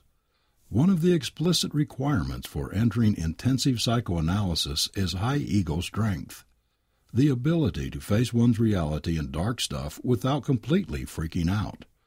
Thus eliminating this form of ego would be a disaster. For reasons completely beyond me, the word ego is also used in a high mystical sense to describe the elimination of the experiential illusion of there being a special reference point as described in the chapter on the three characteristics in the section on no self. One who had eliminated this form of ego, which is in this case a useless illusion, might describe their experience in this way. In this full field of experience or manifestation there seems to be no special or permanent spot that is observing, controlling, separated from, or subject to any other point or aspect of the rest of this causal field of experience or manifestation. This is the experience and realization of the arahat. Notice that this definition of ego seems to have nothing whatsoever to do with the other definitions of ego. This is exactly the point. So I strongly advocate never using the word ego in the context of describing realization or the goal of the spiritual life, or at least not doing so without extensive explanation of this particularly special and uncommon usage of the term. Those who do otherwise continue to cause an astounding amount of unrealistic, disempowering, and life denying thinking in mainstream Buddhists. It is my sincere wish that the misuse of the word ego and its associated negative side effects stop immediately and forever. Back to the models. As the Theravada four path model explicitly states that realization is all about eliminating greed, hatred, restlessness, worry, etc., this is explicitly a limited emotional range model, and, as expected, deserves some serious skepticism. In fact, this is a good time to go into what I love and despise about the Theravada. I absolutely love their emphasis on the three characteristics, love the astounding power of their techniques, and I am grateful beyond words for the maps they provided me for the territory before stream entry, however incomplete and idealized. I am profoundly grateful at times to the point of tears, and I mean that, for the monasteries I got to sit in, for their preservation of that which is true and useful in Buddhism for twenty five hundred years, and for the chance to have sat with real, enlightened teachers because of their perseverance and work.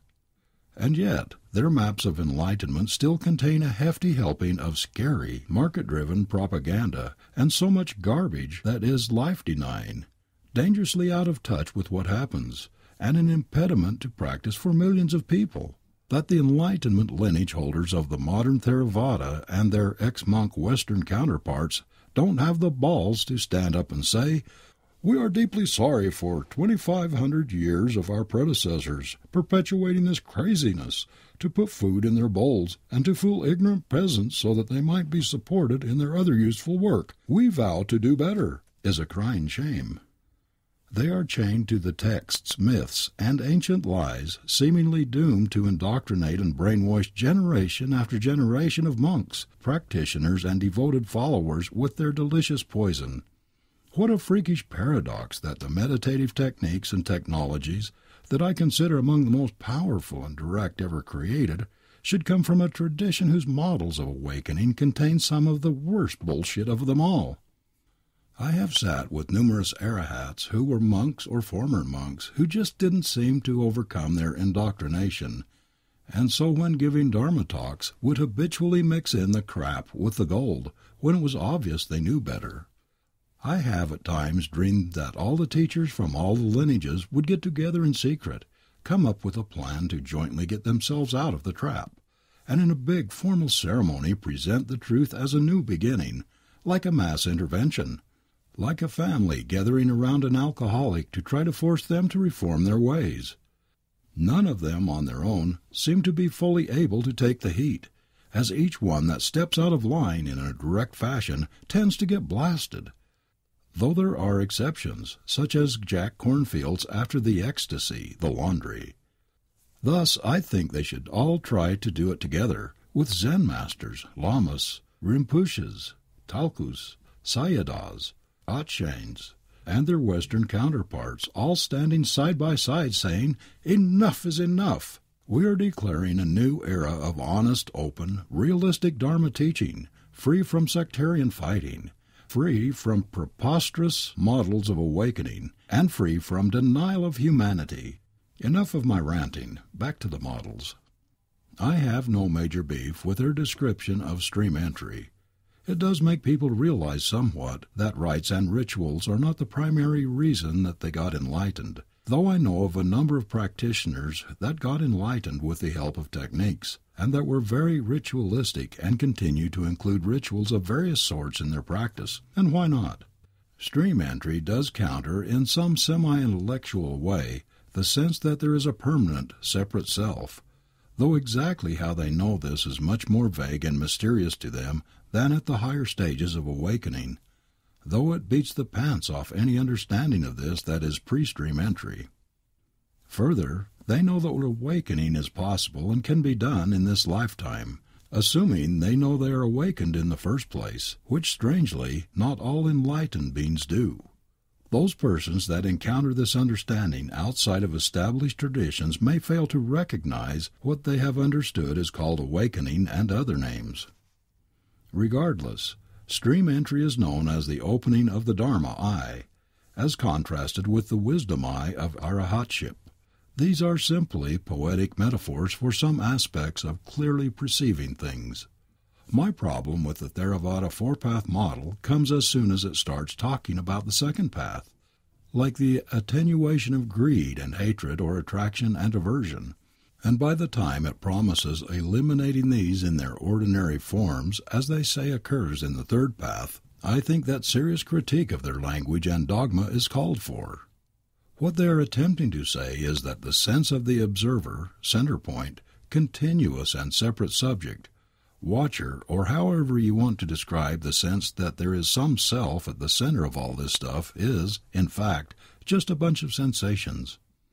When these begin to be perceived as they are, the sense of how special the center point is begins to loosen its grip on perception, which begins to become wider, more inclusive, and more even in its basic treatment of phenomena.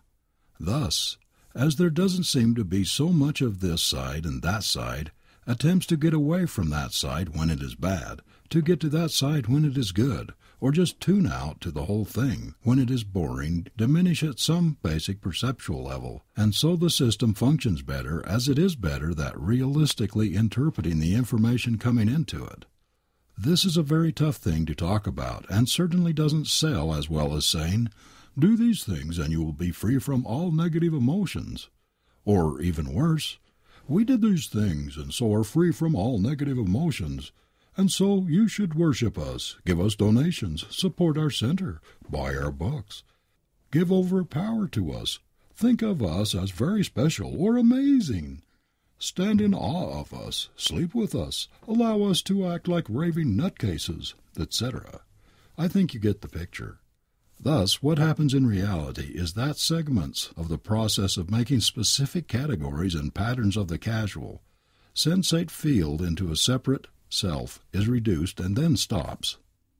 However, many of the traditions advertise eliminating negative emotions and the sensations of craving or aversion. The two couldn't be more different, and yet they are described as being the same. A revised four path model. Here is my revised version of the four path model. And this is the primary model I use when describing awakening, talking about my practice, and helping others practice. I think that using the original terminology and revising its definition allows a lot of good material in the Pali Canon to be used, and thus provides a link to previously established work. However, I realize that using terminology that already has such deep cultural and dogmatic resonance may be a problem. For those who want something new, I will next present a rephrasing of this model that I call the simple model. In the revised four path model, stream enterers have discovered the complete discontinuity that is called fruition and sometimes called nirvana or nibbana, Sanskrit versus Pali. This is the first of two meanings of nirvana, with the other being fourth path. Stream enterers cycle through the jnanas, know that awakening or some different understanding from the norm is possible, and yet they do not have all that different an experience of most sensations from those who are not yet stream enterers. They may correctly extrapolate a lot of good Dharma insights from momentary experiences, particularly high up in high equanimity and the three moments before a fruition. But this is not the same thing as living there all the time. In fact, most stream enterers have a very hard time describing how things have changed in terms of their daily life, except that they cycle and they can understand the Dharma in ways they never could before. Those of the second path have now completed a new insight cycle. They understand the process by which enlightened beings make further progress and equate progress with further cycles of insight, which is partially true.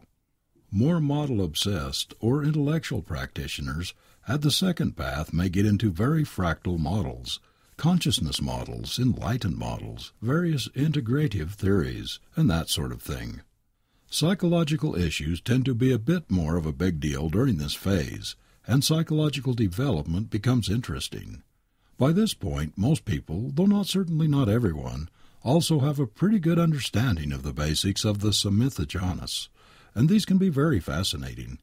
What they may be most bothered by is that cycle after cycle of practice, duality remains their predominant experience most of the time. Those of third path have shifted their understanding of what progress is from those of the second path, and have begun to see that it is about perceiving the emptiness, selflessness, impermanence, luminosity, etc., of sensations in daily life, and begin to see that they have the ability to do this. This can be a long developmental process from the first time they notice this to it becoming a nearly complete experience. Thus, third path tends to be a long path, but it doesn't have to be. At the beginning of the third path, most practitioners think, I'll just complete more cycles of insight like I did before, and this will do the trick. They don't tend to understand what it is they have attained all that well yet, nor its deeper implications.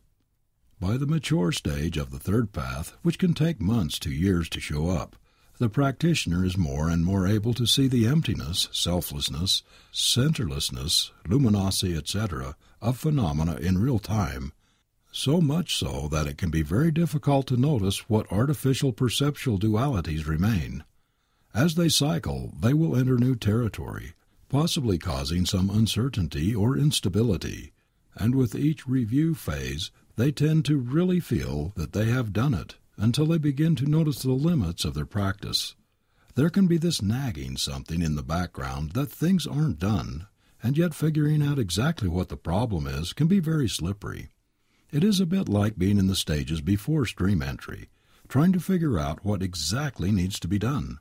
They need to notice something that has nothing to do with the cycles, to finally untangle the knot of perception at its core. But doing this can be a real trick. It is a very strange place, as one seems to know the Dharma all the way to the end, and yet somehow it just isn't quite enough. In that vein it is interesting to note that I wrote the vast majority of this book while I was some sort of anagami, and on reflection I got just about everything right.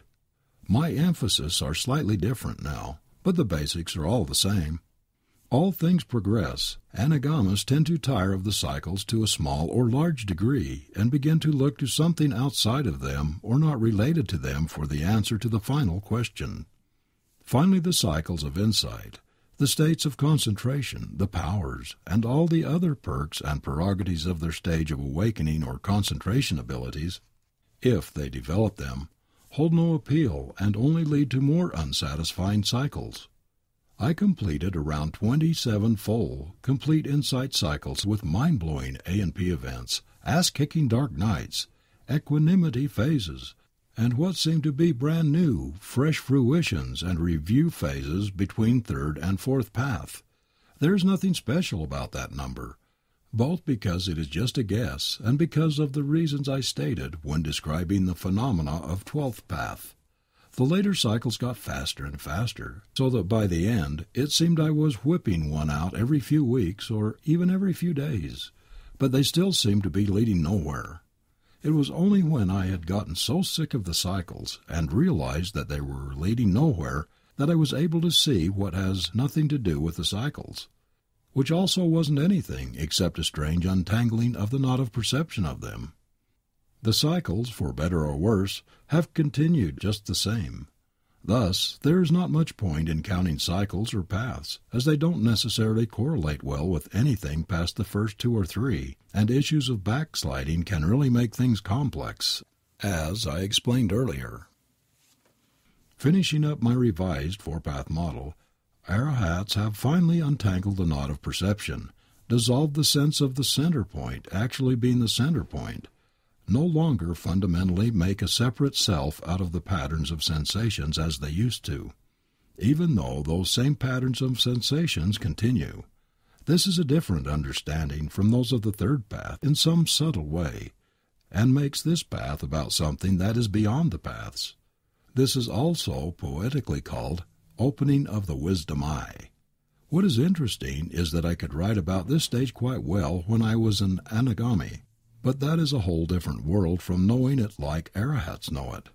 The wisdom eye may seem to blink initially, it may go through cycles of flashing open just after a fruition and then slowly fading over a few hours, at least on retreat, as each round of physical sensations, then mental sensations, then complex emotional formations, then lastly fundamental formations such as inquiry itself move through and become integrated into this new, correct and direct perception of reality as it is. Review cycles may occur many times during each flash, but when the eye is open they seem rather irrelevant in comparison to keeping the level of clarity and acceptance high enough to keep the eye open. When the eye fades and the knot of perception seems to retie itself, the familiar insight cycles may seem like pure drudgery with the focus drifting back to getting lost in the cycles and then gradually shifting again to getting clear enough to get the eye to open again. The themes that occupy center stage go through a cycle that is very much like a progress cycle. Finally, the wisdom eye cycles and insight cycles all converge, and the thing stays open from then on, which is to say that at that point it all seems the same whether or not the eye is open, which it actually was. That being seen, nothing can erode or disturb the centerlessness perspective and life goes on. There are arahats who have opened the wisdom eye, but had it fade and those who have opened it and had it stay open is rarely mentioned but worth knowing.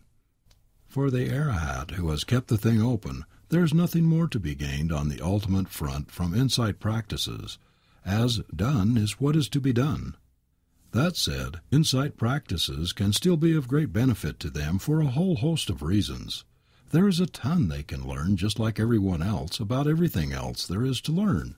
They can grow, develop, change, work and participate in the strange human drama just like everyone else. Practicing being mindful and the rest still helps. They also cycle through the stages of insight, as with everyone above stream entry. So doing insight practices can move those cycles along. A simple model. In earlier versions of this work I had a model called the Heart Sutra model.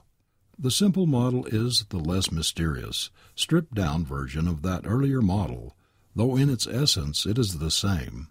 While in a sense it is also a rephrasing of the revised four path model, as it has no numbers and is free from the traditional names, it has some advantages over that terminology. I present this somewhat novel model here because it focuses on real insight directly and treats any emotional benefits of this as side effects. Further, there are often too many cycles of insight before arahatship, making the four path model troublesome. This phenomena of too many cycles, which I will sometimes call paths with a lowercase p, between each of the four paths gets worse as one works toward final awakening. As Bill Hamilton put it, and I have learned the hard way, the Arahat fractal is vast. The simple model does not reinforce fascination with content, nor with life denying ideals or limited emotional range models in the way that the traditional four path model often does. It does not tempt one to count paths. It keeps the focus on precise inquiry into the truth and one's experience of it or lack thereof. This model basically says that enlightenment is about direct insight that progressively reveals something different in the relationship to the field of experience and gradually allows things in it to be held in their proper proportion. Thus it is a non-duality model. The first understanding is that sensations are sensations, thoughts are thoughts, and this forms the basis of further inquiry. When the universal characteristics of these sensations begin to be seen, this represents growth in understanding. When the whole sense field is known directly and completely as it is, this can cause an entrance into fruition through one of the three doors and represents the first stage of awakening. When one appreciates the cycles of the progress of awakening and has completed at least one more new progress cycle, this is the next stage. When one begins to appreciate the emptiness, luminosity, centerlessness, agentlessness, etc., of phenomena in real time, and this becomes the focus of practice rather than fruition, this is the next stage. When the sense of the watcher, observer, subject, controller, doer, etc., is seen completely as it is, and the knot of perception untangles, that simple, fundamental way of perceiving things is the next stage of awakening. When that untangling stays untangled, that is the next stage. As that understanding is integrated into our lives, that is the next phase, though it is more an ongoing process than a stage. The problem is that the traditions seem to want to make this understanding into so much more than it is, such as add ideals of emotional perfection into this. There is some truth in the models dealing with emotions. It has to do with things moving through faster and being seen more clearly. It does not have anything to do with bad emotions not arising. I hate to even go there, as my goal is to give the emotional models the bashing they richly deserve. But I don't want to throw the baby out with the bathwater. Thus, here it goes. As the deep seated perceptual sense of a separate, continuous, permanent, observing agent stops being extrapolated from the old patterns of sensations that seem to be those, there is this wider, inclusive something that can come into the consciousness of the enlightened individual, depending on their level of awakening. There is also a slowly growing directness of perception that comes as reality is not filtered so exclusively through thought. These two can combine to give the emotions of enlightened beings less sticking power, so that they may move through more quickly than for those that are not enlightened and also may be seen more quickly and clearly as they arise and vanish. There may also be less blind contraction into thoughts and emotions and a wider perspective, thus giving the other parts of the brain more of a chance of creating moderated responses to the emotion. That said, even when seen through, there seems to be a biological component to how emotions move through that can only be expedited so much. Anyone who thinks these highly qualified statements are anything like a vision of emotional perfection or the elimination of all negative emotions is not paying attention. That is the last thing I wish to imply. I merely wish to say that there is some increased clarity about our basic human experience and it can help, but that is all. That said, you would be amazed how angry, lustful, or ignorant enlightened beings can be and they can still do all sorts of stupid things based on these emotions, just like everyone else. The ability to moderate responses to emotions can sometimes give the impression that these emotions have been attenuated, but that is not the same thing, and this is my nice transition into the action models. The action models tend to involve certain actions that enlightened beings cannot commit, or certain actions they must commit. Both types of models are completely ridiculous, and so we come now to the first of the models that simply has no basis in reality.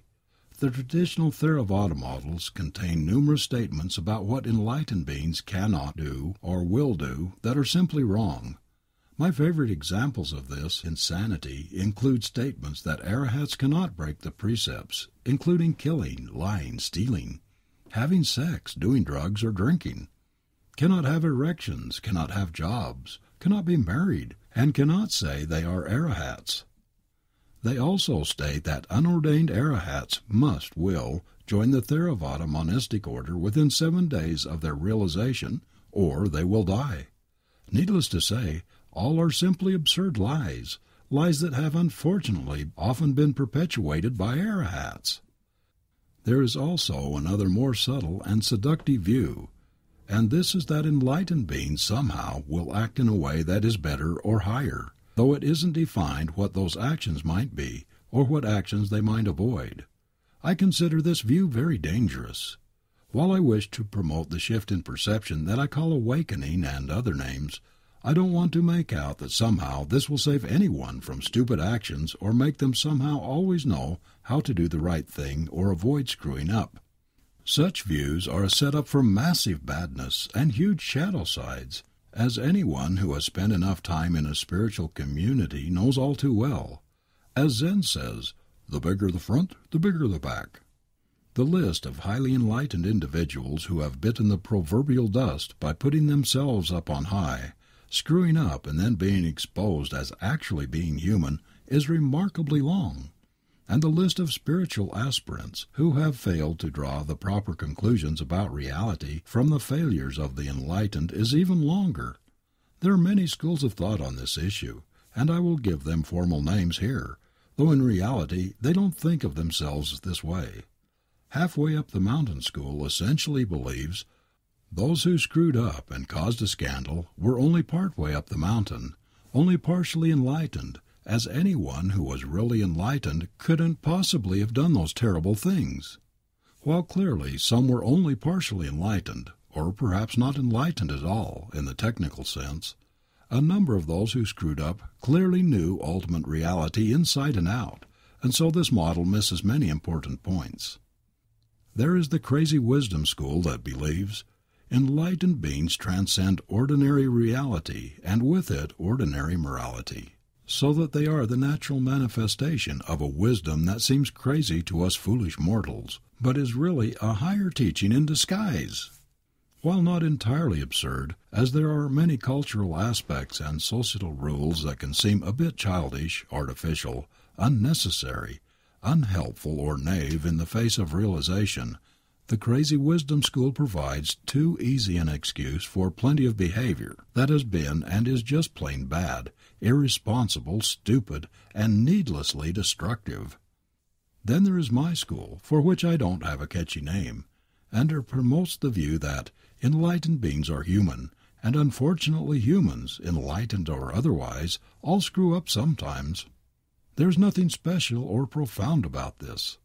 In short, my school categorically rejects the specific lists and dogmas of the traditional action models in all forms, from the preposterous list of the Theravada to the subtle sense that enlightened beings somehow are guaranteed to act perpetually in enlightened ways, whatever those are.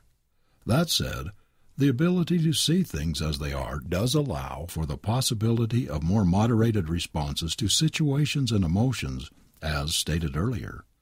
That is a very different sort of concept from coming up with a list of things that an enlightened being never would or could do, and it certainly doesn't mean that they will necessarily act the way we think they will. Further, while this is not an exhaustive list, the behavior of any being is always affected by the following.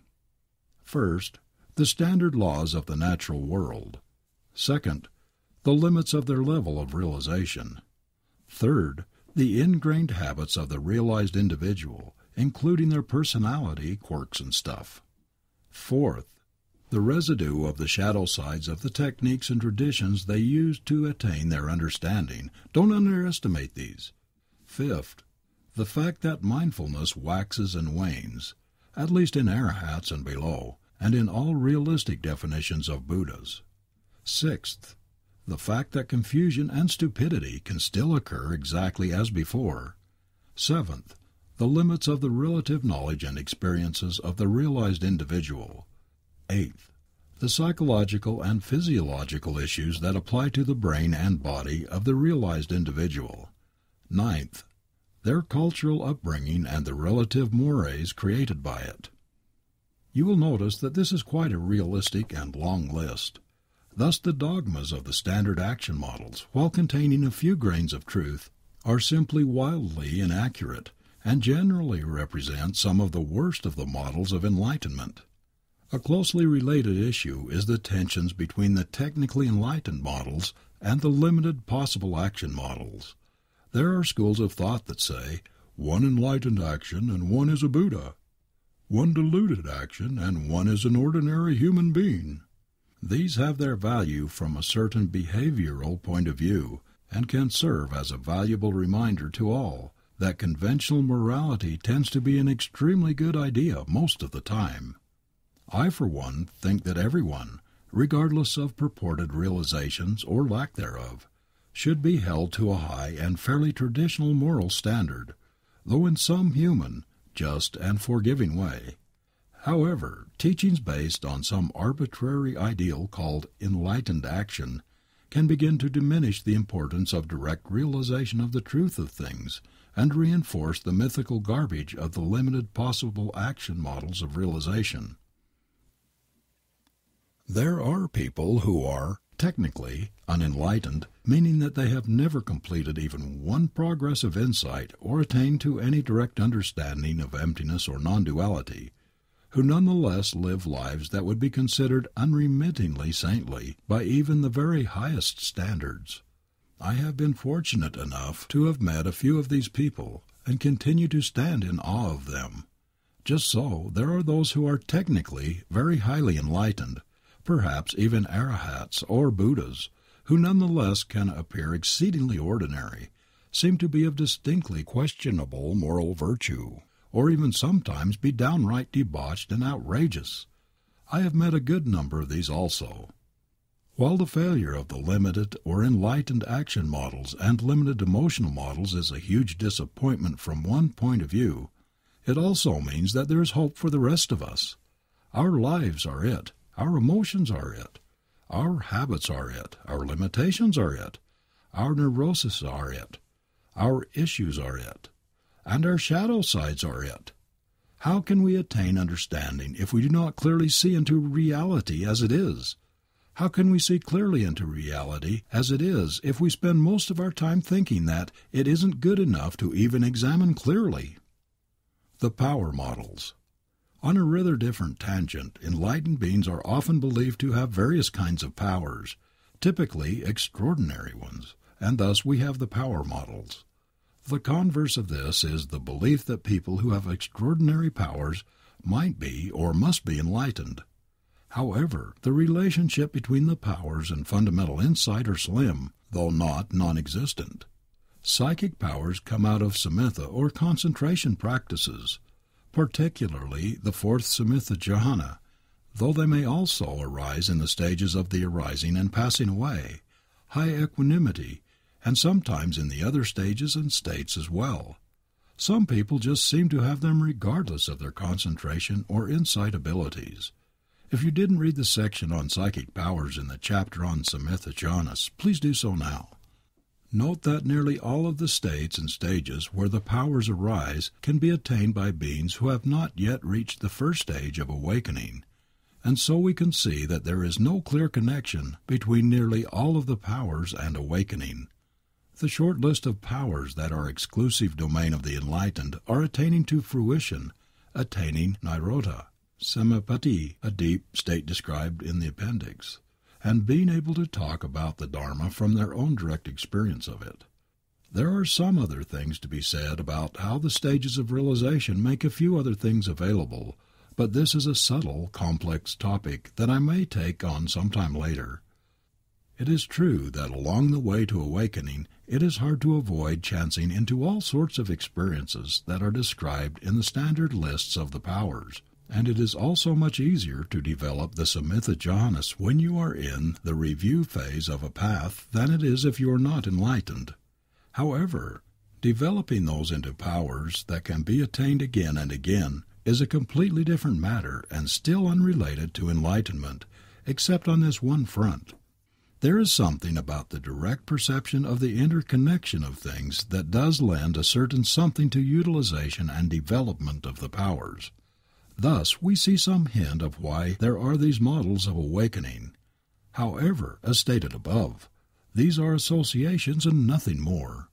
In summary, just because someone has powers doesn't mean they are enlightened, and just because someone is enlightened doesn't mean they will have any psychic powers that are not directly related to their clear perception of things.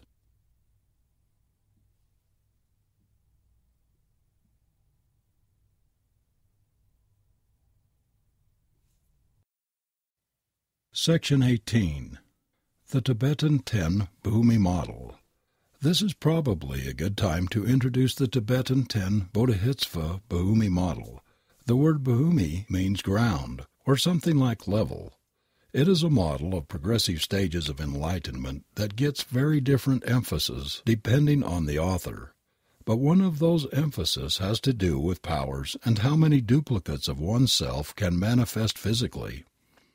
I actually like the Bhumi model, as other takes on it have to do with giving up the notion of personal territory and realizing shunyata or emptiness and deeply integrating that into our perception, paradigm, practice, and personality. It is a model that addresses many fronts, only one of which unfortunately is the powers. The details of the Ten Bhumi model can be found in various Mahayana texts, such as the large Sutra on Perfect Wisdom and The Jewel Ornament of Liberation. Chogyam Trungpa gives a nice description of it in The Myth of Freedom. Some texts also list other numbers of Bhumis, such as seven or thirteen, but they all share similar elements. I do not consider myself an expert on this model, though I do understand the territory it covers. It is a very complex model that ascribes a wide range of exceedingly high and complex criteria involving emotions, paradigms, concentration abilities, perceptions, psychic powers, and a whole host of other aspects to those of each stage. Thus, from my point of view, it is fraught with problems and assumes simultaneous, synchronized development on numerous axes, a notion I consider a bit naive and idealized. However, like most of the teachings, it contains some very interesting points made in what I consider very unfortunate ways. Thus, I recommend that you check it out, cum grano salis, particularly if you want to understand Tibetan texts or do practices in that tradition. Lining the model of the Bhumis up with the four paths also involves some controversy. That the first Bhumi is stream entry is straightforward. Beyond that things get difficult. At points I have lined Anagamihood up with anywhere from the fourth to the seventh Bhumis and Arahatship with anywhere from the sixth to the tenth Bhumis.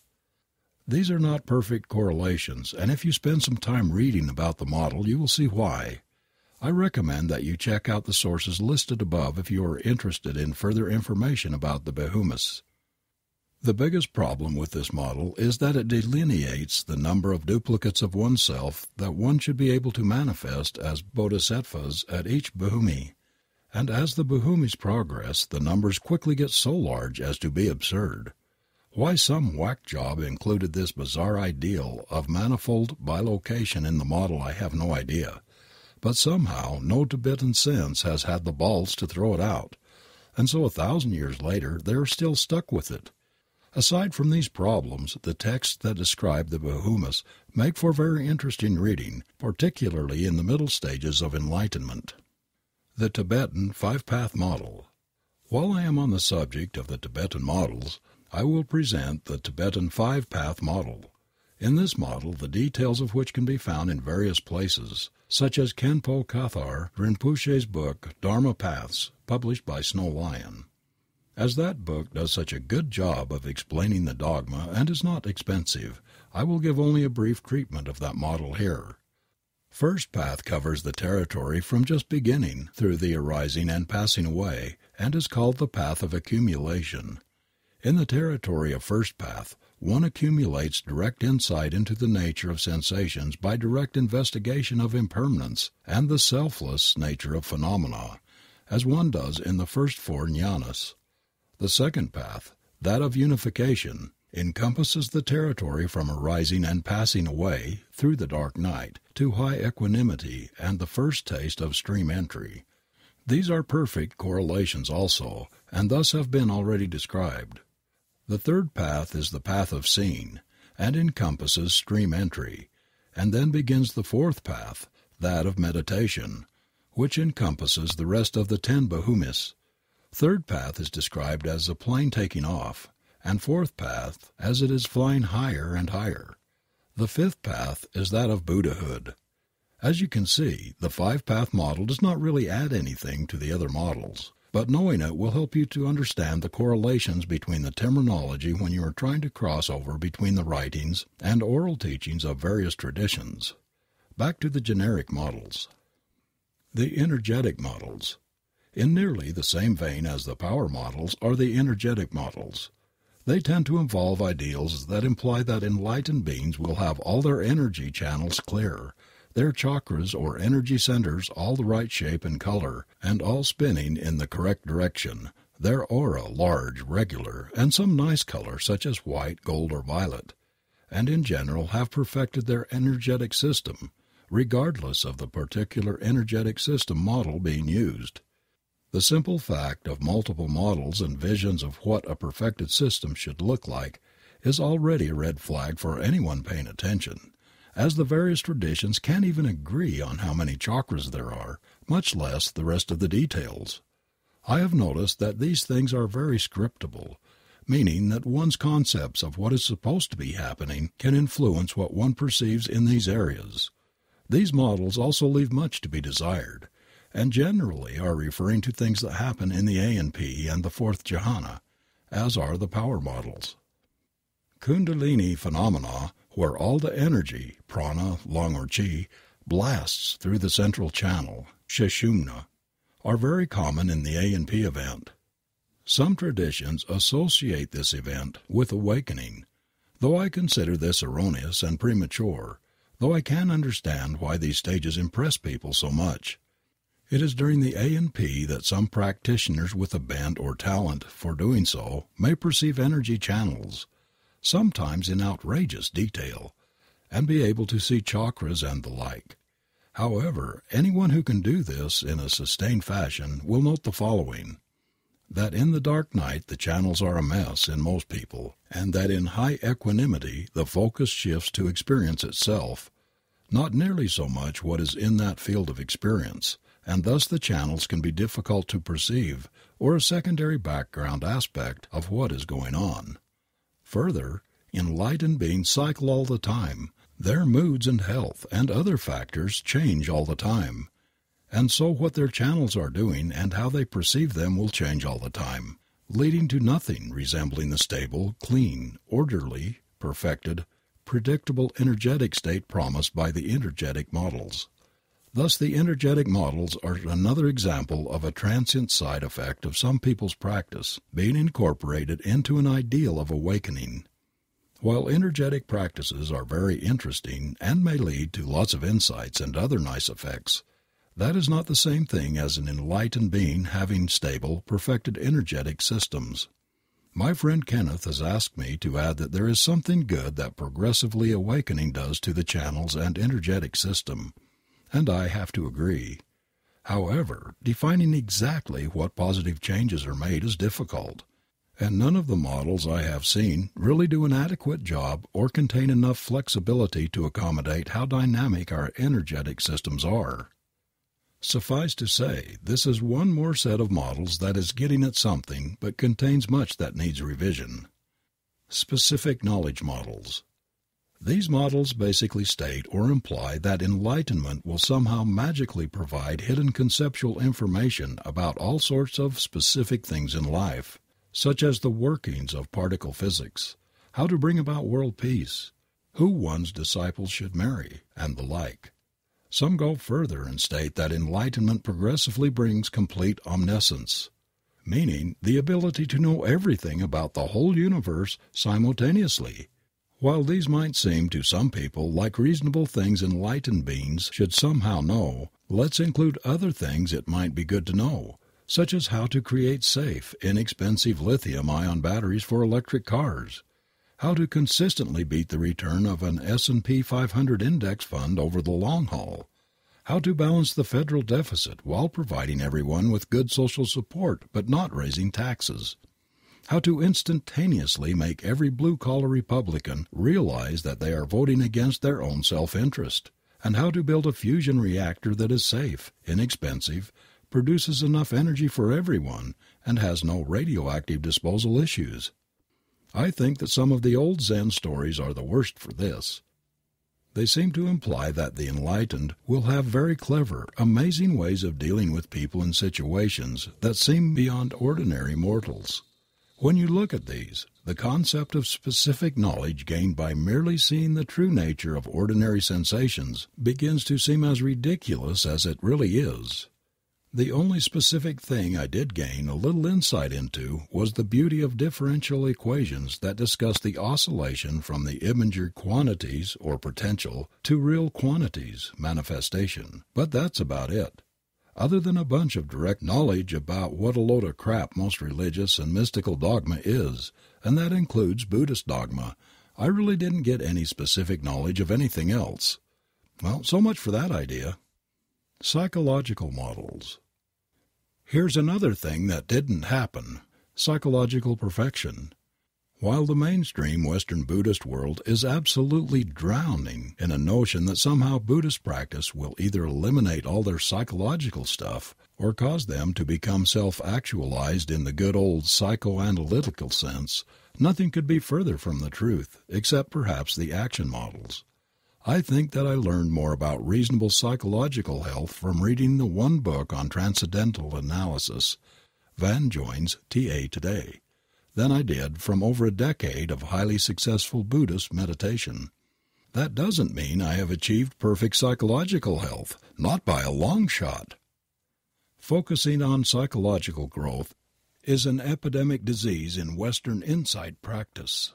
Many of the major retreat centers that purport to foster insight practice in the U.S. and Europe are actually bastions of the worst pop psychological bullshit retrofitted with a bastardized Buddhist front.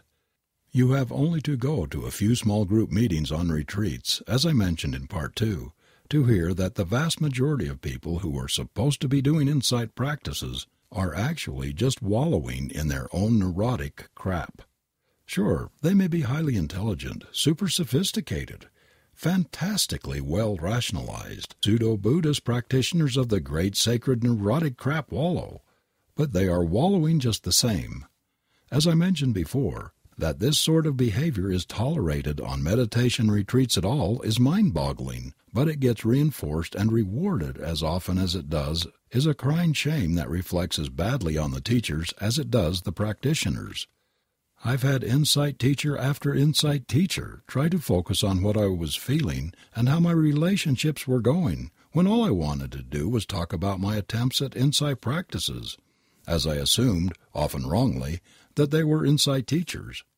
While the Dharma is vast, and the teachings of the wisdom traditions contain a lot of material for helping us grow psychologically, that doesn't mean that it has anything to do with awakening or insight practice at all.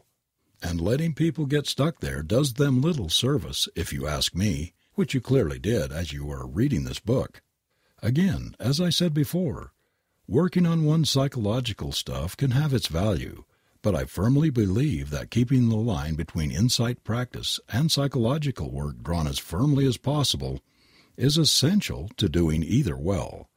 Further, it is oh so easy to imagine that the teachers on the front cushion couldn't possibly be as neurotic as we are, and before you know it, we have the breeding ground for massive shadow sides, exploitation, isolation, and scandal just like we had with the models that purport emotional perfection.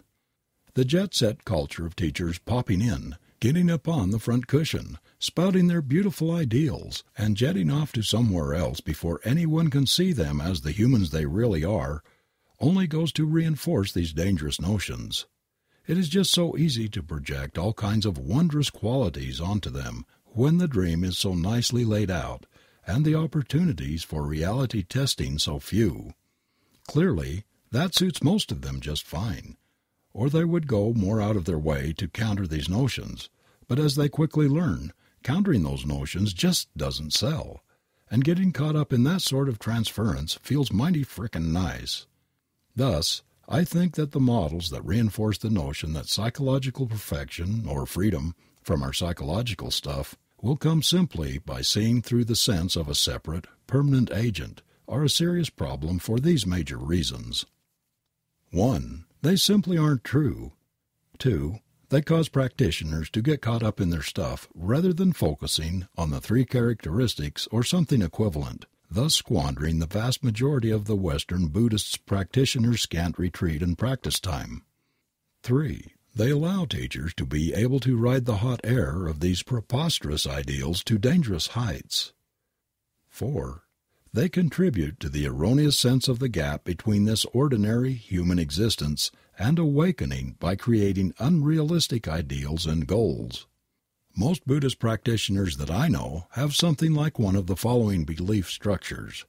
First, that awakening is impossible, so the best thing to try for is psychological or emotional health or perfection. Second, that awakening is psychological or emotional perfection. So by trying for psychological or emotional perfection, one is doing the practices that lead to awakening. Third, that awakening involves psychological or emotional perfection, so it is clearly impossible, and by sitting they are trying to accomplish something else. But if you ask them what that is, they are usually unable to answer clearly. What is so ironic is that awakening is hard but clearly not impossible, and not nearly as impossible as achieving psychological or emotional perfection. In fact, seeing sensations clearly enough to see that they are all just happening and coming and going is extremely straightforward once you finally realize that is what you are supposed to be doing. Further, when I think back on all the things I have done, including going to medical school, spending a year in India working as a volunteer there, and finishing a medical residency, I must say that the work I went through to get those things was significantly more work than it took to get to stream entry and even arahatship. It is not that getting stream entry was easy, just not as hard as plenty of other things I have done. I attribute my success to a vast array of factors, but two that are relevant here are a tolerance for pain and having a good working model. That model was one that was blissfully free from notion of emotional, or psychological perfection. When I think about what it would take to achieve freedom from all psychological stuff, the response that comes to this, life is about stuff. Stuff is part of being alive. There is no way out of this while you are still living. There will be confusion, pain, miscommunication, misinterpretation, maladaptive patterns of behavior, unhelpful emotional reactions, weird personality traits, neurosis, and possibly much worse.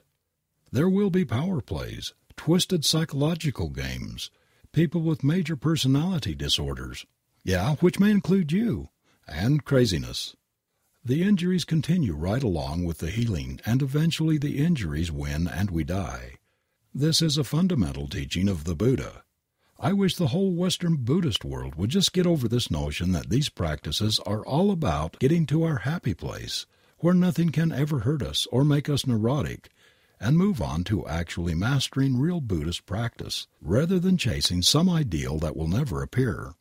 All that said, there is some debate about what factors or progress allows some people to just notice the three characteristics of the sensations that make up their world in the face of their stuff, as opposed to those who just flounder in their stuff. Some would argue that you have to have done enough psychological work and deal with enough of your issues to get to the place where you can move on to the next stage. I must reluctantly admit that there is probably some truth to this. However, I didn't consider myself particularly psychologically advanced when I started insight practices, as I had all kinds of stuff to deal with and still do, and yet somehow, perhaps through good instruction, perhaps through some other factors I have yet to identify, I was able to practice well despite it all, and make the shift from being lost in content to noticing how things actually are. The Thought Models. Speaking of screwed up models, we have the thought models. These are models that tend to focus on something different happening with thoughts in those who are awakened, rather than simply seeing through the thought patterns that create a sense of a center point, or special, permanent, separate self. These idealized models include not thinking certain thoughts, such as enlightened beings being unable to think the thought I or I am not thinking at all and thus stopping the process of thought, or some other modification to thoughts, such as always thinking good thoughts, whatever those are. I got an email a while ago from a seemingly nice engineer who said basically, I did some Taoist practices, got enlightened, and now I'm incapable of thinking any thoughts or visualizing, yet I seem to function normally. What do you think of this? I put a lot of thought into my response, and so I am including it here in slightly edited form. I told him, one of my dead teachers, Bill Hamilton, used to talk about how people's conceptions of what was supposed to happen would have some influence on subsequent events, with some question about what that influence was. We used to discuss this often, with possibilities including 1 people with different models of awakening might actually achieve different results. I am no fan of this proposition, but admit the possibility. 2. People with different models might achieve the same thing, but describe it differently. I believe this one more than the first. 3. Some combination of these. 4. People might fail to achieve results, but be scripted to report or believe that they had achieved something in line with their own working model. This is a common occurrence, one that I have observed in myself more times than I can count, and also in the practice of many other fellow Dharma adventurers. Bill would often mention people's ability to self hypnotize to semi fixed states of delusion. He had a long run of hanging out in scary cult like situations with psychopathic teachers and got to observe this firsthand in himself and others. See his books, Saints and Psychopaths, for more on this. 5. People with different models and techniques might have very different experiences of the path along its way. This is clearly true in some aspects, yet the universal aspects of the path continue to impress me with their consistency and reproducibility regardless of tradition. 6. Other possibilities we haven't considered, in the style of Donald Rumsfeld's famous unknown unknowns. The no thought question is an interesting one. It's commonly used in some traditions as being the goal, these including some strains and descriptions of Hindu Vedanta. Multiple non aligned traditions, and others. Zen sometimes toys with the idea on its periphery. As to Taoism, I did a bunch of reading on the old Taoist masters some years ago, but I wouldn't consider myself an expert on its current practice or dogma. Buddhism does not generally consider not thinking or not being able to visualize among its goals. It brings us to the points mentioned above. For instance, the awakened Buddha often says things in the old texts like, "It occurred to me that I should wander by stages to such and such a place," or, "This spontaneous stanza, never heard before, occurred to me." These obviously are thoughts. Furthermore, if we note the old texts as reference, all of the enlightened disciples of the Buddha and the Buddha himself were described as thinking thoughts. Further, many of the Buddhist's disciples could visualize, as could the Buddha, and if we look to modern times you can't be a tantric master without some strong visualization abilities.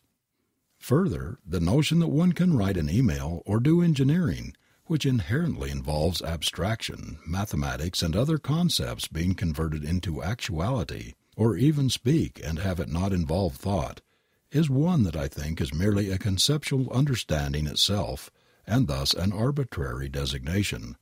Further, as intentions fall into the realm of thought, and all physical actions are preceded by intentions by the fixed mechanics of the system, the notion that action can occur without thought falls into the same camp. This also applies to all such things as memory, which you clearly demonstrate, as this inherently must involve thought, essentially by definition, with caveats as above.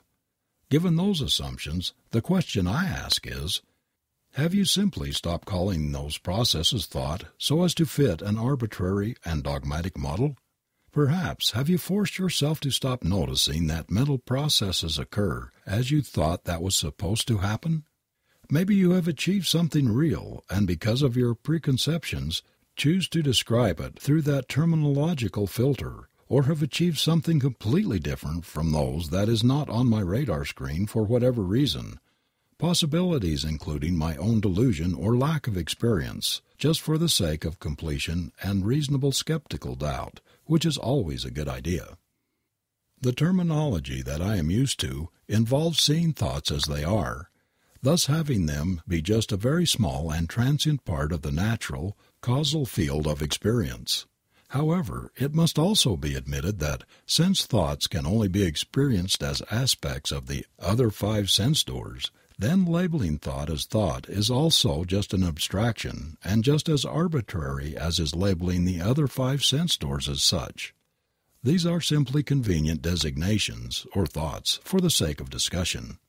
When one notices that all things simply arise on their own, including those sensations that may or may not be designated as thoughts, to be empty of a self, as they are and always have been, with no separate or independent observer or controller or doer that is not just a part of the field of experience or manifestation, then one has understood at some level what the Buddha advocated that people understand.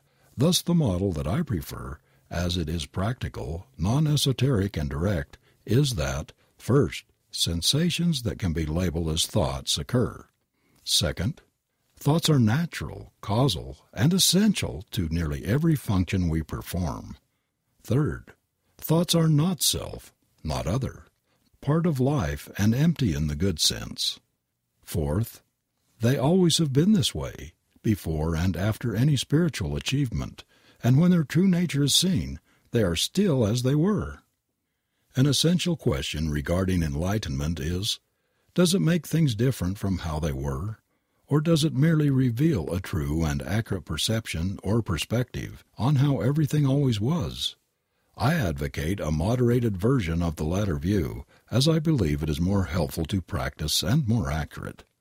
Thus, in this view, which is just one view, Anything that could happen before, such as thought or visualization, can happen after, with the only thing changing being some untangling of the previously held knot of tangled perception.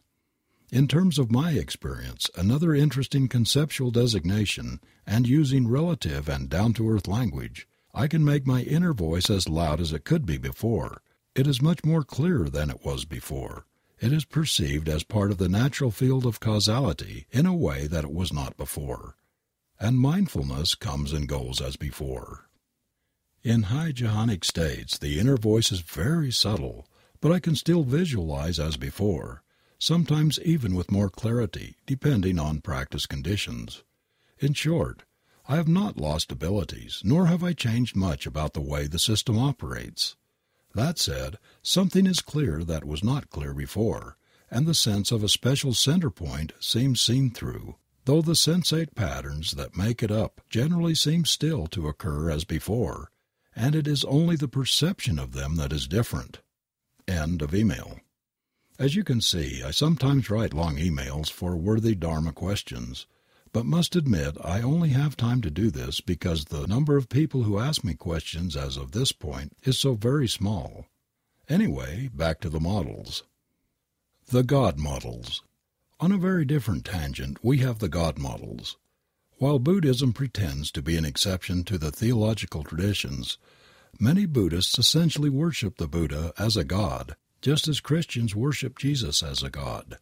Further, the vast majority of the traditions that promote awakening involve some sort of theological background or underpinning, including Hindu Vedanta's focus on the divine nature of things, Islamic Sufism's focus on the friend or dissolving in Allah, and Christianity's various dilution in God metaphors, such as the divine marriage. Buddhism has the same problem at times with the phrase Buddha nature. These are interesting models to talk about, and basically the question comes down to the distance between God and one's life. For those who disapprove of me writing about God in a book on Buddhism, substitute Buddha nature everywhere you see the word God. Those who believe in a God that is a separate entity are already in trouble. Those who believe this entity is far off in heaven or largely unavailable are really in trouble. However, those who believe in a God that is right here, right now, and present in all things, including themselves, have a fighting chance. And this is as practical a model for awakening as any other, if done correctly, which it almost never is. The problem comes for those who believe in God free zones, that is, those places where God is not. These tend to be people who believe in a limited, abstract God. Most people who believe in God have not taken the time to consider the question of whether or not they believe in God free zones or a limited God. In fact, most people who believe in God in the monotheistic sense would be offended by the notion that their God was somehow limited. However, if you question them about whether or not their God is in their toilet paper or in a rock, or perhaps more specifically is the toilet paper and is the rock, is their weird popcorn fetish, is the annoying itch in their armpit, and actually is everything else. Even most people who in theory believe in omnipresent, unlimited, all powerful God won't go that far. This is too bad because if they did, they would have a good working model for realizing that this is it. And so we are back to my original, simple, excellent premise and test for good models of awakening. Here's how this works. If you believe you are trying to see God, and that you believe that all creation is a manifestation, not just created by God, but in fact is God, then you are back to the basic insight practices, seeing the sensate world exactly as it is, because there you will find ultimate reality, or God, if you want to call it that. When the center point is seen through by your careful investigation of all these sensations, or all aspects of God, then all that is left is just all these sensations as before, that is, all this God. Thus, if one is willing to really believe in an omnipresent God, then by truly, deeply, directly perceiving all sensations to be just part of the causal, natural unfolding of what is labeled God, all the boundaries between what were self and other can be seen through, and the phenomenal world is left doing its thing, Thus the practitioner realizes they were always part of God, in a sense, though these designations are merely terminological one way or the other. The problem with God models typically is that people don't take them far enough, because if they do they can get into something really good, though they could get there just as easily without them. All the other ideals that are involved in becoming God or seeing God are just more odd dreams and possible side effects of spiritual practice. I have a few friends who saw visions while on LSD in which God told them useful stuff, and this is fine. But this is back in the realm of the powers that has nothing to do with awakening and only a very limited amount to do with God in the ultimate sense. The physical models. On a completely different track we have the physical models, which tend to involve some kind of physical perfection or stylization. The old Theravada texts go to great lengths to list the 32 interesting physical qualities of the Buddha, such as having forty teeth and arms so long that he could touch his knees without bending down. It is interesting how things change, as in our modern context that would make him look more to us like a dentally challenged Cro Magnon than a spiritual superhero, but I digress. Numerous pulp culture sources make us associate interesting physical qualities or ideals with spirituality, particularly yoga magazines and martial arts movies. There is not much more to say about these models other than they are amusing and completely inaccurate. We may imagine that somehow enlightenment involves some kind of physical health, or think that awakening or insight practice may cure some illness, but I wouldn't bank on anything like this at all. That said, my friends who regularly do practices like yoga and tai chi do tend to look good, and this only makes sense. However, this is not related to ultimate realizations except peripherally in that those practices involve mindfulness and if done well can lead to real insights. The radiance models. Related to the physical model are the radiance models, which tend to involve imagining that enlightened beings will have some kind of remarkable presence, usually involving radiating love, charisma, wisdom, peace, or even physical light.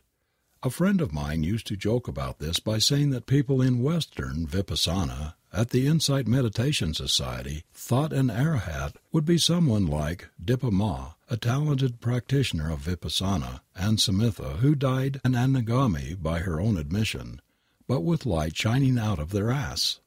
This is a bit of an exaggeration, but it makes the point that these ideals are so ingrained in us from many traditions that it is hard not to imagine that enlightened beings must have something remarkable about them that you could feel or see. Everyone knows that all saints have light coming out of their heads, as did Jesus. You only have to look to medieval paintings to confirm this. The stories of Buddha are full of his marvelous presence. In fact, his very first interaction with a human after his awakening went something like this.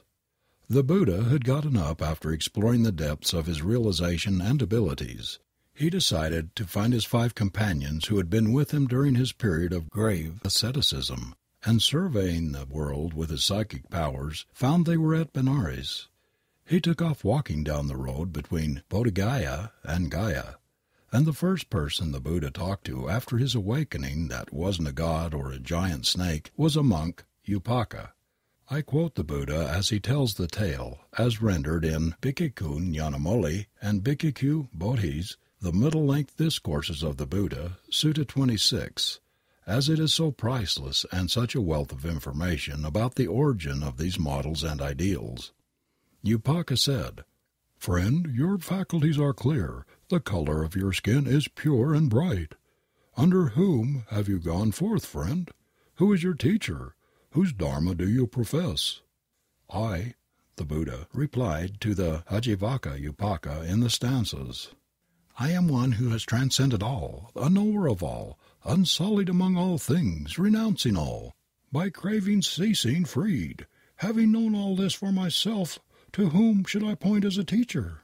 I have no teacher and one like me exists nowhere in all the world, with all its gods, because I have no person for my counterpart. I am the accomplished one in the world. I am the teacher supreme. I alone am a fully enlightened one, whose fires are quenched and extinguished. I go now to the city of Kasi to set in motion the wheel of Dhamma. In a world that has become blind, I go to beat the drum of the deathless. Upaka replied, by your claims, friend, you ought to be the universal victor. The victors are those like me, who have won to destruction of taints. I have vanquished all evil states. Therefore, Upaka, I am a victor. The passage is remarkable in that it sets out a large number of criteria and specifics about what awakening means to the Buddha and to Buddhism in such a short space. Further, what is interesting is the number of times the word I appears. In fact, Buddha means something like awakened one or I am awake. Thus we see that Buddha had no trouble talking about what he had done and who he was, nor did he have trouble thinking the thought I. We note his remarkable presence and skin, and so have the first of Buddhist radiance models and physical models. We note that he says he is superior to the gods, which is a sort of a God model in and of itself, except one better. He describes being free of all the taints and evil states, which is a complex mix of emotional and psychological models.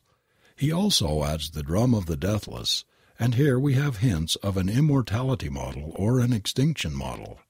And while formally Buddhism would reject both of these associations, aspects of both show up often in the texts anyway. There is also a transcendence model, as he says he is unsullied by all things, and also a specific knowledge model, as the Buddha says he is a knower of all. In short, he says he has accomplished something remarkable, and asserts that he is going to tell others how to do exactly the same thing he did, or is he? The question of how the Buddha's realization relates to what he was trying to teach others is a complex one. There are numerous passages where he says he is quite different from and superior to all other enlightened beings, and draws a clear line between himself and arahats. Thus we have to look carefully at what he claims about himself have to do with others. And I devote the whole next chapter to this complex issue. Suffice to say, the problem comes in when the ideals the Buddha discusses as applying to himself, however mythologized we think they are, are applied without careful investigation to enlightened beings of theoretical inferior degree. Then there is the slippery question of the Tibetans who purport to produce full Buddhas in one lifetime. Back to the issues of whether or not enlightened beings have a special presence. I have seen examples of both, though I suspect that in most cases their presence was largely that way before they started doing spiritual practice. Many people who have asked me questions about practice over the years have hesitantly asked me if there was something remarkable about my presence or how I was able to keep my realizations hidden at work. I am both sorry and happy to report I have no problems in this regard at work. As far as I can tell, I have nothing whatsoever that is unusual about my presence that wasn't there long before I got into all of this, other than the confidence and passion which I speak on the Dharma. In short, the physical models and radiance are just nice propaganda and another trap that people fall into, both in their own practice and when evaluating the possible level of realization of others. The Karma Models. These models involve the promise that somehow realization eliminates, exhausts, cancels out or moderates the forces of causality that would cause bad things to happen to the realized being. Karma involves action and its consequences, and in its simplest form is essentially the statement that causes lead to effects in a lawful way. The subject is imponderable, as the forces and factors involved are so vast and complex that no mind can fully comprehend them. That said, many models and Buddhist ideals subtly or overtly present models of awakening that promise some sort of relief or freedom from adversity. However, if we look to the life of the Buddha, who by definition is as enlightened as it gets in Buddhism, lots of bad things happen to him, at least according to the texts. He had chronic headaches and back pain, got illnesses, was attacked by bandits. People tried to kill him. His own order broke into warring factions. People harassed him, and so forth and so on. Thus it is clear that even the Buddha was not free from the laws of karma, and so it would seem naive to assume that we were also. However, the karma models raise an interesting question, that of the timing of the fulfillment of the promises of enlightenment and what this has to do with death. The Theravada claims that the moment of complete freedom from suffering is at death of an arahat or Buddha, as it is only then that there is no more coming into further birth, and there is the complete cessation of the senses that cause pain and discomfort. The Tibetans would disagree, focusing on the perpetual life or continued series of rebirths of a Buddha or Bodhisattva throughout time to help awaken other beings. These conflicts bring us to other models, but in fact are paradoxes created by misperception. However, the karma models are not entirely junk. By seeing each thought, state and emotion as it is, there is an increased ability simply to watch these arise and vanish on their own, thus allowing for the causal force of them not to wash through to the future without some moderation of intelligence and wisdom. In this way, past causes, habits, tendencies, and the like can be mitigated through clear seeing, and the actions we take based on these that create future causes can be done with more awareness, clarity, and a broader, more inclusive perspective. This is not the same thing as eliminating all negative karma, but it is practical, realistic, and verifiable, and thus represents the grain of truth found in the karma models.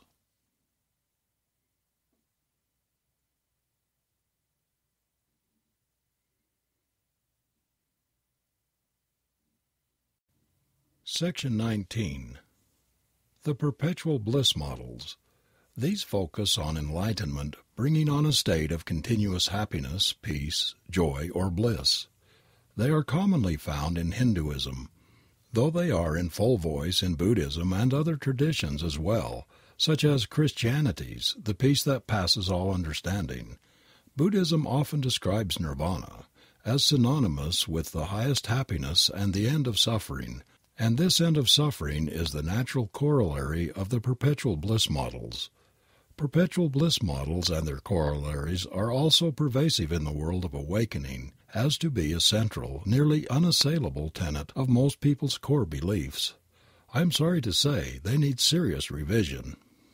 The first point is that about impermanence.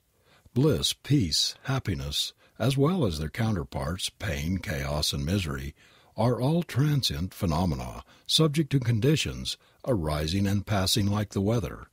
As Zen says, the ten thousand joys and the ten thousand sorrows march through our lives according to the laws of reality that have always been in place. This returns us to the great question of realization. Does realization change things or does realization reveal how things always were? I advocate a modified version of the latter view, both for practice and for having sane models, but the dogma and those selling something often stray into the promises of a radically different and better existence.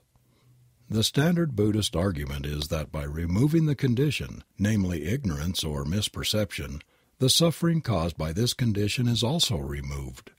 The question then is how much suffering is caused by that particular condition and how much is caused by just being alive. I assert that most of our suffering is caused by simply being alive, but must concede that there is something about changing something in the relationship to the ordinary facts of life and humanity that does help, and why I am so reluctant to admit that there is some sort of peace that comes from realization is a question I am still looking into. While I strongly believe that there are practical reasons not to sell things in this way, I suspect that some residual quirk of my personality is also at play here, and you may have already come to that conclusion. On the other side of the perpetual bliss models is the notion that somehow one will enter into permanent jhanic state, such as the fourth jhana or some sort of nibbanic jhana. These versions of the bliss models imply perfect, continuous concentration, untouched by circumstance or enhanced by some sort of inborn wellspring of jhanic qualities. As noted above, all the concentration states are temporary, not related directly to realization, attained both by some who are enlightened and some who are not, and thus are a false promise. However, as so many people get a taste of jhana and are sure this must just get better and more continuous as they progress, they end up cultivating these states again and again and get nowhere in insight practice. Further, why would someone who was hanging on to a bliss model want to look into suffering? They don't. And so the chances of them coming into real insight territory or handling the dark night well are slim. Now, it is true there is some sort of relationship between the perspective on things that occur in the first four jhanas and the four paths, and the panoramic perspective of both the fourth samatha jhana and the panoramic perspective of arahatship share some positive aspects in common, but they are not the same thing, and even mentioning these patterns and parallels is dangerous, as it can cause a lot of misguided effort and assessment of where people are on the path. I think that this is a good place to introduce the Tibetan concept of the three kayas, as it has some useful aspects that help make sense of these things. The three kayas.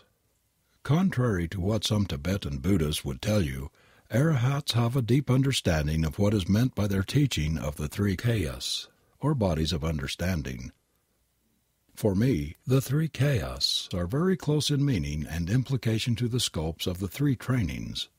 Arahats understand the fullness of the implications of having been born, and of there still being a body and mind, called the Nirmanakaya, or manifestation body, relating to training in morality. All teachings of dependent rising, interconnection and interdependence fall into the realm of the Nirmanakaya. Arahats know intimately the fullness of the ordinary realities of the human condition, sickness, physical and mental, health, sorrow, joy, conflict, harmony, pleasure, pain, clarity and confusion, stupidity and brilliance. All of these manifest according to the same natural laws that have always been in effect, contrary to popular belief. A body was born and it will get sick and die. The eight worldly winds of praise and blame, fame and ill repute, success and failure, and gain and loss still blow impersonally as always. The laws of biochemistry, physics, and physiology still hold. We have to pay taxes. From a cynic's point of view, the Nirmanakaya is the most disappointing aspect of enlightenment. Did one really imagine that somehow it would be otherwise? Don't believe the hype. Another of the great Bill Hamilton one liners was, Suffering less, noticing it more. The more we wake up, the more we notice exactly what it means to have been born. The Nirmanakaya is what is meant by this passage pertaining to the Arahat. The disturbances resulting from the taint of being can no longer be found here.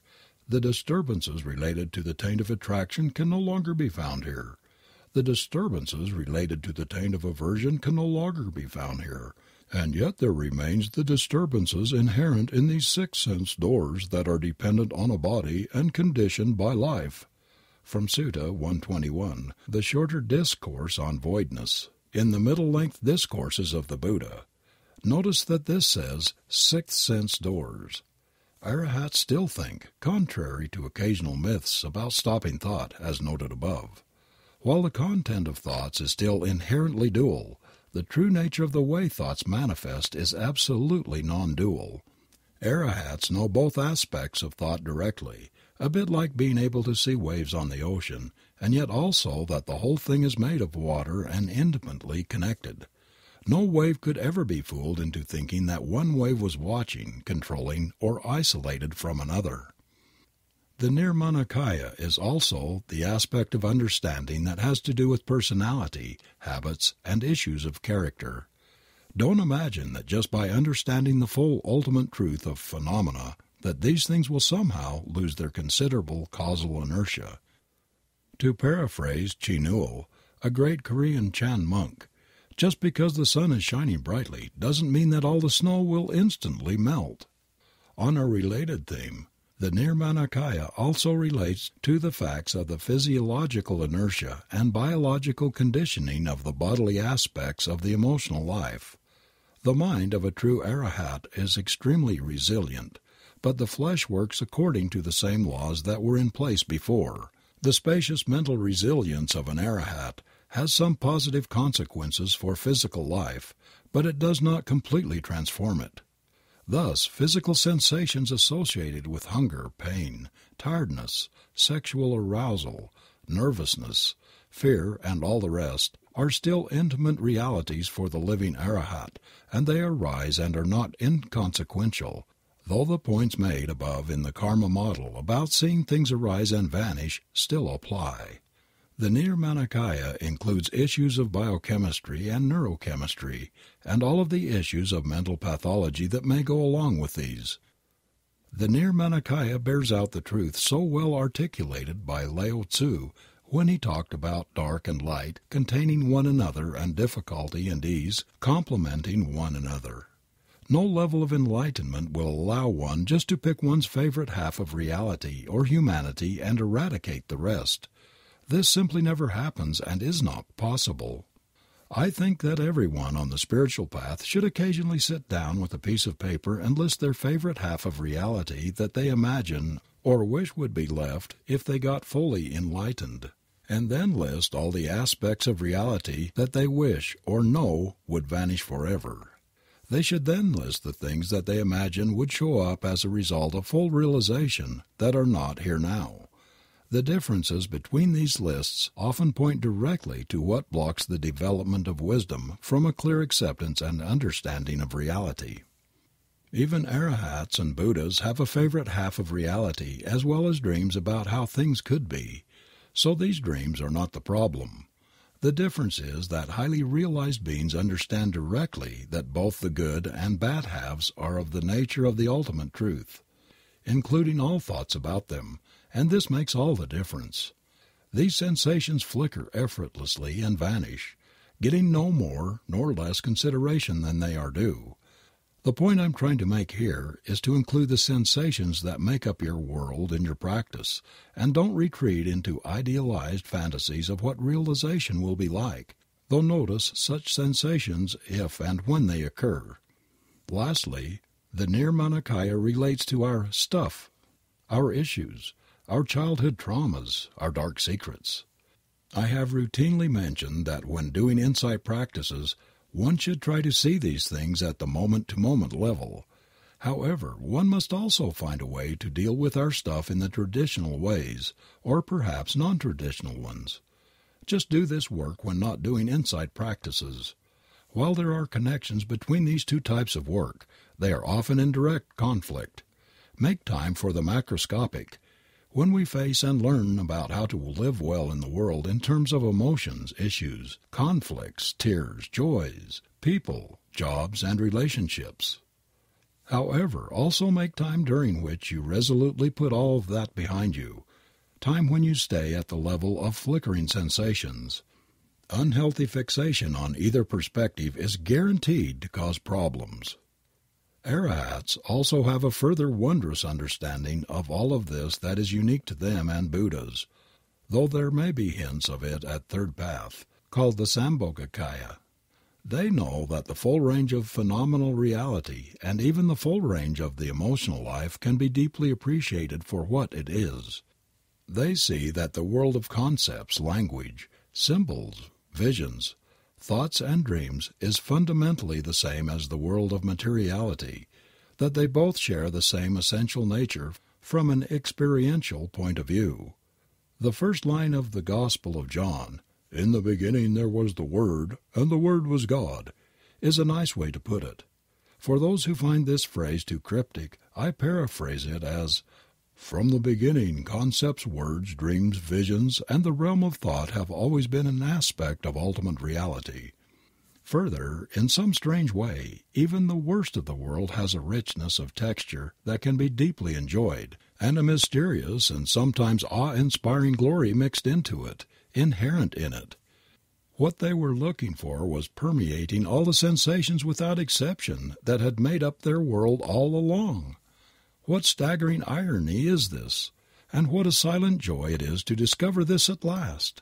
This is what is meant by bliss of nirvana. It is more a subtle understanding than the Nirmanakaya, and in some largely mysterious way does not contradict it. Even beyond this, they also understand in real time what is meant by the Dharmakaya, that somehow none of this is they, and that what they are cannot be fundamentally harmed, disturbed, or affected by the world of phenomena in any way. The Dharmakaya seems to simultaneously pervade all of this, not be all of this, and be utterly beyond all of this. It seems to be permanent and yet unfindable, be empty and yet aware. Even this paradoxical language is hopelessly crude, and from a certain point of view unnecessary, though an arahat would know directly what it is pointing to. This is what is meant by going beyond birth and death. Samsara is nirvana. The arahat is traceless here and now, true self and no self.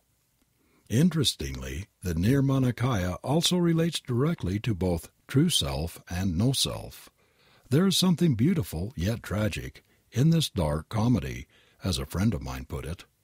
Even to say that the Dharmakaya is a very subtle understanding makes no sense, as the understanding of Dharmakaya arises more from what is absent rather than a sense of the presence of something.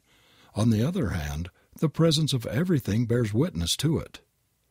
All three understandings, the Nirmanakaya, the Sambhogakaya, and the Dharmakaya, are accessible to the Arahat at any time by the mere inclination towards them, which is to say these perspectives arise dependent on causes in their own time.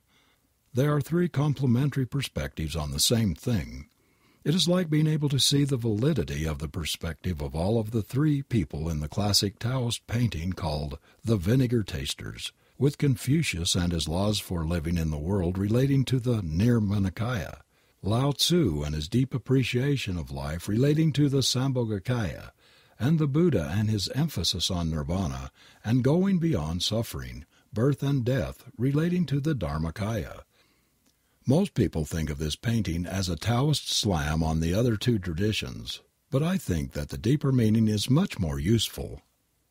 The teachings of the three ultimate dharmas of materiality, mentality, and nibbana that I articulated earlier is closely related to the Tibetan concepts of the three kayas, or aspects of the fully enlightened condition. The Nirmanakaya relates to form, the Sambhogakaya relates to the enjoyable, quiet and spaciousness peace of the fully enlightened mind that unifies the mental and physical into the same field of experience, and the Dharmakaya relates to Nibbana. Were only the Nirmanakaya true, we could say that unitive experiences are the answer and that we are the whole field of experience. Were only the Dharmakaya true, we could say that transcendent experiences are the answer that we create and know the whole field of experience, that we do not exist, and that we are the deathless or God. Neither of these frameworks can clearly explain things on their own, and so as mentioned in the chapter on no self versus true self, none of these descriptions really holds up to reality testing on its own. Presenting the three kayas also allows me to continue to hammer relentlessly on the point about people wanting to find some spiritual reality other than this one. The huge temptation when walking the spiritual path is to try desperately to find a way to get the simple ease of the Sambhogakaya and the indestructible, transcendent, and deathless luminosity of the Dharmakaya, while secretly hoping that the down to earth, mundane, intimate, visceral, vulnerable, and often embarrassing Nirmanakaya will just sort of crawl away and die, or at least radically reform itself. The Nirmanakaya is often treated as though it were the bastard stepchild of the fully enlightened condition, but you can't have one without the others. Intimacy with reality is bought at the price of attaining transcendence beyond reality. Transcendence is bought at the price of attaining intimacy with reality. These inescapable facts should not be forgotten. The all too common temptation of those who advertise and sell spirituality is to sing the praises of the Sambhogakaya and Dharmakaya while trying to gloss over the profound yet down to earth implications of the Nirmanakaya. Buyer beware. If the enlightened beings didn't feel the fullness of their humanity and the ordinary world, compassion for themselves and others would be completely impossible. From a Tibetan point of view, it is because enlightened beings progressively lose their artificial defenses against the Nirmanakaya that they have no choice but to be bodhisattvas, which brings us nicely to our next model, the immortality models. The immortality models are significantly more prevalent in Tibetan Buddhism than the other strains, though they also appear in Pure Land Buddhism and are found elsewhere. While all strains of Buddhism on the one hand categorically deny immortality as the goal based upon the standard tenets of Buddhist logic, Plenty then turn around and sell immortality like used car salesmen. So many Buddhists want to be up in the heaven called Nirvana as empty yet separate beings who don't exist and yet live forever as bodhisattvas saving the world. While there are lots of good points in the bodhisattva vows, this is yet another case of bait and switch, where the results will be a bit more down to earth than most people are bargaining for. However, many Buddhists are also brainwashed into the ideal of becoming amazing super beings that they readily give up the notion that they could really understand anything in this lifetime in exchange for the dream that some zillion lifetimes down the road they may get to be spiritual superstars. However, as their mentality can be essentially like people who have bought into some weird cult, I don't recommend trying to convince them otherwise, as it generally just pisses them off. Just do your practice and take care of your own understanding, and then see what you can do from there. Now, as before, there is some weird truth to the immortality models on two fronts. First, from a technical point of view, what is traditionally called the Dharmakaya, deathless nirvana, Tao, void, Buddha nature, etc., is indestructible, timeless, etc. But this is because it is not anything specific. This has already been discussed and simply stated. From this point of view the notion of death or impermanence simply does not apply. The flip side of this, that of the ordinary transient world, Nirmanakaya, etc., is that causality rings on indefinitely. This is an interesting way to look at things and a very practical, insight oriented way. From the point of view of time, cause and effect, things ripple out onto the universe like droplets cause ripples in water. This process, that is to say the world and us, has always been empty. If we are anything, it is a pattern of rippling sensations arising from causes and effects, and leading to causes and effects. Thus we send ripples of whatever and however we are out into the causal future. If we are enlightened, that is one aspect of what ripples out onto the patterns we call time, and these ripples go on without definable end. Teachings of reincarnation are getting at this point in their somewhat problematic way. Thus we see that there is something to the immortality models, but they are not very helpful for doing insight practices, except to help one appreciate causality. I think they are much more useful in training in morality, despite their obvious paradigmatic problems. One great traditional analogy goes as follows. If you lit a candle, then lit another candle with that candle, and then blew out the first one, what is transmitted? This is causality without a permanent entity, resonance without continuity, an artificial but useful recognition of a pattern, and nothing more. The transcendence models. Related to the immortality and bliss models, we have the transcendence models. These essentially promise that you will have the best of both worlds. You will get to be in the world while not of the world. Be able to enjoy all pleasant things while being immune to pain and difficulty, and thus live in a protected state of partial, selective transcendence. A lot of people try to emulate such a state in their practice.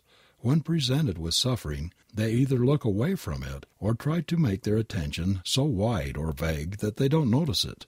And when pleasant things arise, they try to hang on to those experiences and expand them.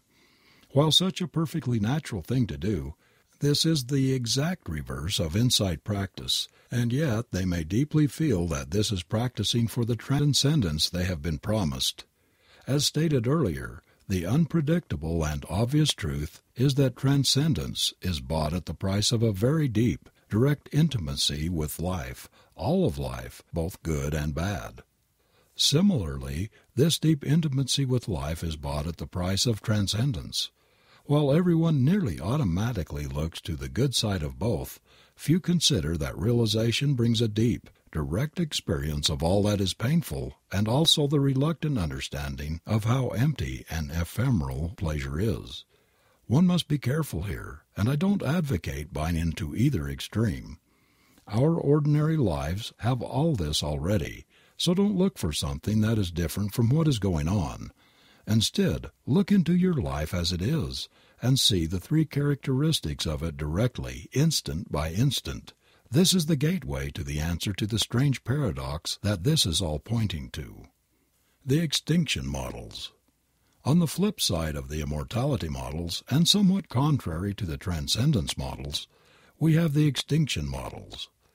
These are essentially a promise that insight practices will either have you never reborn again or will make you non existent somehow in some ordinary sense. The first basic flaw in these models is that they presume an entity to which things can occur, from which an insight point of view is already a problem. Insight practices at their best presume emptiness as always having been the case, and so to posit that there is something that was reborn flies directly against their root premises. Thus the notion that there is someone who either will not be reborn again or will somehow cease to be assuming they were being before, is absurd and doesn't belong in the language of ultimate wisdom. However, page after page, Buddhism promises that there will be no more coming into any state of being, no more rebirth, no more self, and that somehow this will get someone off the wheel of suffering. Here we get into as gray an area as it gets in spiritual language. Between the weird promises of immortality models and the weird promises of the extinction models, we can get really into paradigmatic trouble. Somehow we are sure that one of these must be right, or maybe both are, or perhaps neither are, or some other combination we currently can't conceive of must be the correct one. However, all of these models are based upon a fundamental flaw the misperception of sensations, and the conclusion based on this misperception that there was some separate, permanent us that all these dualistic concepts can apply to. There is not, nor has there ever been, though sensations occur anyway. It is a convenient, practical, working assumption, a convention, a way of speaking, but nothing more. Thus, all of these curious notions simply do not apply. Simply practicing and perceiving sensations clearly reveals the way out of these paradoxes. The love models. On a completely different note, there are the love models.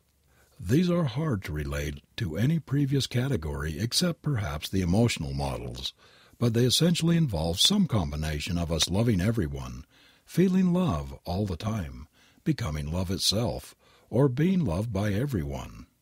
The first two are commonly found in various references, such as Sri Nisargadatta Maharaja's famous quotation, Wisdom tells me I am nothing, love tells me I am everything.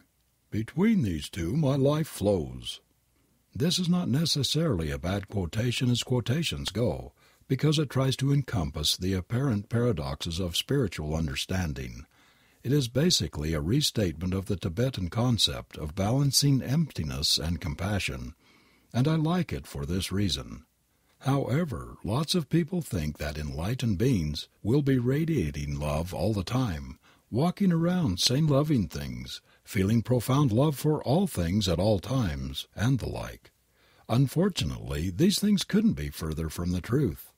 While it does get sometimes easier to take the wider world of beings into consideration as the center point is seen through, this is very different from walking around in a state of continuous love. More sinister, deep, rarely articulated and yet compelling is the notion that somehow we will get enlightened and then people will not just like us, they will love us. Wow, doesn't that one fail reality testing? Take the history of any of your favorite spiritual superheroes, the Buddha, Jesus Christ, St. John of the Cross, Rumi, etc., and notice the reactions people had to them. The notion that somehow you will be embraced, accepted, appreciated, respected, adored, cared for, or even liked by anyone just because of realization is, tragically, just another beautiful, disillusional dream. In short, think twice before quitting your day job or walking down the middle of the street in your guru outfit proclaiming your realization for all to love. Now it is true that you can borrow a lot of pre-programmed respect from some people just by ordaining, which viewed another way means that ordination might get you the respect that your realization should, in some idealized universe, provide for you. However, this will be to a strangely select audience and the games you have to participate in to be a part of that group are significant. You can also get a lot of respect by getting on some senior teacher list. But there are subtle forces that then come to bear that will have you denying a lot of your own humanity when in public, thus leading to the shadow sides I mentioned above. These points also hint at the social models that will follow in a bit. The unity models.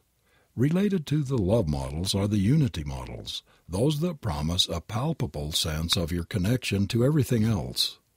This is another one of those models that contains some sort of truth, but is in fact one far extreme side of the unity extinction paradox.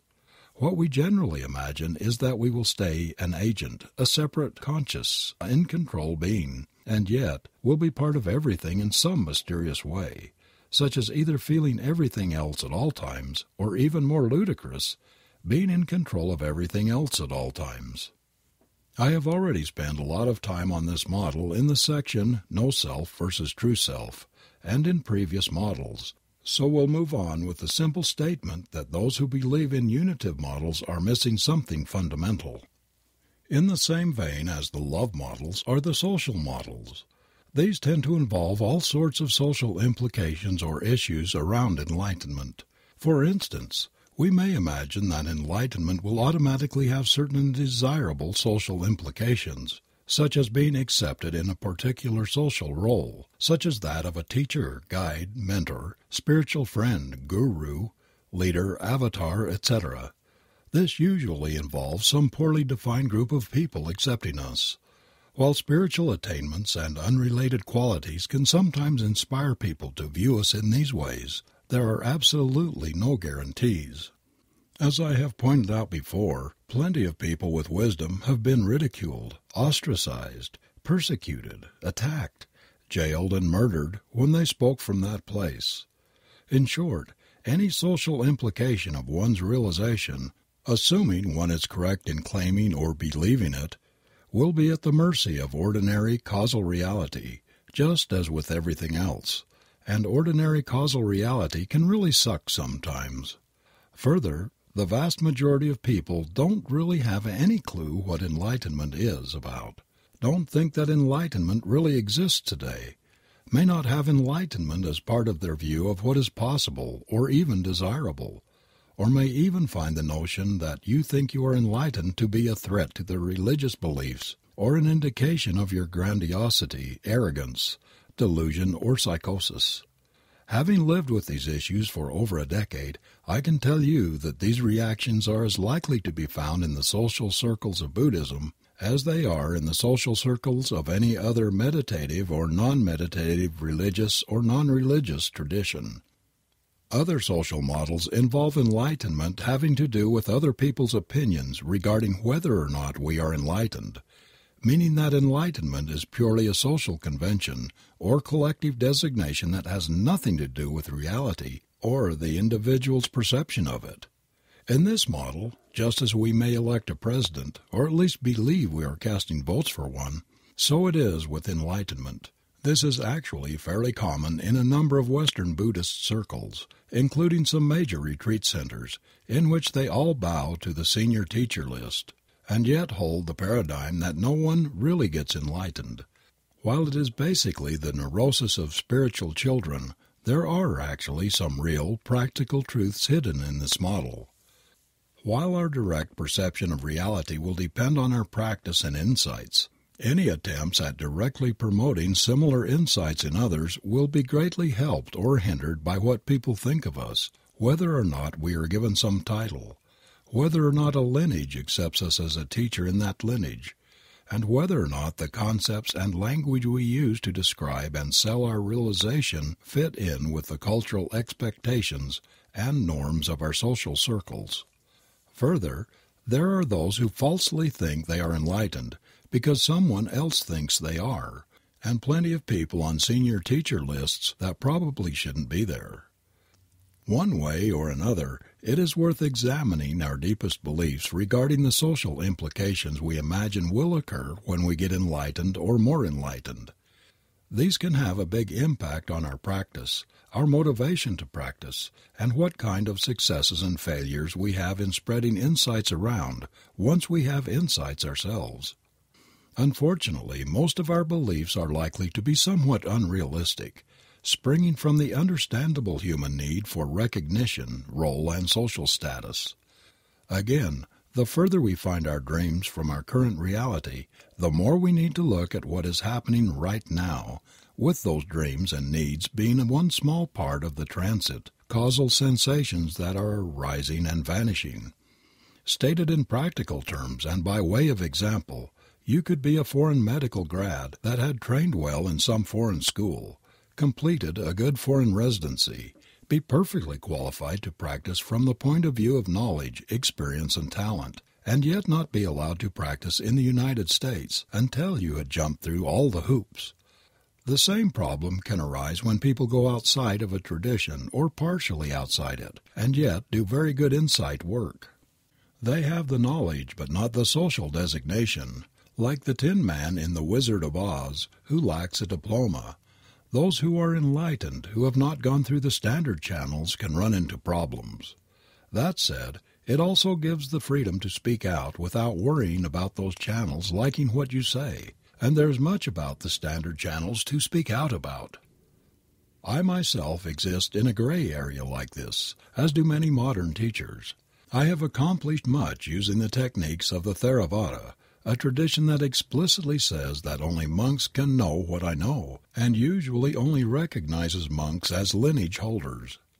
This is a cultural and social problem, and highlights the truth embodied in the social models. I suspect there will be a lot more of this as the Dharma moves into the modern era and more people are successful. We need to come up with solutions to this problem that neither artificially elevate people nor artificially prevent them from sharing what they know that is of benefit to others. The Three Yanas.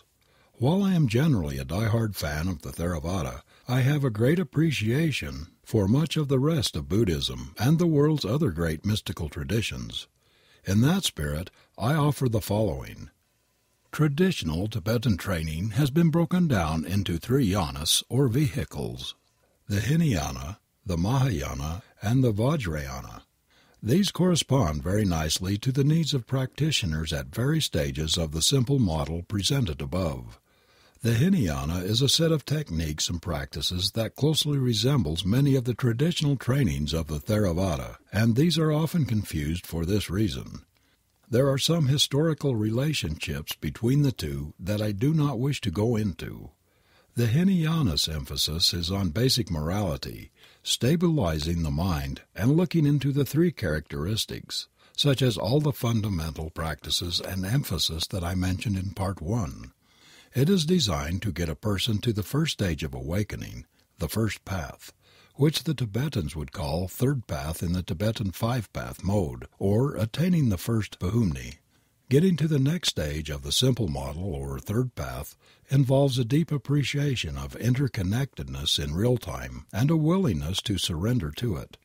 The Mahayana path provides methods for understanding this in abundance, with its strong emphasis on helping others and on the intrinsic emptiness (shunyata) of phenomena.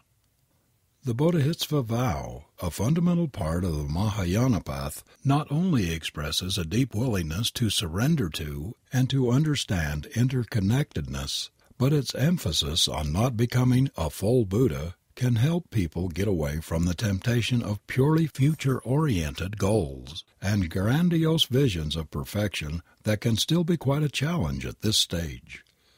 To get to the next stage one must completely understand the intrinsic luminosity of all phenomena without exception. The Vajrayana path, with its emphasis on intrinsic luminosity and tantric techniques that work with the awakened nature of the fullness of the emotional range, fits very well with the needs of one trying to gain the final understanding that emptiness is form. Dzogchen teachings also explicitly emphasize inherent luminosity and that all things are of the nature of truth. I am still a big fan of the Theravada, obviously, but I have a strong appreciation for the tailored beauty of the three yana system of the Tibetans. It has an uncanny sophistication to it, and is part of what happens naturally even if you are following Theravada techniques. I am also a big fan of Zen, particularly its strong emphasis on keeping things down to earth, such as after enlightenment the laundry. If you learn any of these traditions well, you will come to see that they each contain the others. As always, it is not the tradition that's important, but that it works for you. In short, the non duality models are the only models of awakening that hold up without apology, qualification, or exception.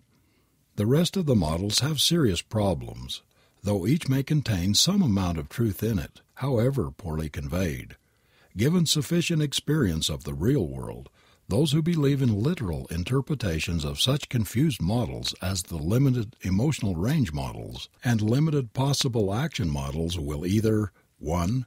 Be forced to come to the conclusion that no living being meets their definitions of enlightenment. 2 be forced into a dark corner of borderline psychotic rationalizations of what actually happens, or 3. Be headed for a very rude awakening indeed, to make a bit of a bad pun. There is only one thing worse in my mind than students getting caught up in the dogma of the worst of the models, and that is realized teachers getting caught by them. Just as it is disappointing when those with long retreat resumes but no fundamental insight want to encourage faith in their beautiful tradition by appearing to know more than they actually do, it is doubly disappointing when realized beings get caught in these fallacious models, acting as if they worked in the fantasy land way that most people think they do. I know exactly where they are coming from and how tempting this is, but I dream of a day when such things never happen. The Dharma world would be so much better off if teachers were honest about what realization is and ain't, both with their students and also with themselves. Don't think this sort of dishonesty doesn't occur. I have seen some of my very best and most realized teachers fall into this trap, and have also done so myself more times than I can count. Learn from those who have had to learn the hard way and are willing to admit this. Ditching our stuff versus ditching the split. While these two models are stated implicitly above, I thought I would summarize them again to make sure that I have made this important point clear. There are models of awakening that involve getting rid of all of our stuff, like our issues, flaws, quirks, pains, negative emotions, traumas, personalities, cultural baggage, childhood scars, relationship difficulties, insecurities, fears, strange notions, etc. Such models underlie most of the mainstream visions of spiritual attainment. What is funny is that lots of people spend so much time working so hard to get rid of all their stuff, but think that enlightenment, such as ditching the illusion of the dualistic split, is largely unattainable. I have exactly the opposite view. That ditching the split is very attainable, but getting rid of all of our stuff is completely impossible. When I hear about those who wish to attain a type of Buddhahood that is defined not by having any stuff, I usually think to myself that the countless eons they usually claim are necessary to accomplish this are a gross underestimation. The real world is about stuff, and enlightenment is about the real world. What is very nice about ditching the split, aside from the fact that it can be done, is that now we can be friends with our stuff naturally, even if it sucks. We can work with it as well as can be expected and from a place of great clarity and understanding. Stage by stage, ditching the split makes all the slow but necessary healing so much easier, or at least more tolerable. Thus, take the time to work with your stuff, or try not to, as you like. Our stuff is here and being dealt with anyway. However seriously, consider doing the practices that can ditch the split, such as those that ask us to see the true nature of the sensations that make up all of our stuff and our attempts to deal with it. Try these two scenarios on for size and see which seems to fit with your goals for your life, with your vision of a life well lived. In the first, imagine working with your stuff as best you can for most of your life never really knowing what is just needless mind noise and mental duress caused by a lack of basic clarity. In your old age you do the practices that lead to realization, The benefits of that level of understanding may then be used for yourself and others during the remaining years of your life. In the second scenario, you take the time early in your spiritual practice to attain realization, following the precise instructions and recommendations of a well developed insight tradition. You then use that level of increased clarity, acceptance, intimacy with life, and transcendence to work on your stuff and benefit others for the rest of your life. The second approach seems vastly superior to me, but it is still possible that these things are a matter of taste one way or the other, take responsibility for the choice you make.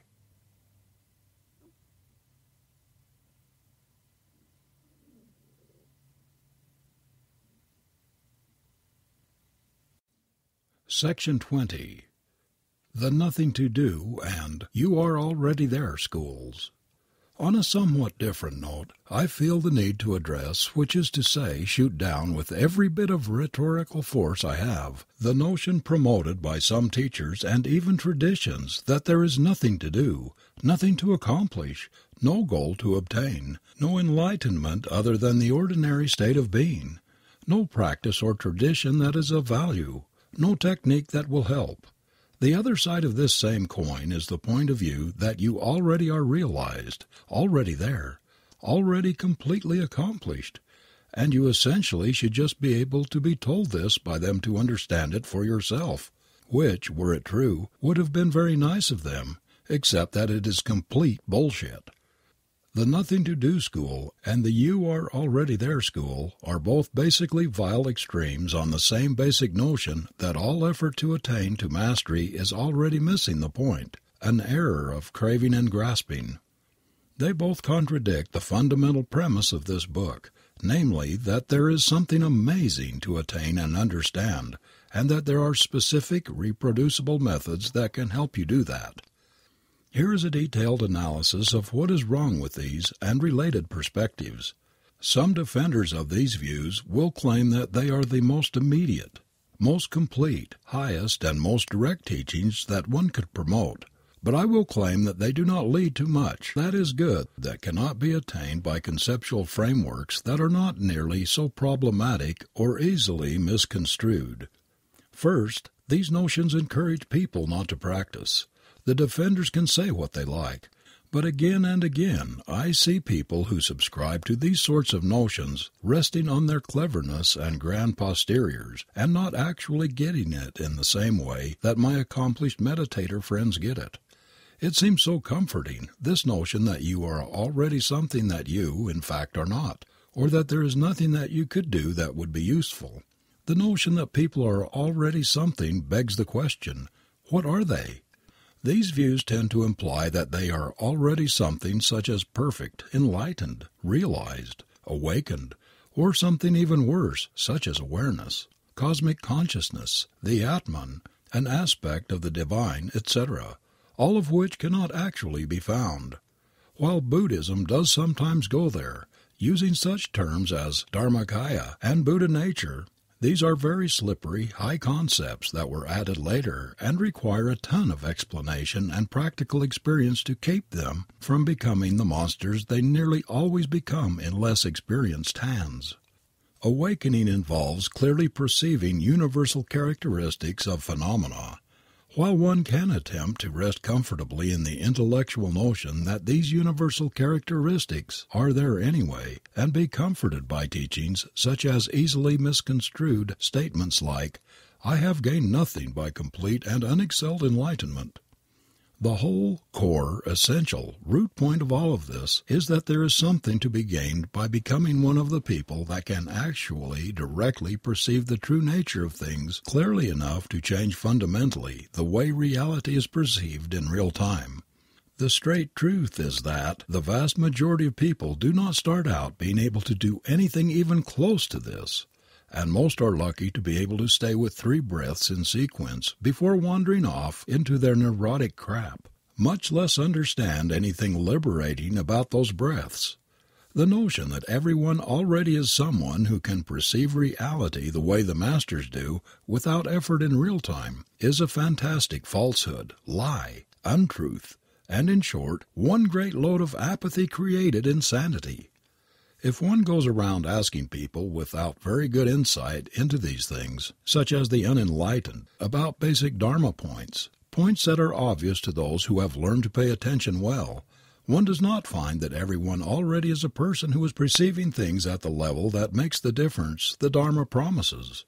Further, even those of lower levels of enlightenment generally have a hard time saying they are really able to perceive the emptiness, luminosity, selflessness, causality, transience, ephemerality, etc., of reality in real time at all times without having to really do anything.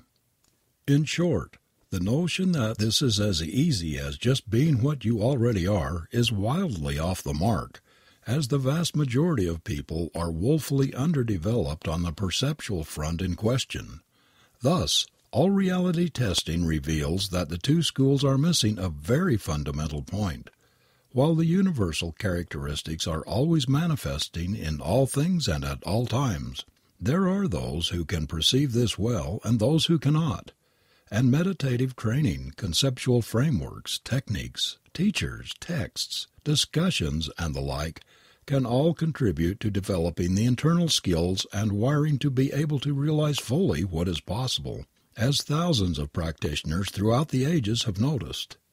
I myself have known before and after, meaning that I know what I was capable of perceiving and understanding before I underwent meditative training, and after.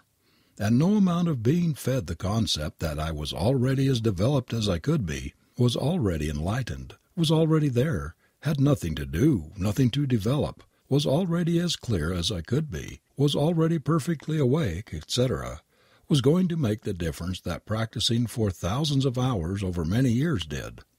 It would be like saying, you are already a concert pianist, you just have to realize it. Or you are already a nuclear physicist, you just have to realize it. Or you already speak every language, you just have to realize it. It would be like saying to a two year old, You already understand everything you need to know, so stop learning new things now. Or to a severe paranoid schizophrenic, You already are as sane as anyone and do not need to take your medicines and should just follow the voices that tell you to kill people. Or to a person with heart disease, just keep smoking and eating fried pork skins and you'll be healthy or to an illiterate person with no math skills who keeps having a hard time navigating in the modern world and is constantly ripped off. No need to learn to read to do math, as you are just fine as you are. Or saying to a greedy, corrupt, corporate rating, white collar criminal, fascist, alcoholic wife beater, Hey, dude, you are like beautiful, perfect flower of the now moment, already enlightened. Insert toke here. You are already doing, and not doing just fine. Like, wow, so keep up the good work, man. Would you let a blind and partially paralyzed untrained stroke victim perform open heart surgery on your child based on the notion that they are already an accomplished surgeon, but just have to realize it?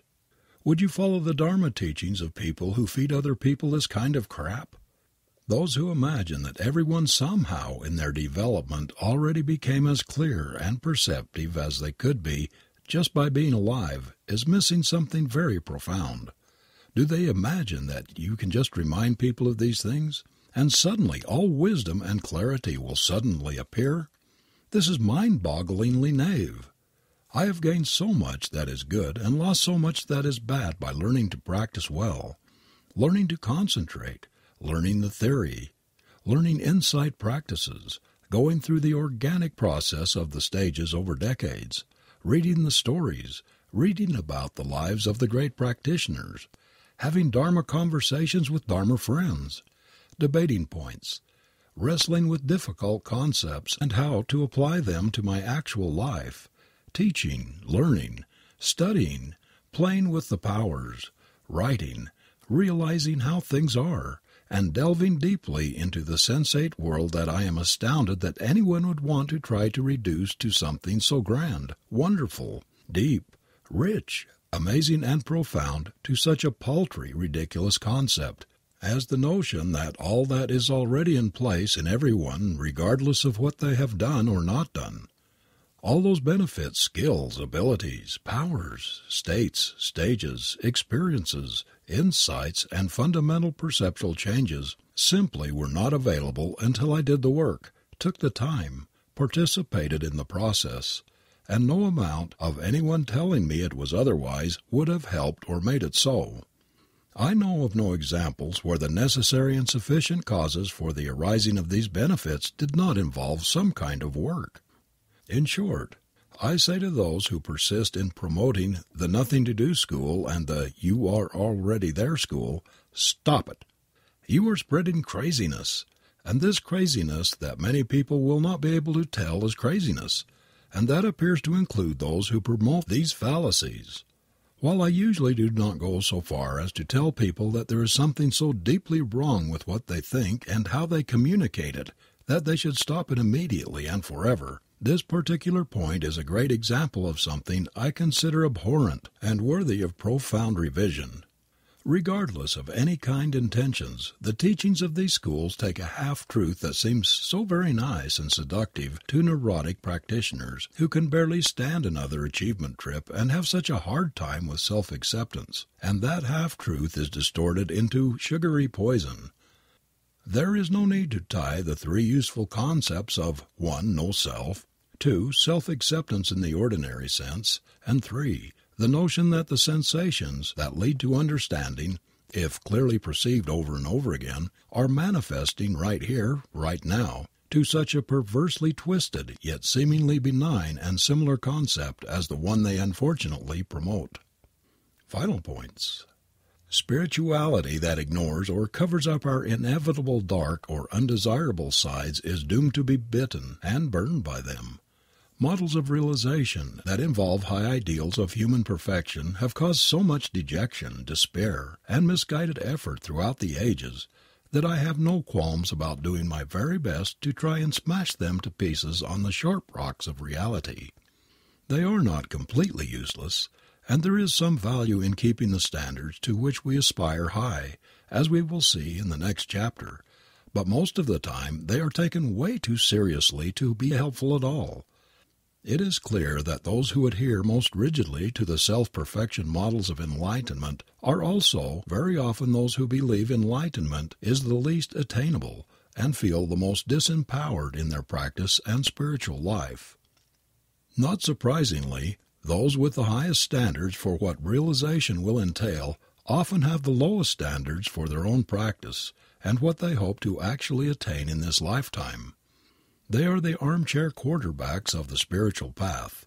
Becoming grandiose about aspiring to high ideals seems to be a common coping mechanism for dealing with a lack of confidence and insight. As Christopher Titmuss, one of my best and most honest teachers, often says, we do not come from a self perfection lineage. There are those who do explicitly come from self perfection lineages. I wish them good luck. They'll need it. So, what is full enlightenment? This has been a source of considerable debate, confusion, and division in Buddhism, particularly between the three main traditions of the Theravada, Tibetan, and Zen. I'm going to jump into the fray, as is my typical style but realize that it is going to be a messy business. These debates tend to boil down to arahats versus Buddhas, a distinction I hope to make clear shortly. Zen is largely on the side of Buddhas, though their intriguing vagueness on the subject can sometimes make it somewhat uncertain what they mean by Buddha. Most of the time the Zen kids actually seem to mean arahat when they say Buddha, though I wouldn't go around saying that if you want to be liked. In my more cynical moments I think their models end at stream entry. On the other hand, the most mythological descriptions of arahats in the Theravada are often closer to the stylized descriptions of Buddhas, so the problem is obviously widespread and goes both ways. All kinds of absurd tensions and divisions have arisen around this one point between the Theravada and the Mahayana when, at least in terms of the actual dogma, there is really no conflict. How these ideals relate to non Buddhist traditions is complex, and I offer the simple notion that these things all converge rather than diverge at this level. The Theravada clearly acknowledges that an arahat is a stage below Buddhahood, and nouveau Tibetans seem particularly gleeful at this. To digress again for just a moment. There is an apocryphal and absurd story in circulation that when the teachings on emptiness were first given a large number of arahats dropped dead of heart attacks.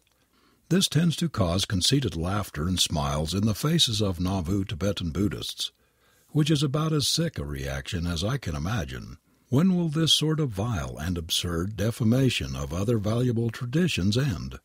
The arahat has attained to complete and utter elimination of the illusions of permanence, satisfactoriness and duality, separate self, and now perceives reality non dualistically. They know the joy of clarity of freedom as well as the fullness of their humanity Thus the notion that an arahat is self realized is an oxymoron perpetuated by regular morons. Arahatship may correlate with the sixth bhumi or the eighth bhumi in the Tibetan model, depending on the sources of information. There are also reasons to associate it with the tenth bhumi, but I digress. Some Tibetan Buddhists will tell you that the four paths and the ten Bhumis are two divergent tracks of awakening, but this is a load of quinine excrement. Ditching the split is ditching the split, and the rest is gravy. Enlightenment is exactly the same regardless of the tradition one followed to attain it. This is non negotiable, and those who say otherwise are merely doing so for recruiting purposes or because they don't know any better, or both. However, it is clearly stated by both traditions that arahats may not have completely integrated their understanding into their life and so may not have eliminated all unskillful residual habits, although defining unskillful here is as problematic as defining appropriate. There are many stories in the Vinaya and in modern times about arahats behaving in strange ways, and this goes ten times for Buddhas in the Mahayana and Vajrayana literature today regardless of how you define unskillful. Eliminating all unskillful residual habits is sometimes seen as such an undertaking that many schools of Buddhism hold it to be an absurd and impractical ideal. However, there is some place for such high standards if they are supplemented with a very big dose of reality, patience, and a sense of humor. Buddhists are defined as having mastered all of the concentration states and psychic powers, whereas arahats may or may not have. It should be noted that even enlightened beings can master almost all of the psychic powers and all of the concentration states. Buddhas are defined as having understood the teachings and the truth of things to the very end, whereas arahats have just fully understood these. The distinction here is lost on me. Further, both sides also state clearly that there are bodhisattvas that may one day become Buddhas. Again, to stick around means being nothing but empty awareness or dharmakaya in true self terms, as this is all that is permanent, but not a thing or localized in a specific place, etc., as before. This understanding is clearly present in arhats, bodhisattvas of the eighth bhumi and above, and Buddhas. Thus, this whole bodhisattva thing and all the talk of the Buddha manifesting as a bodhisattva is just a skillful true self, or Dhammakaya teaching, as before, and not actually in conflict with the Theravada except to those who misunderstand what these teachings are really about.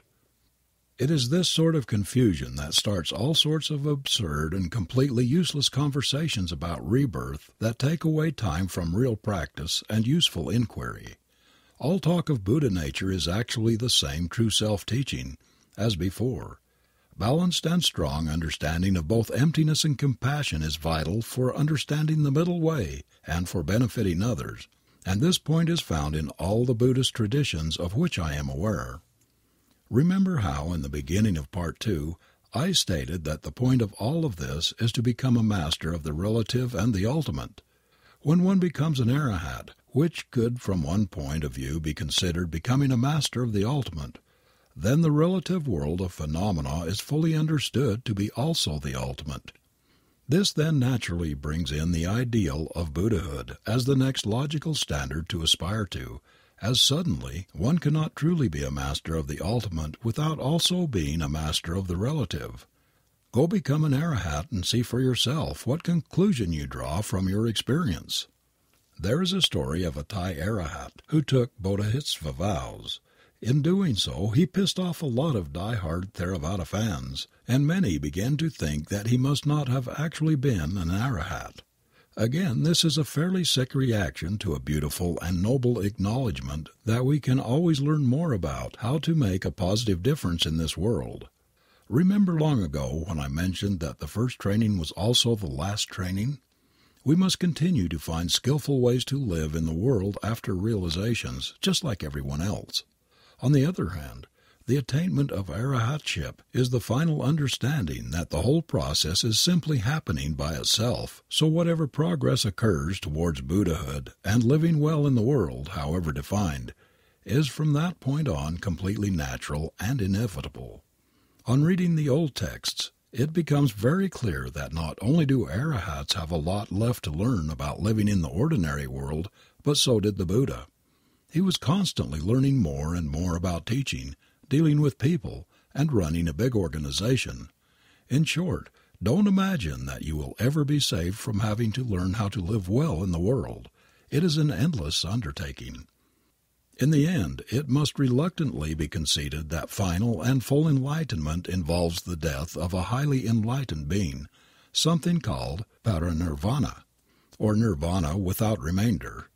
I don't mean to be needlessly morbid, but while there is still a body and a mind there is still suffering as our old friend Sid the Buddha defined it, and thus it is not until a highly enlightened being dies that the whole process is completed. This is not meant in any way to promote the suicide of highly enlightened beings, but simply to acknowledge the implications of being born and to be doctrinally correct. However, this again falls prey to the interconnectedness versus complete transcendence debates just as the Arahat versus Buddha debates do. So from a certain point of view the question of what is full enlightenment cannot be answered without all beings getting enlightened and then dying. This is obviously unlikely to occur any time soon. However, from another point of view, all beings are already enlightened but have yet to realize it and thus the debate is meaningless. Thus you now have some understanding of why these ridiculous debates have been around for so long, and why I obviously am not going to resolve them here. As with all logical systems that involve false assumptions of duality, which they all do, any argument taken far enough either goes in circles, contradicts itself, or both. Put your time into clear practice and not into thinking about these things too much. Integration. A friend of mine read through an earlier version of this work and commented that there was very little in this book on integration, the process by which one's life comes to be a natural reflection of one's insights. I replied that I could write something about integration when I knew something about it, which he thought was funny, particularly knowing me. However, over the years I have learned a few things about the endlessly complex, mysterious, and yet strangely ordinary topic of integration and about living in the world during and in the wake of insights. There are many sources such as Path with Heart and After the Ecstasy, The Laundry, both by Jack Kornfield, that do a much better treatment of the issue than what follows, but hopefully some of these simple points will be of use. The first point is one that I have made implicitly above, but will make explicit here. Go ahead and get some deep insight to integrate in the first place. I have lots of friends on the spiritual path that seem to be doing work that I associate with integration when they don't yet have any fundamental insight to integrate. This seems to be a very strange way to go if you ask me. They seem to be working on their stuff without the clarity and perspective that comes from realizations into the truth of things. Go get enlightened. Become a stream enterer at the very least and preferably become an arahat. Without these realizations it is very hard to determine what needs work and what is just excessive delusion and mind noise created by the illusion of duality that still remains. Thus, when on retreat or doing formal practice, think carefully about what you want to achieve.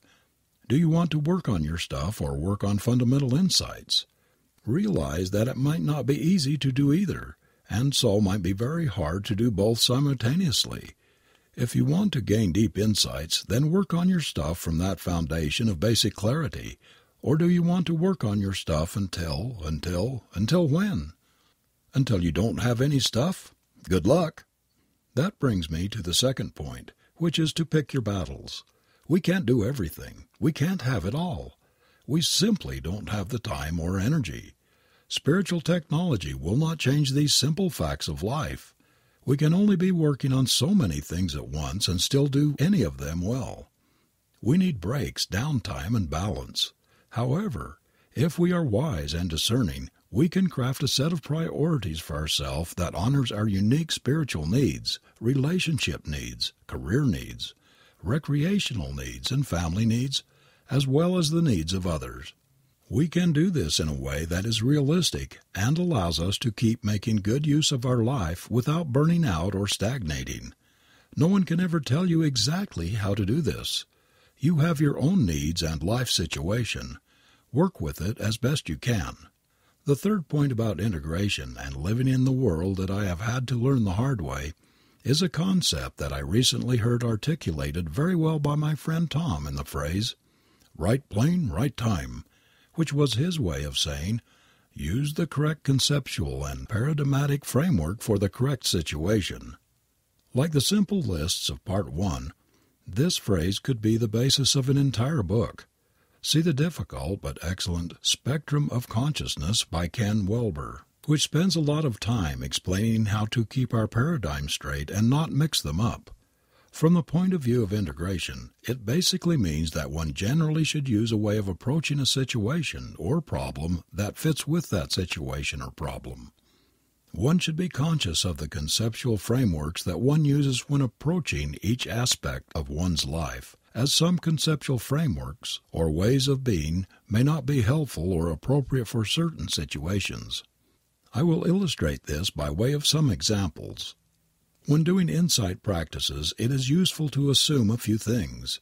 One should assume that no such thing as a body exists, nor does a mind exist nor are there natural boundaries inherent in sensations. There are sensations that arise and pass quickly, are not able to satisfy due to the illusion of duality, and are empty, meaning that they imply no self or separateness that is in control. It is not all that useful to get overly concerned with what these sensations actually are or why they arose. When doing just about anything else, this way of proceeding may cause gigantic problems. For instance, when driving a car, one must assume that one's car is a separate entity, one that should not collide with other cars on the road. One must assume solidity and that one is in control of one's car. One must pay attention to the edges of specific things and be careful about the details of one's driving environment, one's destination, and the rules of the road. For real world problems, I have found that real world solutions are the way to go. Right plane, right time. It must also be said that paying more attention to our sensate world helps both with insight practices and the daily life. Another example to contrast with the paradigm useful in insight practices is in human relationships. Imagine someone saying to you, You are so empty, you are so unsatisfactory, you are so transient. It doesn't work. Imagine going into a bank at which you have recently overdrawn your account and saying, I do not exist as a separate entity. There is no I or mine that can be found. Thus, all this talk of me owing you something is nonsense. We are interdependent luminosity. This just doesn't fly. Right plane, right time. These are ridiculous examples, but if you hang out in spiritual scenes and pay attention to the conceptual frameworks people use, and when they use them, you will find numerous similar errors in judgment. These examples also illustrate the important concept of being careful when talking about one's practice. Choose the correct words or degree of silence for the people around you and the situations in which you find yourself, particularly soon after dramatic occurrences. I can't tell you the number of times I have looked like a completely inconsiderate nutcase when I opened my big flapping pie hole to the wrong people soon after some intense insight or rapture had occurred. As a dead French occultist once said, to tell someone something they can't understand is as bad as telling them a lie. Wise words. Cultivate a network of friends with whom you can share these things, or keep a diary if this is not practical, or both. There is something helpful about being able to talk about unusual things in a safe and appropriate context. It is not uncommon for people who get deeply into practice to encounter two issues. It is difficult to learn to go easily between one way of being and another, from one conceptual framework and another, and that practice and the world seem to be in direct conflict. Given our dualistic illusion, it often seems that we must let things go in some sort of literal sense, such as quitting a job, in order to let it go in the insight sense, to see the true nature of the sensations that make up the process. This is obviously not true, but such erroneous logic can be very tempting. As to the rest of integration, well, if we have insights to integrate, it just seems to happen. That's about the best I can do. Life happens as before, and so it goes. We grow, we learn, we get sick, and we die. To quote a song from a Bogart movie, the fundamental things apply as times go by.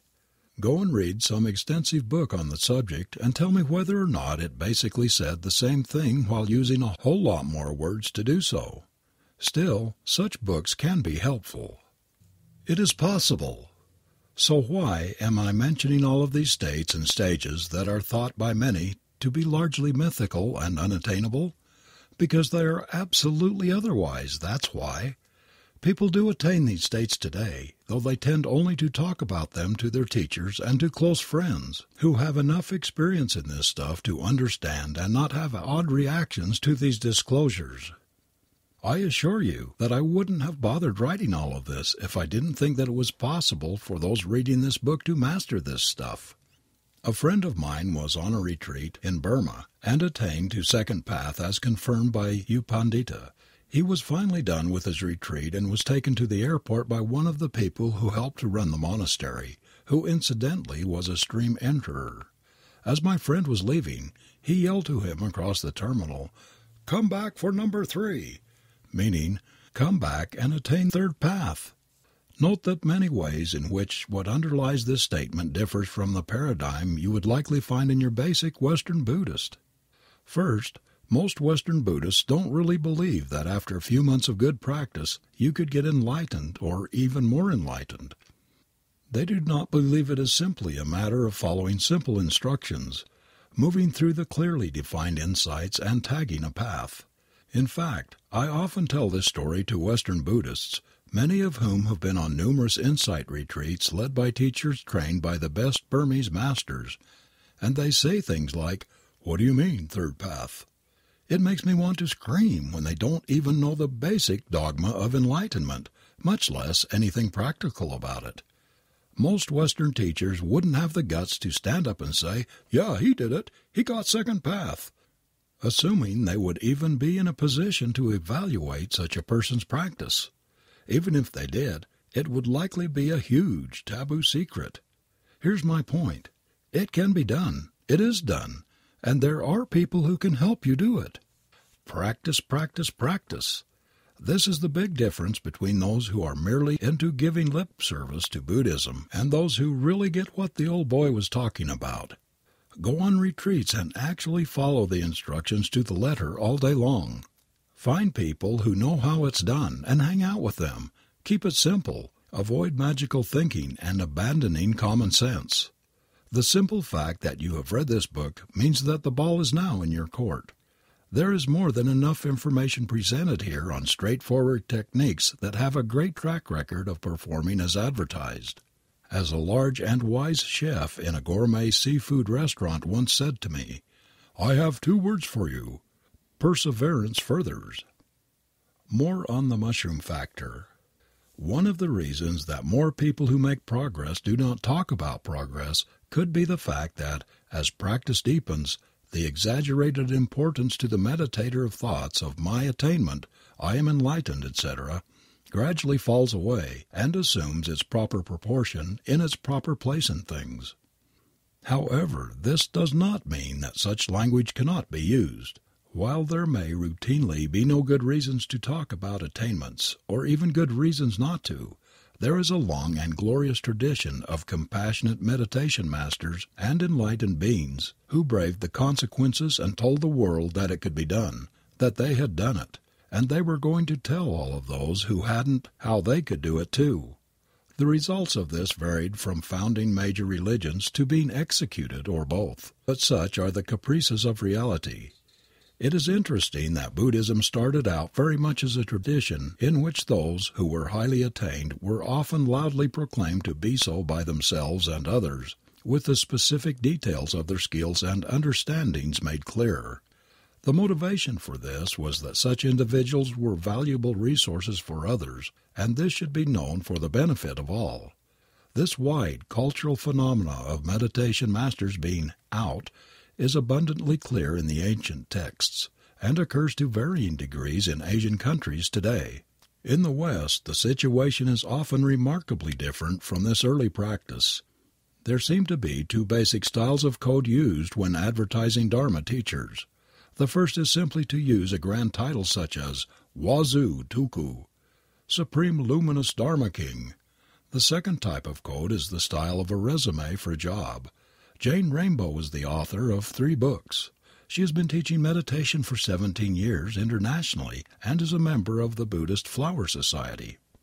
Notice that neither of these bios tell you anything about what they may actually know, which traditions they draw from, their attitude toward scholarship and the standard dogmas, which techniques they are masters of or teach, what they have attained or claim to have attained, what their personality is like, what their strengths and weaknesses as a teacher and person are, who trained them, the lineage or lineages by which they are claimed, their level of ability to their students, though teachers internationally is often an ominous clue.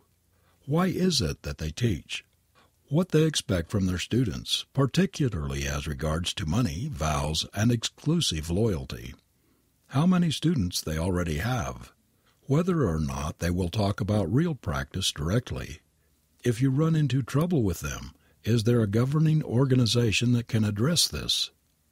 What is astounding is how few students will ever ask their teachers about any of the specific practical issues. These are the questions that should initially be considered when seeking a teacher, and yet you almost never see them addressed on a retreat center brochure. Imagine a university where none of the professors would tell you about their research, who funds their work, where they got their degree, what courses they teach, who taught them, what their specialty is, or even why they like being professors. This would be just a bit strange, wouldn't it? This sort of information is typically available for public consumption on the university web page. There is something very balanced and reasonable about this. When I see a presentation at the school I currently attend, someone generally tells you exactly who the person is, what they are working on, highlights of what they have published in the past, and what positions and degrees they currently hold, and why they are qualified to speak on the topic of the day. Perhaps I am particularly naive and idealistic, but I imagine a spiritual world where this would be standard practice as well. I dream that this would simultaneously cut down on other worldly spiritual ideals, provide faith that it can be done, demystify the process of awakening and bring the whole thing back down to earth. There is obviously a long way to go before such a dream is likely to be a reality, but hopefully this little book will be one small step towards that. There are cool things our minds can do and perceive, and there are definable techniques that lead to those cool things. Why does it have to be more complex than that? In my more cynical moments I have sometimes thought that Western teachers' bios could be just as easily read. Jane is a Sagittarius from California. Her favorite color is turquoise and she is a mediocre chef. Or Wazoo is old and of substantial girth. His favorite movie is Animal House. These would give you about as much practical information as most teacher bios do in the West. Obviously, the assumption is that if they have been practicing for so many years, have a fancy name, or if someone let them publish a book or teach internationally, then they must be in some generic way a good teacher of something. There may also be the unspoken assumption that there is some unnamed but reliable body of evaluators of teachers somewhere that have checked the person out.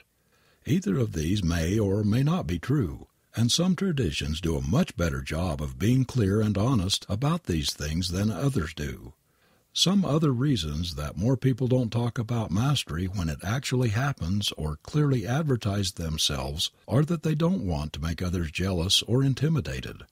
Also, talking about the stages of insight practice can sound quite outrageous and bizarre. Further, with clarity comes mystery, and sometimes it can seem inappropriate to talk about something that can sometimes be seen so slippery and sometimes even uncertain. The late, great Ajahn Chah once stated that even arahats could sometimes be unsure about whether or not they are arahats. Others, including one of my favorite teachers, have said that all arahats are always sure they are arahats. This second view is a bit extreme, and it is a limited possible thought model. You know what I think of those. Thus, a major reason for secrecy or codes seems to be self preservation, though not in the sense of ego preservation. These are kind motives, but they also perpetuate the atmosphere of secrecy and confusion so present in the modern mystical world. The unfortunate truth is that talking about attainments tend to cause many more unhelpful reactions than helpful ones.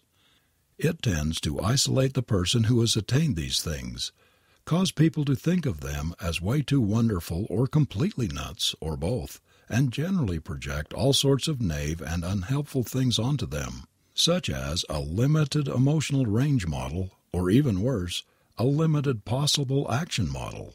This can create situations that foster the abuse of sex, money, drugs, and power that seems to plague gurus and other spiritual teachers with some regularity. Freud would have had a field day with this. As regards the bizarre and fantastic projections that are commonly associated with teachers, gurus, and all the other potentially enlightened beings, they tend to arise because there is not enough widespread information on how misleading the limited emotional range models are and what preposterous junk the limited possible action models are not to mention the lack of information on the absurdity of the wide range of other magical attributes that are imagined to arise from simply ceasing to identify with ordinary phenomena. I considered writing a whole chapter called Adults in Fantasyland but hopefully the preceding sentence will do the trick. This lack of information on the ordinariness of realized individuals creates a vicious cycle in which those who know don't say, I am enlightened and ordinary, because if they do, then they will be viewed in very strange ways, despite what they say, and because they don't tell, no one but them knows. Thus the strong potential for nonsensical projections and reactions remains. While sometimes the masses are fed manure and kept in the dark, if they are fed nothing at all, then they will often invent manure to feed themselves. No one is happy to learn that perfection in some ordinary sense is impossible, and some will continue to seek the perfect guru, community, or even self for years despite the fact that such things do not exist. I have few qualms about blaming those who currently do know for not doing more to debunk these myths and for not being willing to speak out loudly against the large amount of nonsensical, magical thinking that is out there, though I can just as easily understand why they may not be in any mood to take the heat. As things currently stand, all the attention and confusion that can come from revealing one's wisdom and understanding can often not seem to be worth it, despite how much one may want to help others. This can be particularly true if one does not want to be a guru or member of the Dharma jet set, but just wants to help people learn this stuff without becoming some kind of odd object of obsessive adoration or criticism. It seems that you can only help those with very clear, strong, and noble motivations who are willing to listen and also be intelligent and realistic about their relationship to you as a fellow human being and with whom your personality seems to fit fairly well. Further, you can only help those who will actually practice, engage, and inquire. It turns out to be a very small group most of the time. You could also say that you can only teach those who didn't really need you to teach them in the first place, as they were going to do it anyway. It is possible, though not necessarily advisable, to drop all kinds of really glaring and even tacky hints that one has attained to mastery of some aspect of the amazing states and stages of the spiritual path, and yet have no one show even the slightest sign that they have picked up on them. Even more bizarre is how few people, having been directly and unambiguously told that they are around someone who has attained to some deep level of mastery of this stuff by standard methods, will actually ask reasonable questions about how they could do the same. Even more surprising is how few of those who do ask good questions will then use this practical information wisely. As Bill Hamilton put it, I have a treasure of infinite value that nobody wants. He was only barely exaggerating, even as regards many of those who consider themselves meditators and Buddhists. Thus, out of practical self preservation and a reluctant respect for the fact that most people seem not to want to hear about actual mastery of this stuff, the majority of those who do master concentration and or insight practices tend not to talk about it, or only to a very few. See Saints and Psychopaths by Bill Hamilton for an interesting discussion of some of these issues, particularly the etiquette of enlightenment. All this contributes to the mushroom factor Lastly, there seems to be a somewhat odd lack of support for up and coming potential teachers. One of my friends has commented that it can be much easier to get enlightened than to get lineaged, that is, officially acknowledged that you are a qualified teacher and a reasonable enough person to be allowed to teach, have students referred to you, be a part of the monitoring process that keeps teachers on the up and up, and that sort of thing. Two of my very best, most dedicated and accessible teachers were not officially sanctioned, despite their high attainments, great teaching ability and extensive knowledge of spiritual practice. Also, there often seems to be little clear articulation of roles that occupy the middle ground, little well developed sense of apprenticeship, little sense of intermediate territory between fully lineaged teacher and student. The degree of these issues varies by tradition, it is true that there are some good reasons why the senior teaching establishments are slow or reluctant to allow new teachers into the carefully guarded inner circles. There are certain individuals who possess the mastery needed to be a teacher, but are not good choices for other reasons, with mental pathology and odd personality traits being chief among them. There are those whose political skills have been such that they have managed to get sanctioned despite the fact that they were not qualified to teach at the level they claimed they could, with predictable associated problems following suit. However, current senior teachers, many of which are the first generation of Westerns to be so, do not yet seem to be quite as comfortable giving sanction to new teachers as their Asian teachers tended to be giving sanction to them. Perhaps this will correct itself given time as there is a lot of unused talent out there and a lot of unmet demand for authentic teachers. On the other hand, making a living as a teacher can be hard, and who needs more competition for scarce donations or seats on the front platform at overbooked meditation centers? It is also true that numerous meditation traditions that have come to the West have many people teaching in them without the foggiest idea that they are not at all qualified to do so. The old texts state that one should have at least crossed the A and P event to teach, though in the tradition I come from they consider second path as the standard minimum requirement for any sort of teaching. Basically, chancing into a path is impressive, but being able to tag another one demonstrates reproducible competence. I again blame the mushroom factor for this, as I suspect that if people knew what reasonable standards are for teachers, and that there are actually those who meet these, many would then realize that they simply shouldn't be teaching and bow out gracefully. Beyond this, there are also good reasons to question the very concepts of teacher and student, and the disturbing and often unquestioned rigidity with which they are sometimes applied. One person may have an understanding that they share with someone else and then turn around and ask them a question about something that the person who was a student just moments before is skilled in. I have come to the conclusion that some of the best teaching happens in conversations between friends and not in the context of very short, formal interviews with lineage teachers who have just flown in for the week. The climate of secrecy surrounding conversations about mastery of these things, restrictive lineage issues, and rarity of engaging in long, deep conversations with harried and overcommitted jet set Dharma teachers combine to create what I term the Dharma underground.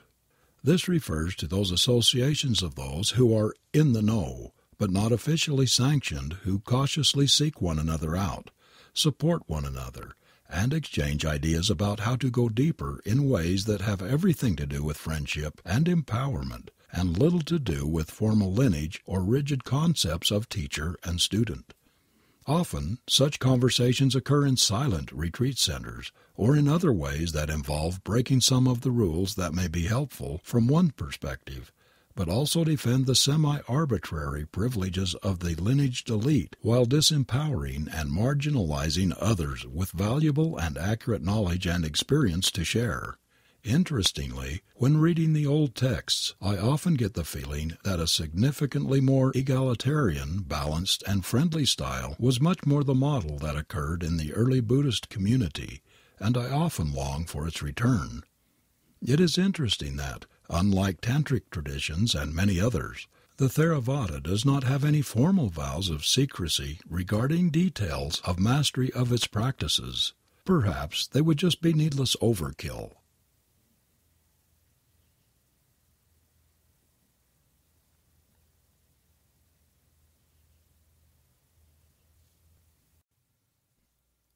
Section 21 So who the heck is Daniel M. Ingram? I suppose that if I'm going to rant about how most Dharma teachers do not do a good job of clearly stating what they know, what they teach, etc., then I should try to avoid being a complete hypocrite and thus answer some of those questions here. Here's my Western teacher bio, the way I would have it on a retreat center brochure. Daniel is a double Aquarian from North Carolina who prefers to be called Dharma Dan, Dude, or simply Honored Archmystic Sir. His favorite movie is Raising Arizona. Just kidding. Let's try that again. Daniel is an extroverted Gen X intellectual. He is known for his pronounced enthusiasm, lip flapping, grandiosity, eccentricity, and calling people on their stuff and shadow sides regardless of whether or not this is helpful or even accurate. He is an arahat and has a solid mastery of the basic concentration states from the first jhana to nirodha samapatti, including the pure land jhanas. He also has a solid knowledge of Buddhist theory and the texts, and because of these three areas of expertise considers himself a qualified teacher. He was also authorized and encouraged to teach by a lineaged abbot of the Mahasi Sayadaw tradition. When it comes to insight practices he has standards so high, exacting, and uncompromising that only those who are dedicated practitioners are likely to find them helpful. On the other hand, he is a firm believer that if people simply practice the basic techniques recommended by the Buddha, they can be very successful and awakened meditators. He is one of the rare teachers who will talk about insight directly and answer nearly any question about Dharma practice without using code, covering things up or watering things down. Daniel is a die-hard Mahasi Sayadaw fan, though he is very happy whenever he sees people trying to master any of the world's great mystical traditions, and thus considers himself a pan-mystical evangelist. He is also a chronic map monger and technique freak because he has had them work very well for him. He does not claim to have any special knowledge of how to live skillfully in the conventional world, but has found that a positive attitude, non pretentious kindness, and a sense of humor will take you a long way. If you imagine that you want to bust out some hardcore practice but are in fact just looking for a daddy, shrink, social worker, or someone to help you prop up your self esteem, Daniel is unlikely at this stage in his development to be the best person to help you meet your needs. He considers himself to be one badass Dharma cowboy and prefers similar company, or at least those who aspire to be so. I dare, no, I double dare any teacher to be that honest when writing their next bio. Not that they are likely to be given enough space to disclose anything resembling this much honest and practical information. A few more things. I crossed the arising and passing away when I was about fifteen, and did it again about four more times by my recollection over the next ten years, without formal practice, technique, or guidance. I attained to stream entry at the end of the first week of my fourth retreat on January 13, 1996, in Bodh Gaya, India, in the Thai monastery. I also crossed the arising and passing away of second path on that retreat.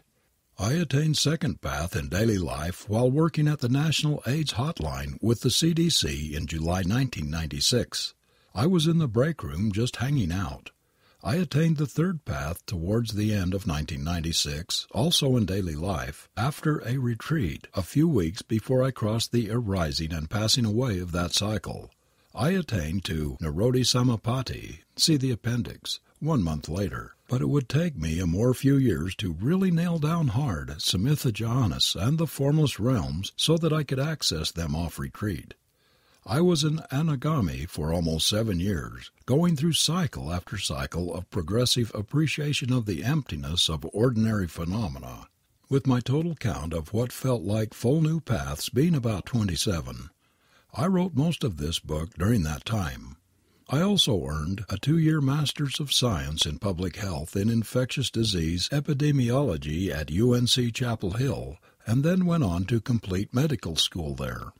Then on April 17, 2003, on a 21 day retreat at the Malaysian Buddhist Meditation Center between medical school and my residency, I attained to arahatship. It happened while I was doing walking meditation on that glorious spring morning. I was sick of the cycles of insight and profoundly inspired by the steady and gentle invitation of the teacher, Sayadaw Pandita Jr., to simply see through the whole thing as he had done. His calm smile seemed to say, You can do it. Come on. Any day now.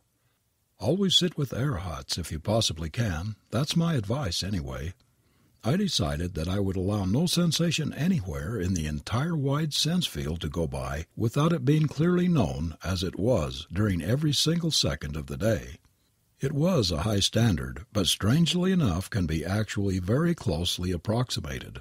It was sufficient to do the trick after about a week of doing that some 20 plus hours per day. I remember attaining to a fruition, and a few seconds later I noticed something about the entrance to it and the reforming of the sense of a perceiver on the back side of it. Then suddenly the knot of perception flipped open. Everything was the same and yet the perspective on it was completely different. And my vipassana problem, once I had stabilized in that understanding, was solved. I had barely taught in the previous six years as my own practice has consumed most of the scant free time I had, but a few days after seeing it I told my teacher I was thinking of teaching again. He shot me an uncharacteristically sharp glance and said in a forceful and commanding voice, Good! I have learned all sorts of useful and interesting things since then, but seeing through the center point was the essential thing.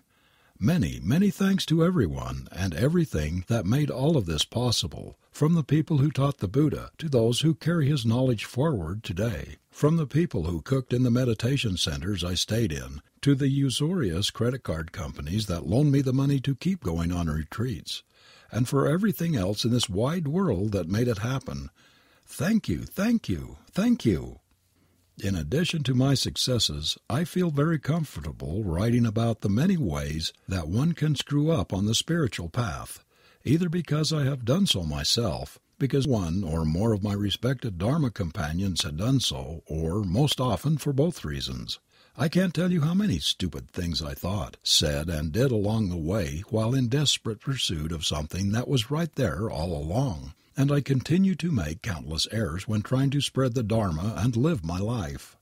The only stage, state, or attainment I write about from theory rather than experience is Buddhahood. There are a few practical uses for such information. It is potentially useful to disclose that I have made countless errors on the spiritual path so that this may counter the notion that I am coming from some useless holier than thou position and also try to counter in others the sense that they are the only ones who make numerous errors on the spiritual path. I hope it was not necessary. As someone wise once said, the life of a Zen master is one continuous mistake, and that goes equally for the rest of us. I feel that the most important positive result that can come from stating, I know that of which I write, is the chance that this might create the sense that extraordinary things may be understood and attained by otherwise ordinary people, such as and including myself and yourself. I've done this stuff while holding down jobs, having relationships, and pursuing graduate studies. I did it on a few weeks or months of retreat time here and there with a lot of daily practice. My total retreat time from beginning to arahatship was about eight months, with the longest sit being 27 days. The point that I'm trying to make is that these techniques and practices are powerful and effective for those who take the time to follow them. If I can convey the sense that this is true by going on and on about what I have accomplished, then doing so serves a useful function. Another possible positive outcome is the sense that might be created in some people that this is not a dead and theory based tradition that simply rehashed the semi mythical glory of long dead gurus and ancient writings, but a living tradition with validity in our modern times. The last useful point that might come from someone who has quite obviously achieved nothing even close to self perfection saying, I have strong mastery of the core teachings of the Buddha, is that it might serve to help bring the whole notion of spirituality back down to earth. I am quite willing to look ridiculous and grandiose if there is some chance of it furthering that process, though I realize that it could easily backfire. Consider carefully the differences and similarities between confidence, arrogance, and empowering others to realize that they can do it also. A word to the wise is, don't believe me or anyone else. Take the time to verify these things for yourself from your own direct experience.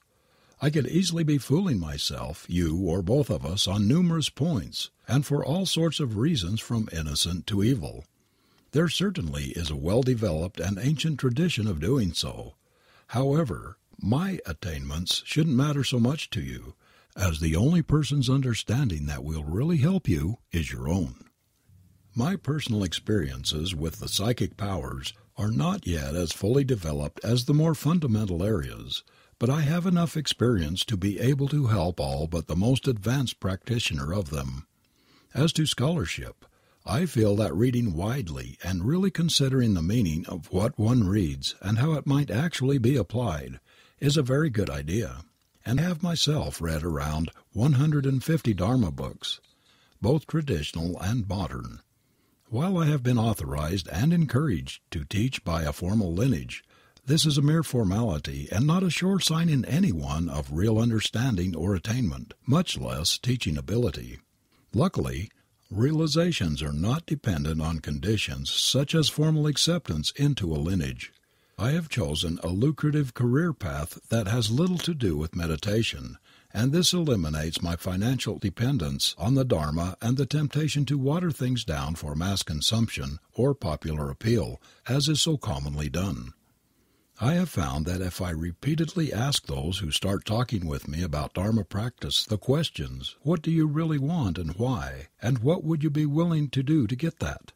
I usually come to the conclusion that they are not really interested in the things I am interested in, such as the things mentioned in this book, and thus I can turn the conversation to other topics and avoid wasting our time. Those few who do share some of my interests are my dear companions in what I call the Dharma Underground, and for them I am extremely grateful. But enough about me. Let me tell you about my book. I think that I have made my influences and humble opinions on a wide variety of other subjects very clear throughout this work. To be truthful, sometimes I have picked up this book and thought, Goodness gracious, what a harsh rant! What a heap of reductionist dogma, false certainty, pretentiousness, and my own neurotic stuff! I pity the poor innocent and pathologically nice, mainstream, ritualistic, disempowered Buddhists fortunate enough to have picked this thing up, simply been kicked in their soft and flabby posteriors by it to little good effect. On other days I have picked it up and thought, Wow, This is really the book that I wished I had read all those years ago when I decided to really go for it. It would have been so extremely helpful to have so many details about high level practice laid out this clearly, so many myths dispelled, so much honesty about what the path is and isn't. What a joy it is that there are books that convey such enthusiastic and empowering views on these practices. Maybe there will be a few people out there who just needed a little prodding to realize their full potential as great and powerful meditators. Wouldn't it be great if I can find a way to get this book into their hands? I hope that you had something like both reactions, as I think that both points of view have some validity. Two interesting and practical questions for you are, Who are you in direct experiential terms? And Who is it that knows? Answer these, and you will come to know all of this directly for yourself. The first and last job of anyone who teaches meditation should be to make herself or himself redundant. This book is the best I have been able to come up with to help accomplish this, as I have tried my best to pack it with everything useful that I know. Conclusion and best wishes. I do hope that people will not settle for becoming lost in the dogma of this work, Buddhism, or any other mystical tradition. I hope that they learn actually to do the practices that lead to freedom and to the deep integration of that freedom into their lives. I hope that they have faith that mastery can be attained. I hope that they will learn to ask good questions that will help them to accomplish this. I hope that the culture of Buddhism and the world in general will become less sectarian instead of more. I hope that practitioners of meditation will use spiritual conceptual frameworks as tools and not worship them as sacred dogma. I hope that the huge amount of magical and fantastic thinking that accompanies spiritual traditions will immediately vanish from this planet forever. I hope that those on the path will learn to talk with each other in ways that are conducive to clear practice. I hope that any controversial points made in this book will produce skillful debate and real inquiry rather than contraction into fear and dogma. I hope that people will work toward actual mastery of the path so that they will no longer need writings such as this one. I hope that people will not spend their lives lost in content, but will also delve deeply into the liberating truth of the three characteristics. I hope that the level of expectation about what is possible will be raised in a way that is helpful, and that any jealousy or frustration that results from this will be skillfully channeled into precise practice and the joy that it can be done. May all of this be for the benefit of all beings. Should you realize that you wish to awaken, know that it is within your capabilities to do so. Appendix The cessation of perception and feeling Nirodha Samapatti in Pali, is the highest of the temporary attainments. As is traditional in the commentaries, I have included it last. It is discussed in a number of places, including Sutta 44, the shorter series of questions and answers, the middle length discourses of the Buddha, in a talk given by a female arahat named Dhammadinna and The Path to Deliverance by Nyanatiloka, which draws from that fine text. This attainment can neither be said to be a state or not a state, nor can it be said to be purely a concentration attainment or an insight attainment, as it lacks a basis for analysis, meaning that there is no experience that can be analyzed. The word nirodha, meaning cessation, is also sometimes used without the qualifier samapatti to refer to fruition, so be careful to keep your terms straight when reading the old texts or speaking with others about these things. I always mean the cessation of perception and feeling when I use the word nirodha, but others may not. It is said that nirodha can only be attained by anagamis and arahats, those of the third and fourth path, who have some mastery of the formless realms. However, as Bill Hamilton once said, if you are an agami or arahat, you are bound to run into Nirodha Samapatti eventually. There are some reasons to question whether or not those of the lower stages of awakening might be able to attain this, or how the ability to attain this relates to the number of stages of awakening. However, this is not a subject that I am in a mood to pursue in detail, as I have learned the hard way that such questions do not help in the end. If you manage to attain Nirodha, I wouldn't fixate on the idea that you have attained at least third path. That said, a few months of careful work and focused intent, I was able to attain it after completing my third cycle of insight. One attains Nirodha by focusing insight practices and concentration practices in a fairly gentle way that is much less focused and precise than one would do if one wanted to attain fruition. I find it easiest to attain when reclining, but the first time I attained it I was sitting. There is nothing that can really be said about this attainment, except for mentioning things about the entrance, exit, and the consequences of the attainment. One rises through the samatha jhanas in a very low key fashion with some weak awareness of their true nature, the three characteristics, enters the eighth jhana, neither perception nor yet non perception, and then emerges from that state. Sometime shortly thereafter, and without warning or very recent premeditation, one may suddenly enter the cessation of perception and feeling. It must be noted that previous interest in attaining this during the preceding days or weeks tends to increase the chances of this attainment showing up. As one gets better at attaining this, one can slip in the inclination, resolution, to attain it after emerging from the eighth jhana and then forget about it before dropping in. As my dear old meditation friend Kenneth so rightly points out, between the eighth jhana and the nirodha there are a number of states very worth mentioning, though the standard texts strangely don't for reasons I can't fathom. We have come to call them Pure Land One and Pure Land Two, as this seemed as good a thing to call them as anything, thus making a total of ten jhanas and nirodha. Both have as their overwhelming quality the feeling of deep gratitude in the purest and most profound sense, with Pure Land Two being a deepening and strengthening of Pure Land One, though it is also a bit wider and more diffuse. These are remarkably healing, complete, pervasive, satisfying and heartfelt states, and the word pure applies quite nicely. Early on I barely noticed them and would jump as fast as I could from the eighth jhana to nirodha. Now I know better and take the time to enjoy them. They write gratitude, beauty, clarity and contentment onto the mind. There is also a state somewhere in that territory that seems basically like pure presence, like being a super pervading watcher, with the quality of perceiving or awareness of itself being the dominant quality.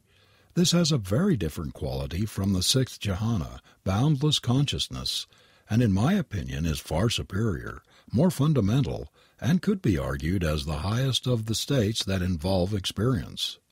However, the fact that states are so clear to me continue to show up that they were never described in the old texts so far as I can tell brings up another important point. The territory out there past the fourth jhana, and particularly the eighth jhana, is very malleable. Kenneth and I speculated that the limits to the states attainable out there are limited by our imagination and concentration skill only, and I have imagined staging a friendly contest among high level practitioners to dream up states that are even better than the ones I know so that we can play around with attaining them and seeing if there are any limits to the thing. The large list of all the exotic heaven realms found in the old texts adds credence to this belief. I realize this may seem like a contradiction to earlier statements I have made about being able to master concentration practices absolutely. It is. Back to describing Nirodha. The texts rightly say that on the entrance to Nirodha, verbal formations cease first, then bodily sensations, then the whole of mental functioning ceases when the attainment is finally entered. This is traditionally explained as correlating to the first jhana, fourth jhana, and then the entrance to nirodha, respectively. However, it may be noticed that in the three moments before cessation of perception sets in, during the complete power failure like entrance, the verbal formations, bodily formations, and mental formations cease in that order, also in three consecutive and definable moments, with the whole thing taking about a third of a second. Thus, the texts may have a double meaning or were misinterpreted by scholars who had never attained Nirodha Samapatti. I say this because it is still typical for many bodily and verbal formations to arise between the eighth jhana and the entrance to Nirodha, and thus the traditional interpretation does not hold up. The texts also say that this attainment may last seven days or even longer, but I don't personally know of anyone who has admitted to having this happen. That doesn't mean it can't happen, but it would probably require a long and sustained retreat beforehand. The duration of such attainments will be related directly to one's concentration abilities, and these are very dependent upon local practice conditions and the amount that they have recently been exercised. Unlike fruition, one exits this attainment in the reverse of the way one came in, with mental formations arising first, quickly followed by physical and then verbal formations in the characteristic analog way of the entrance and with the same timing.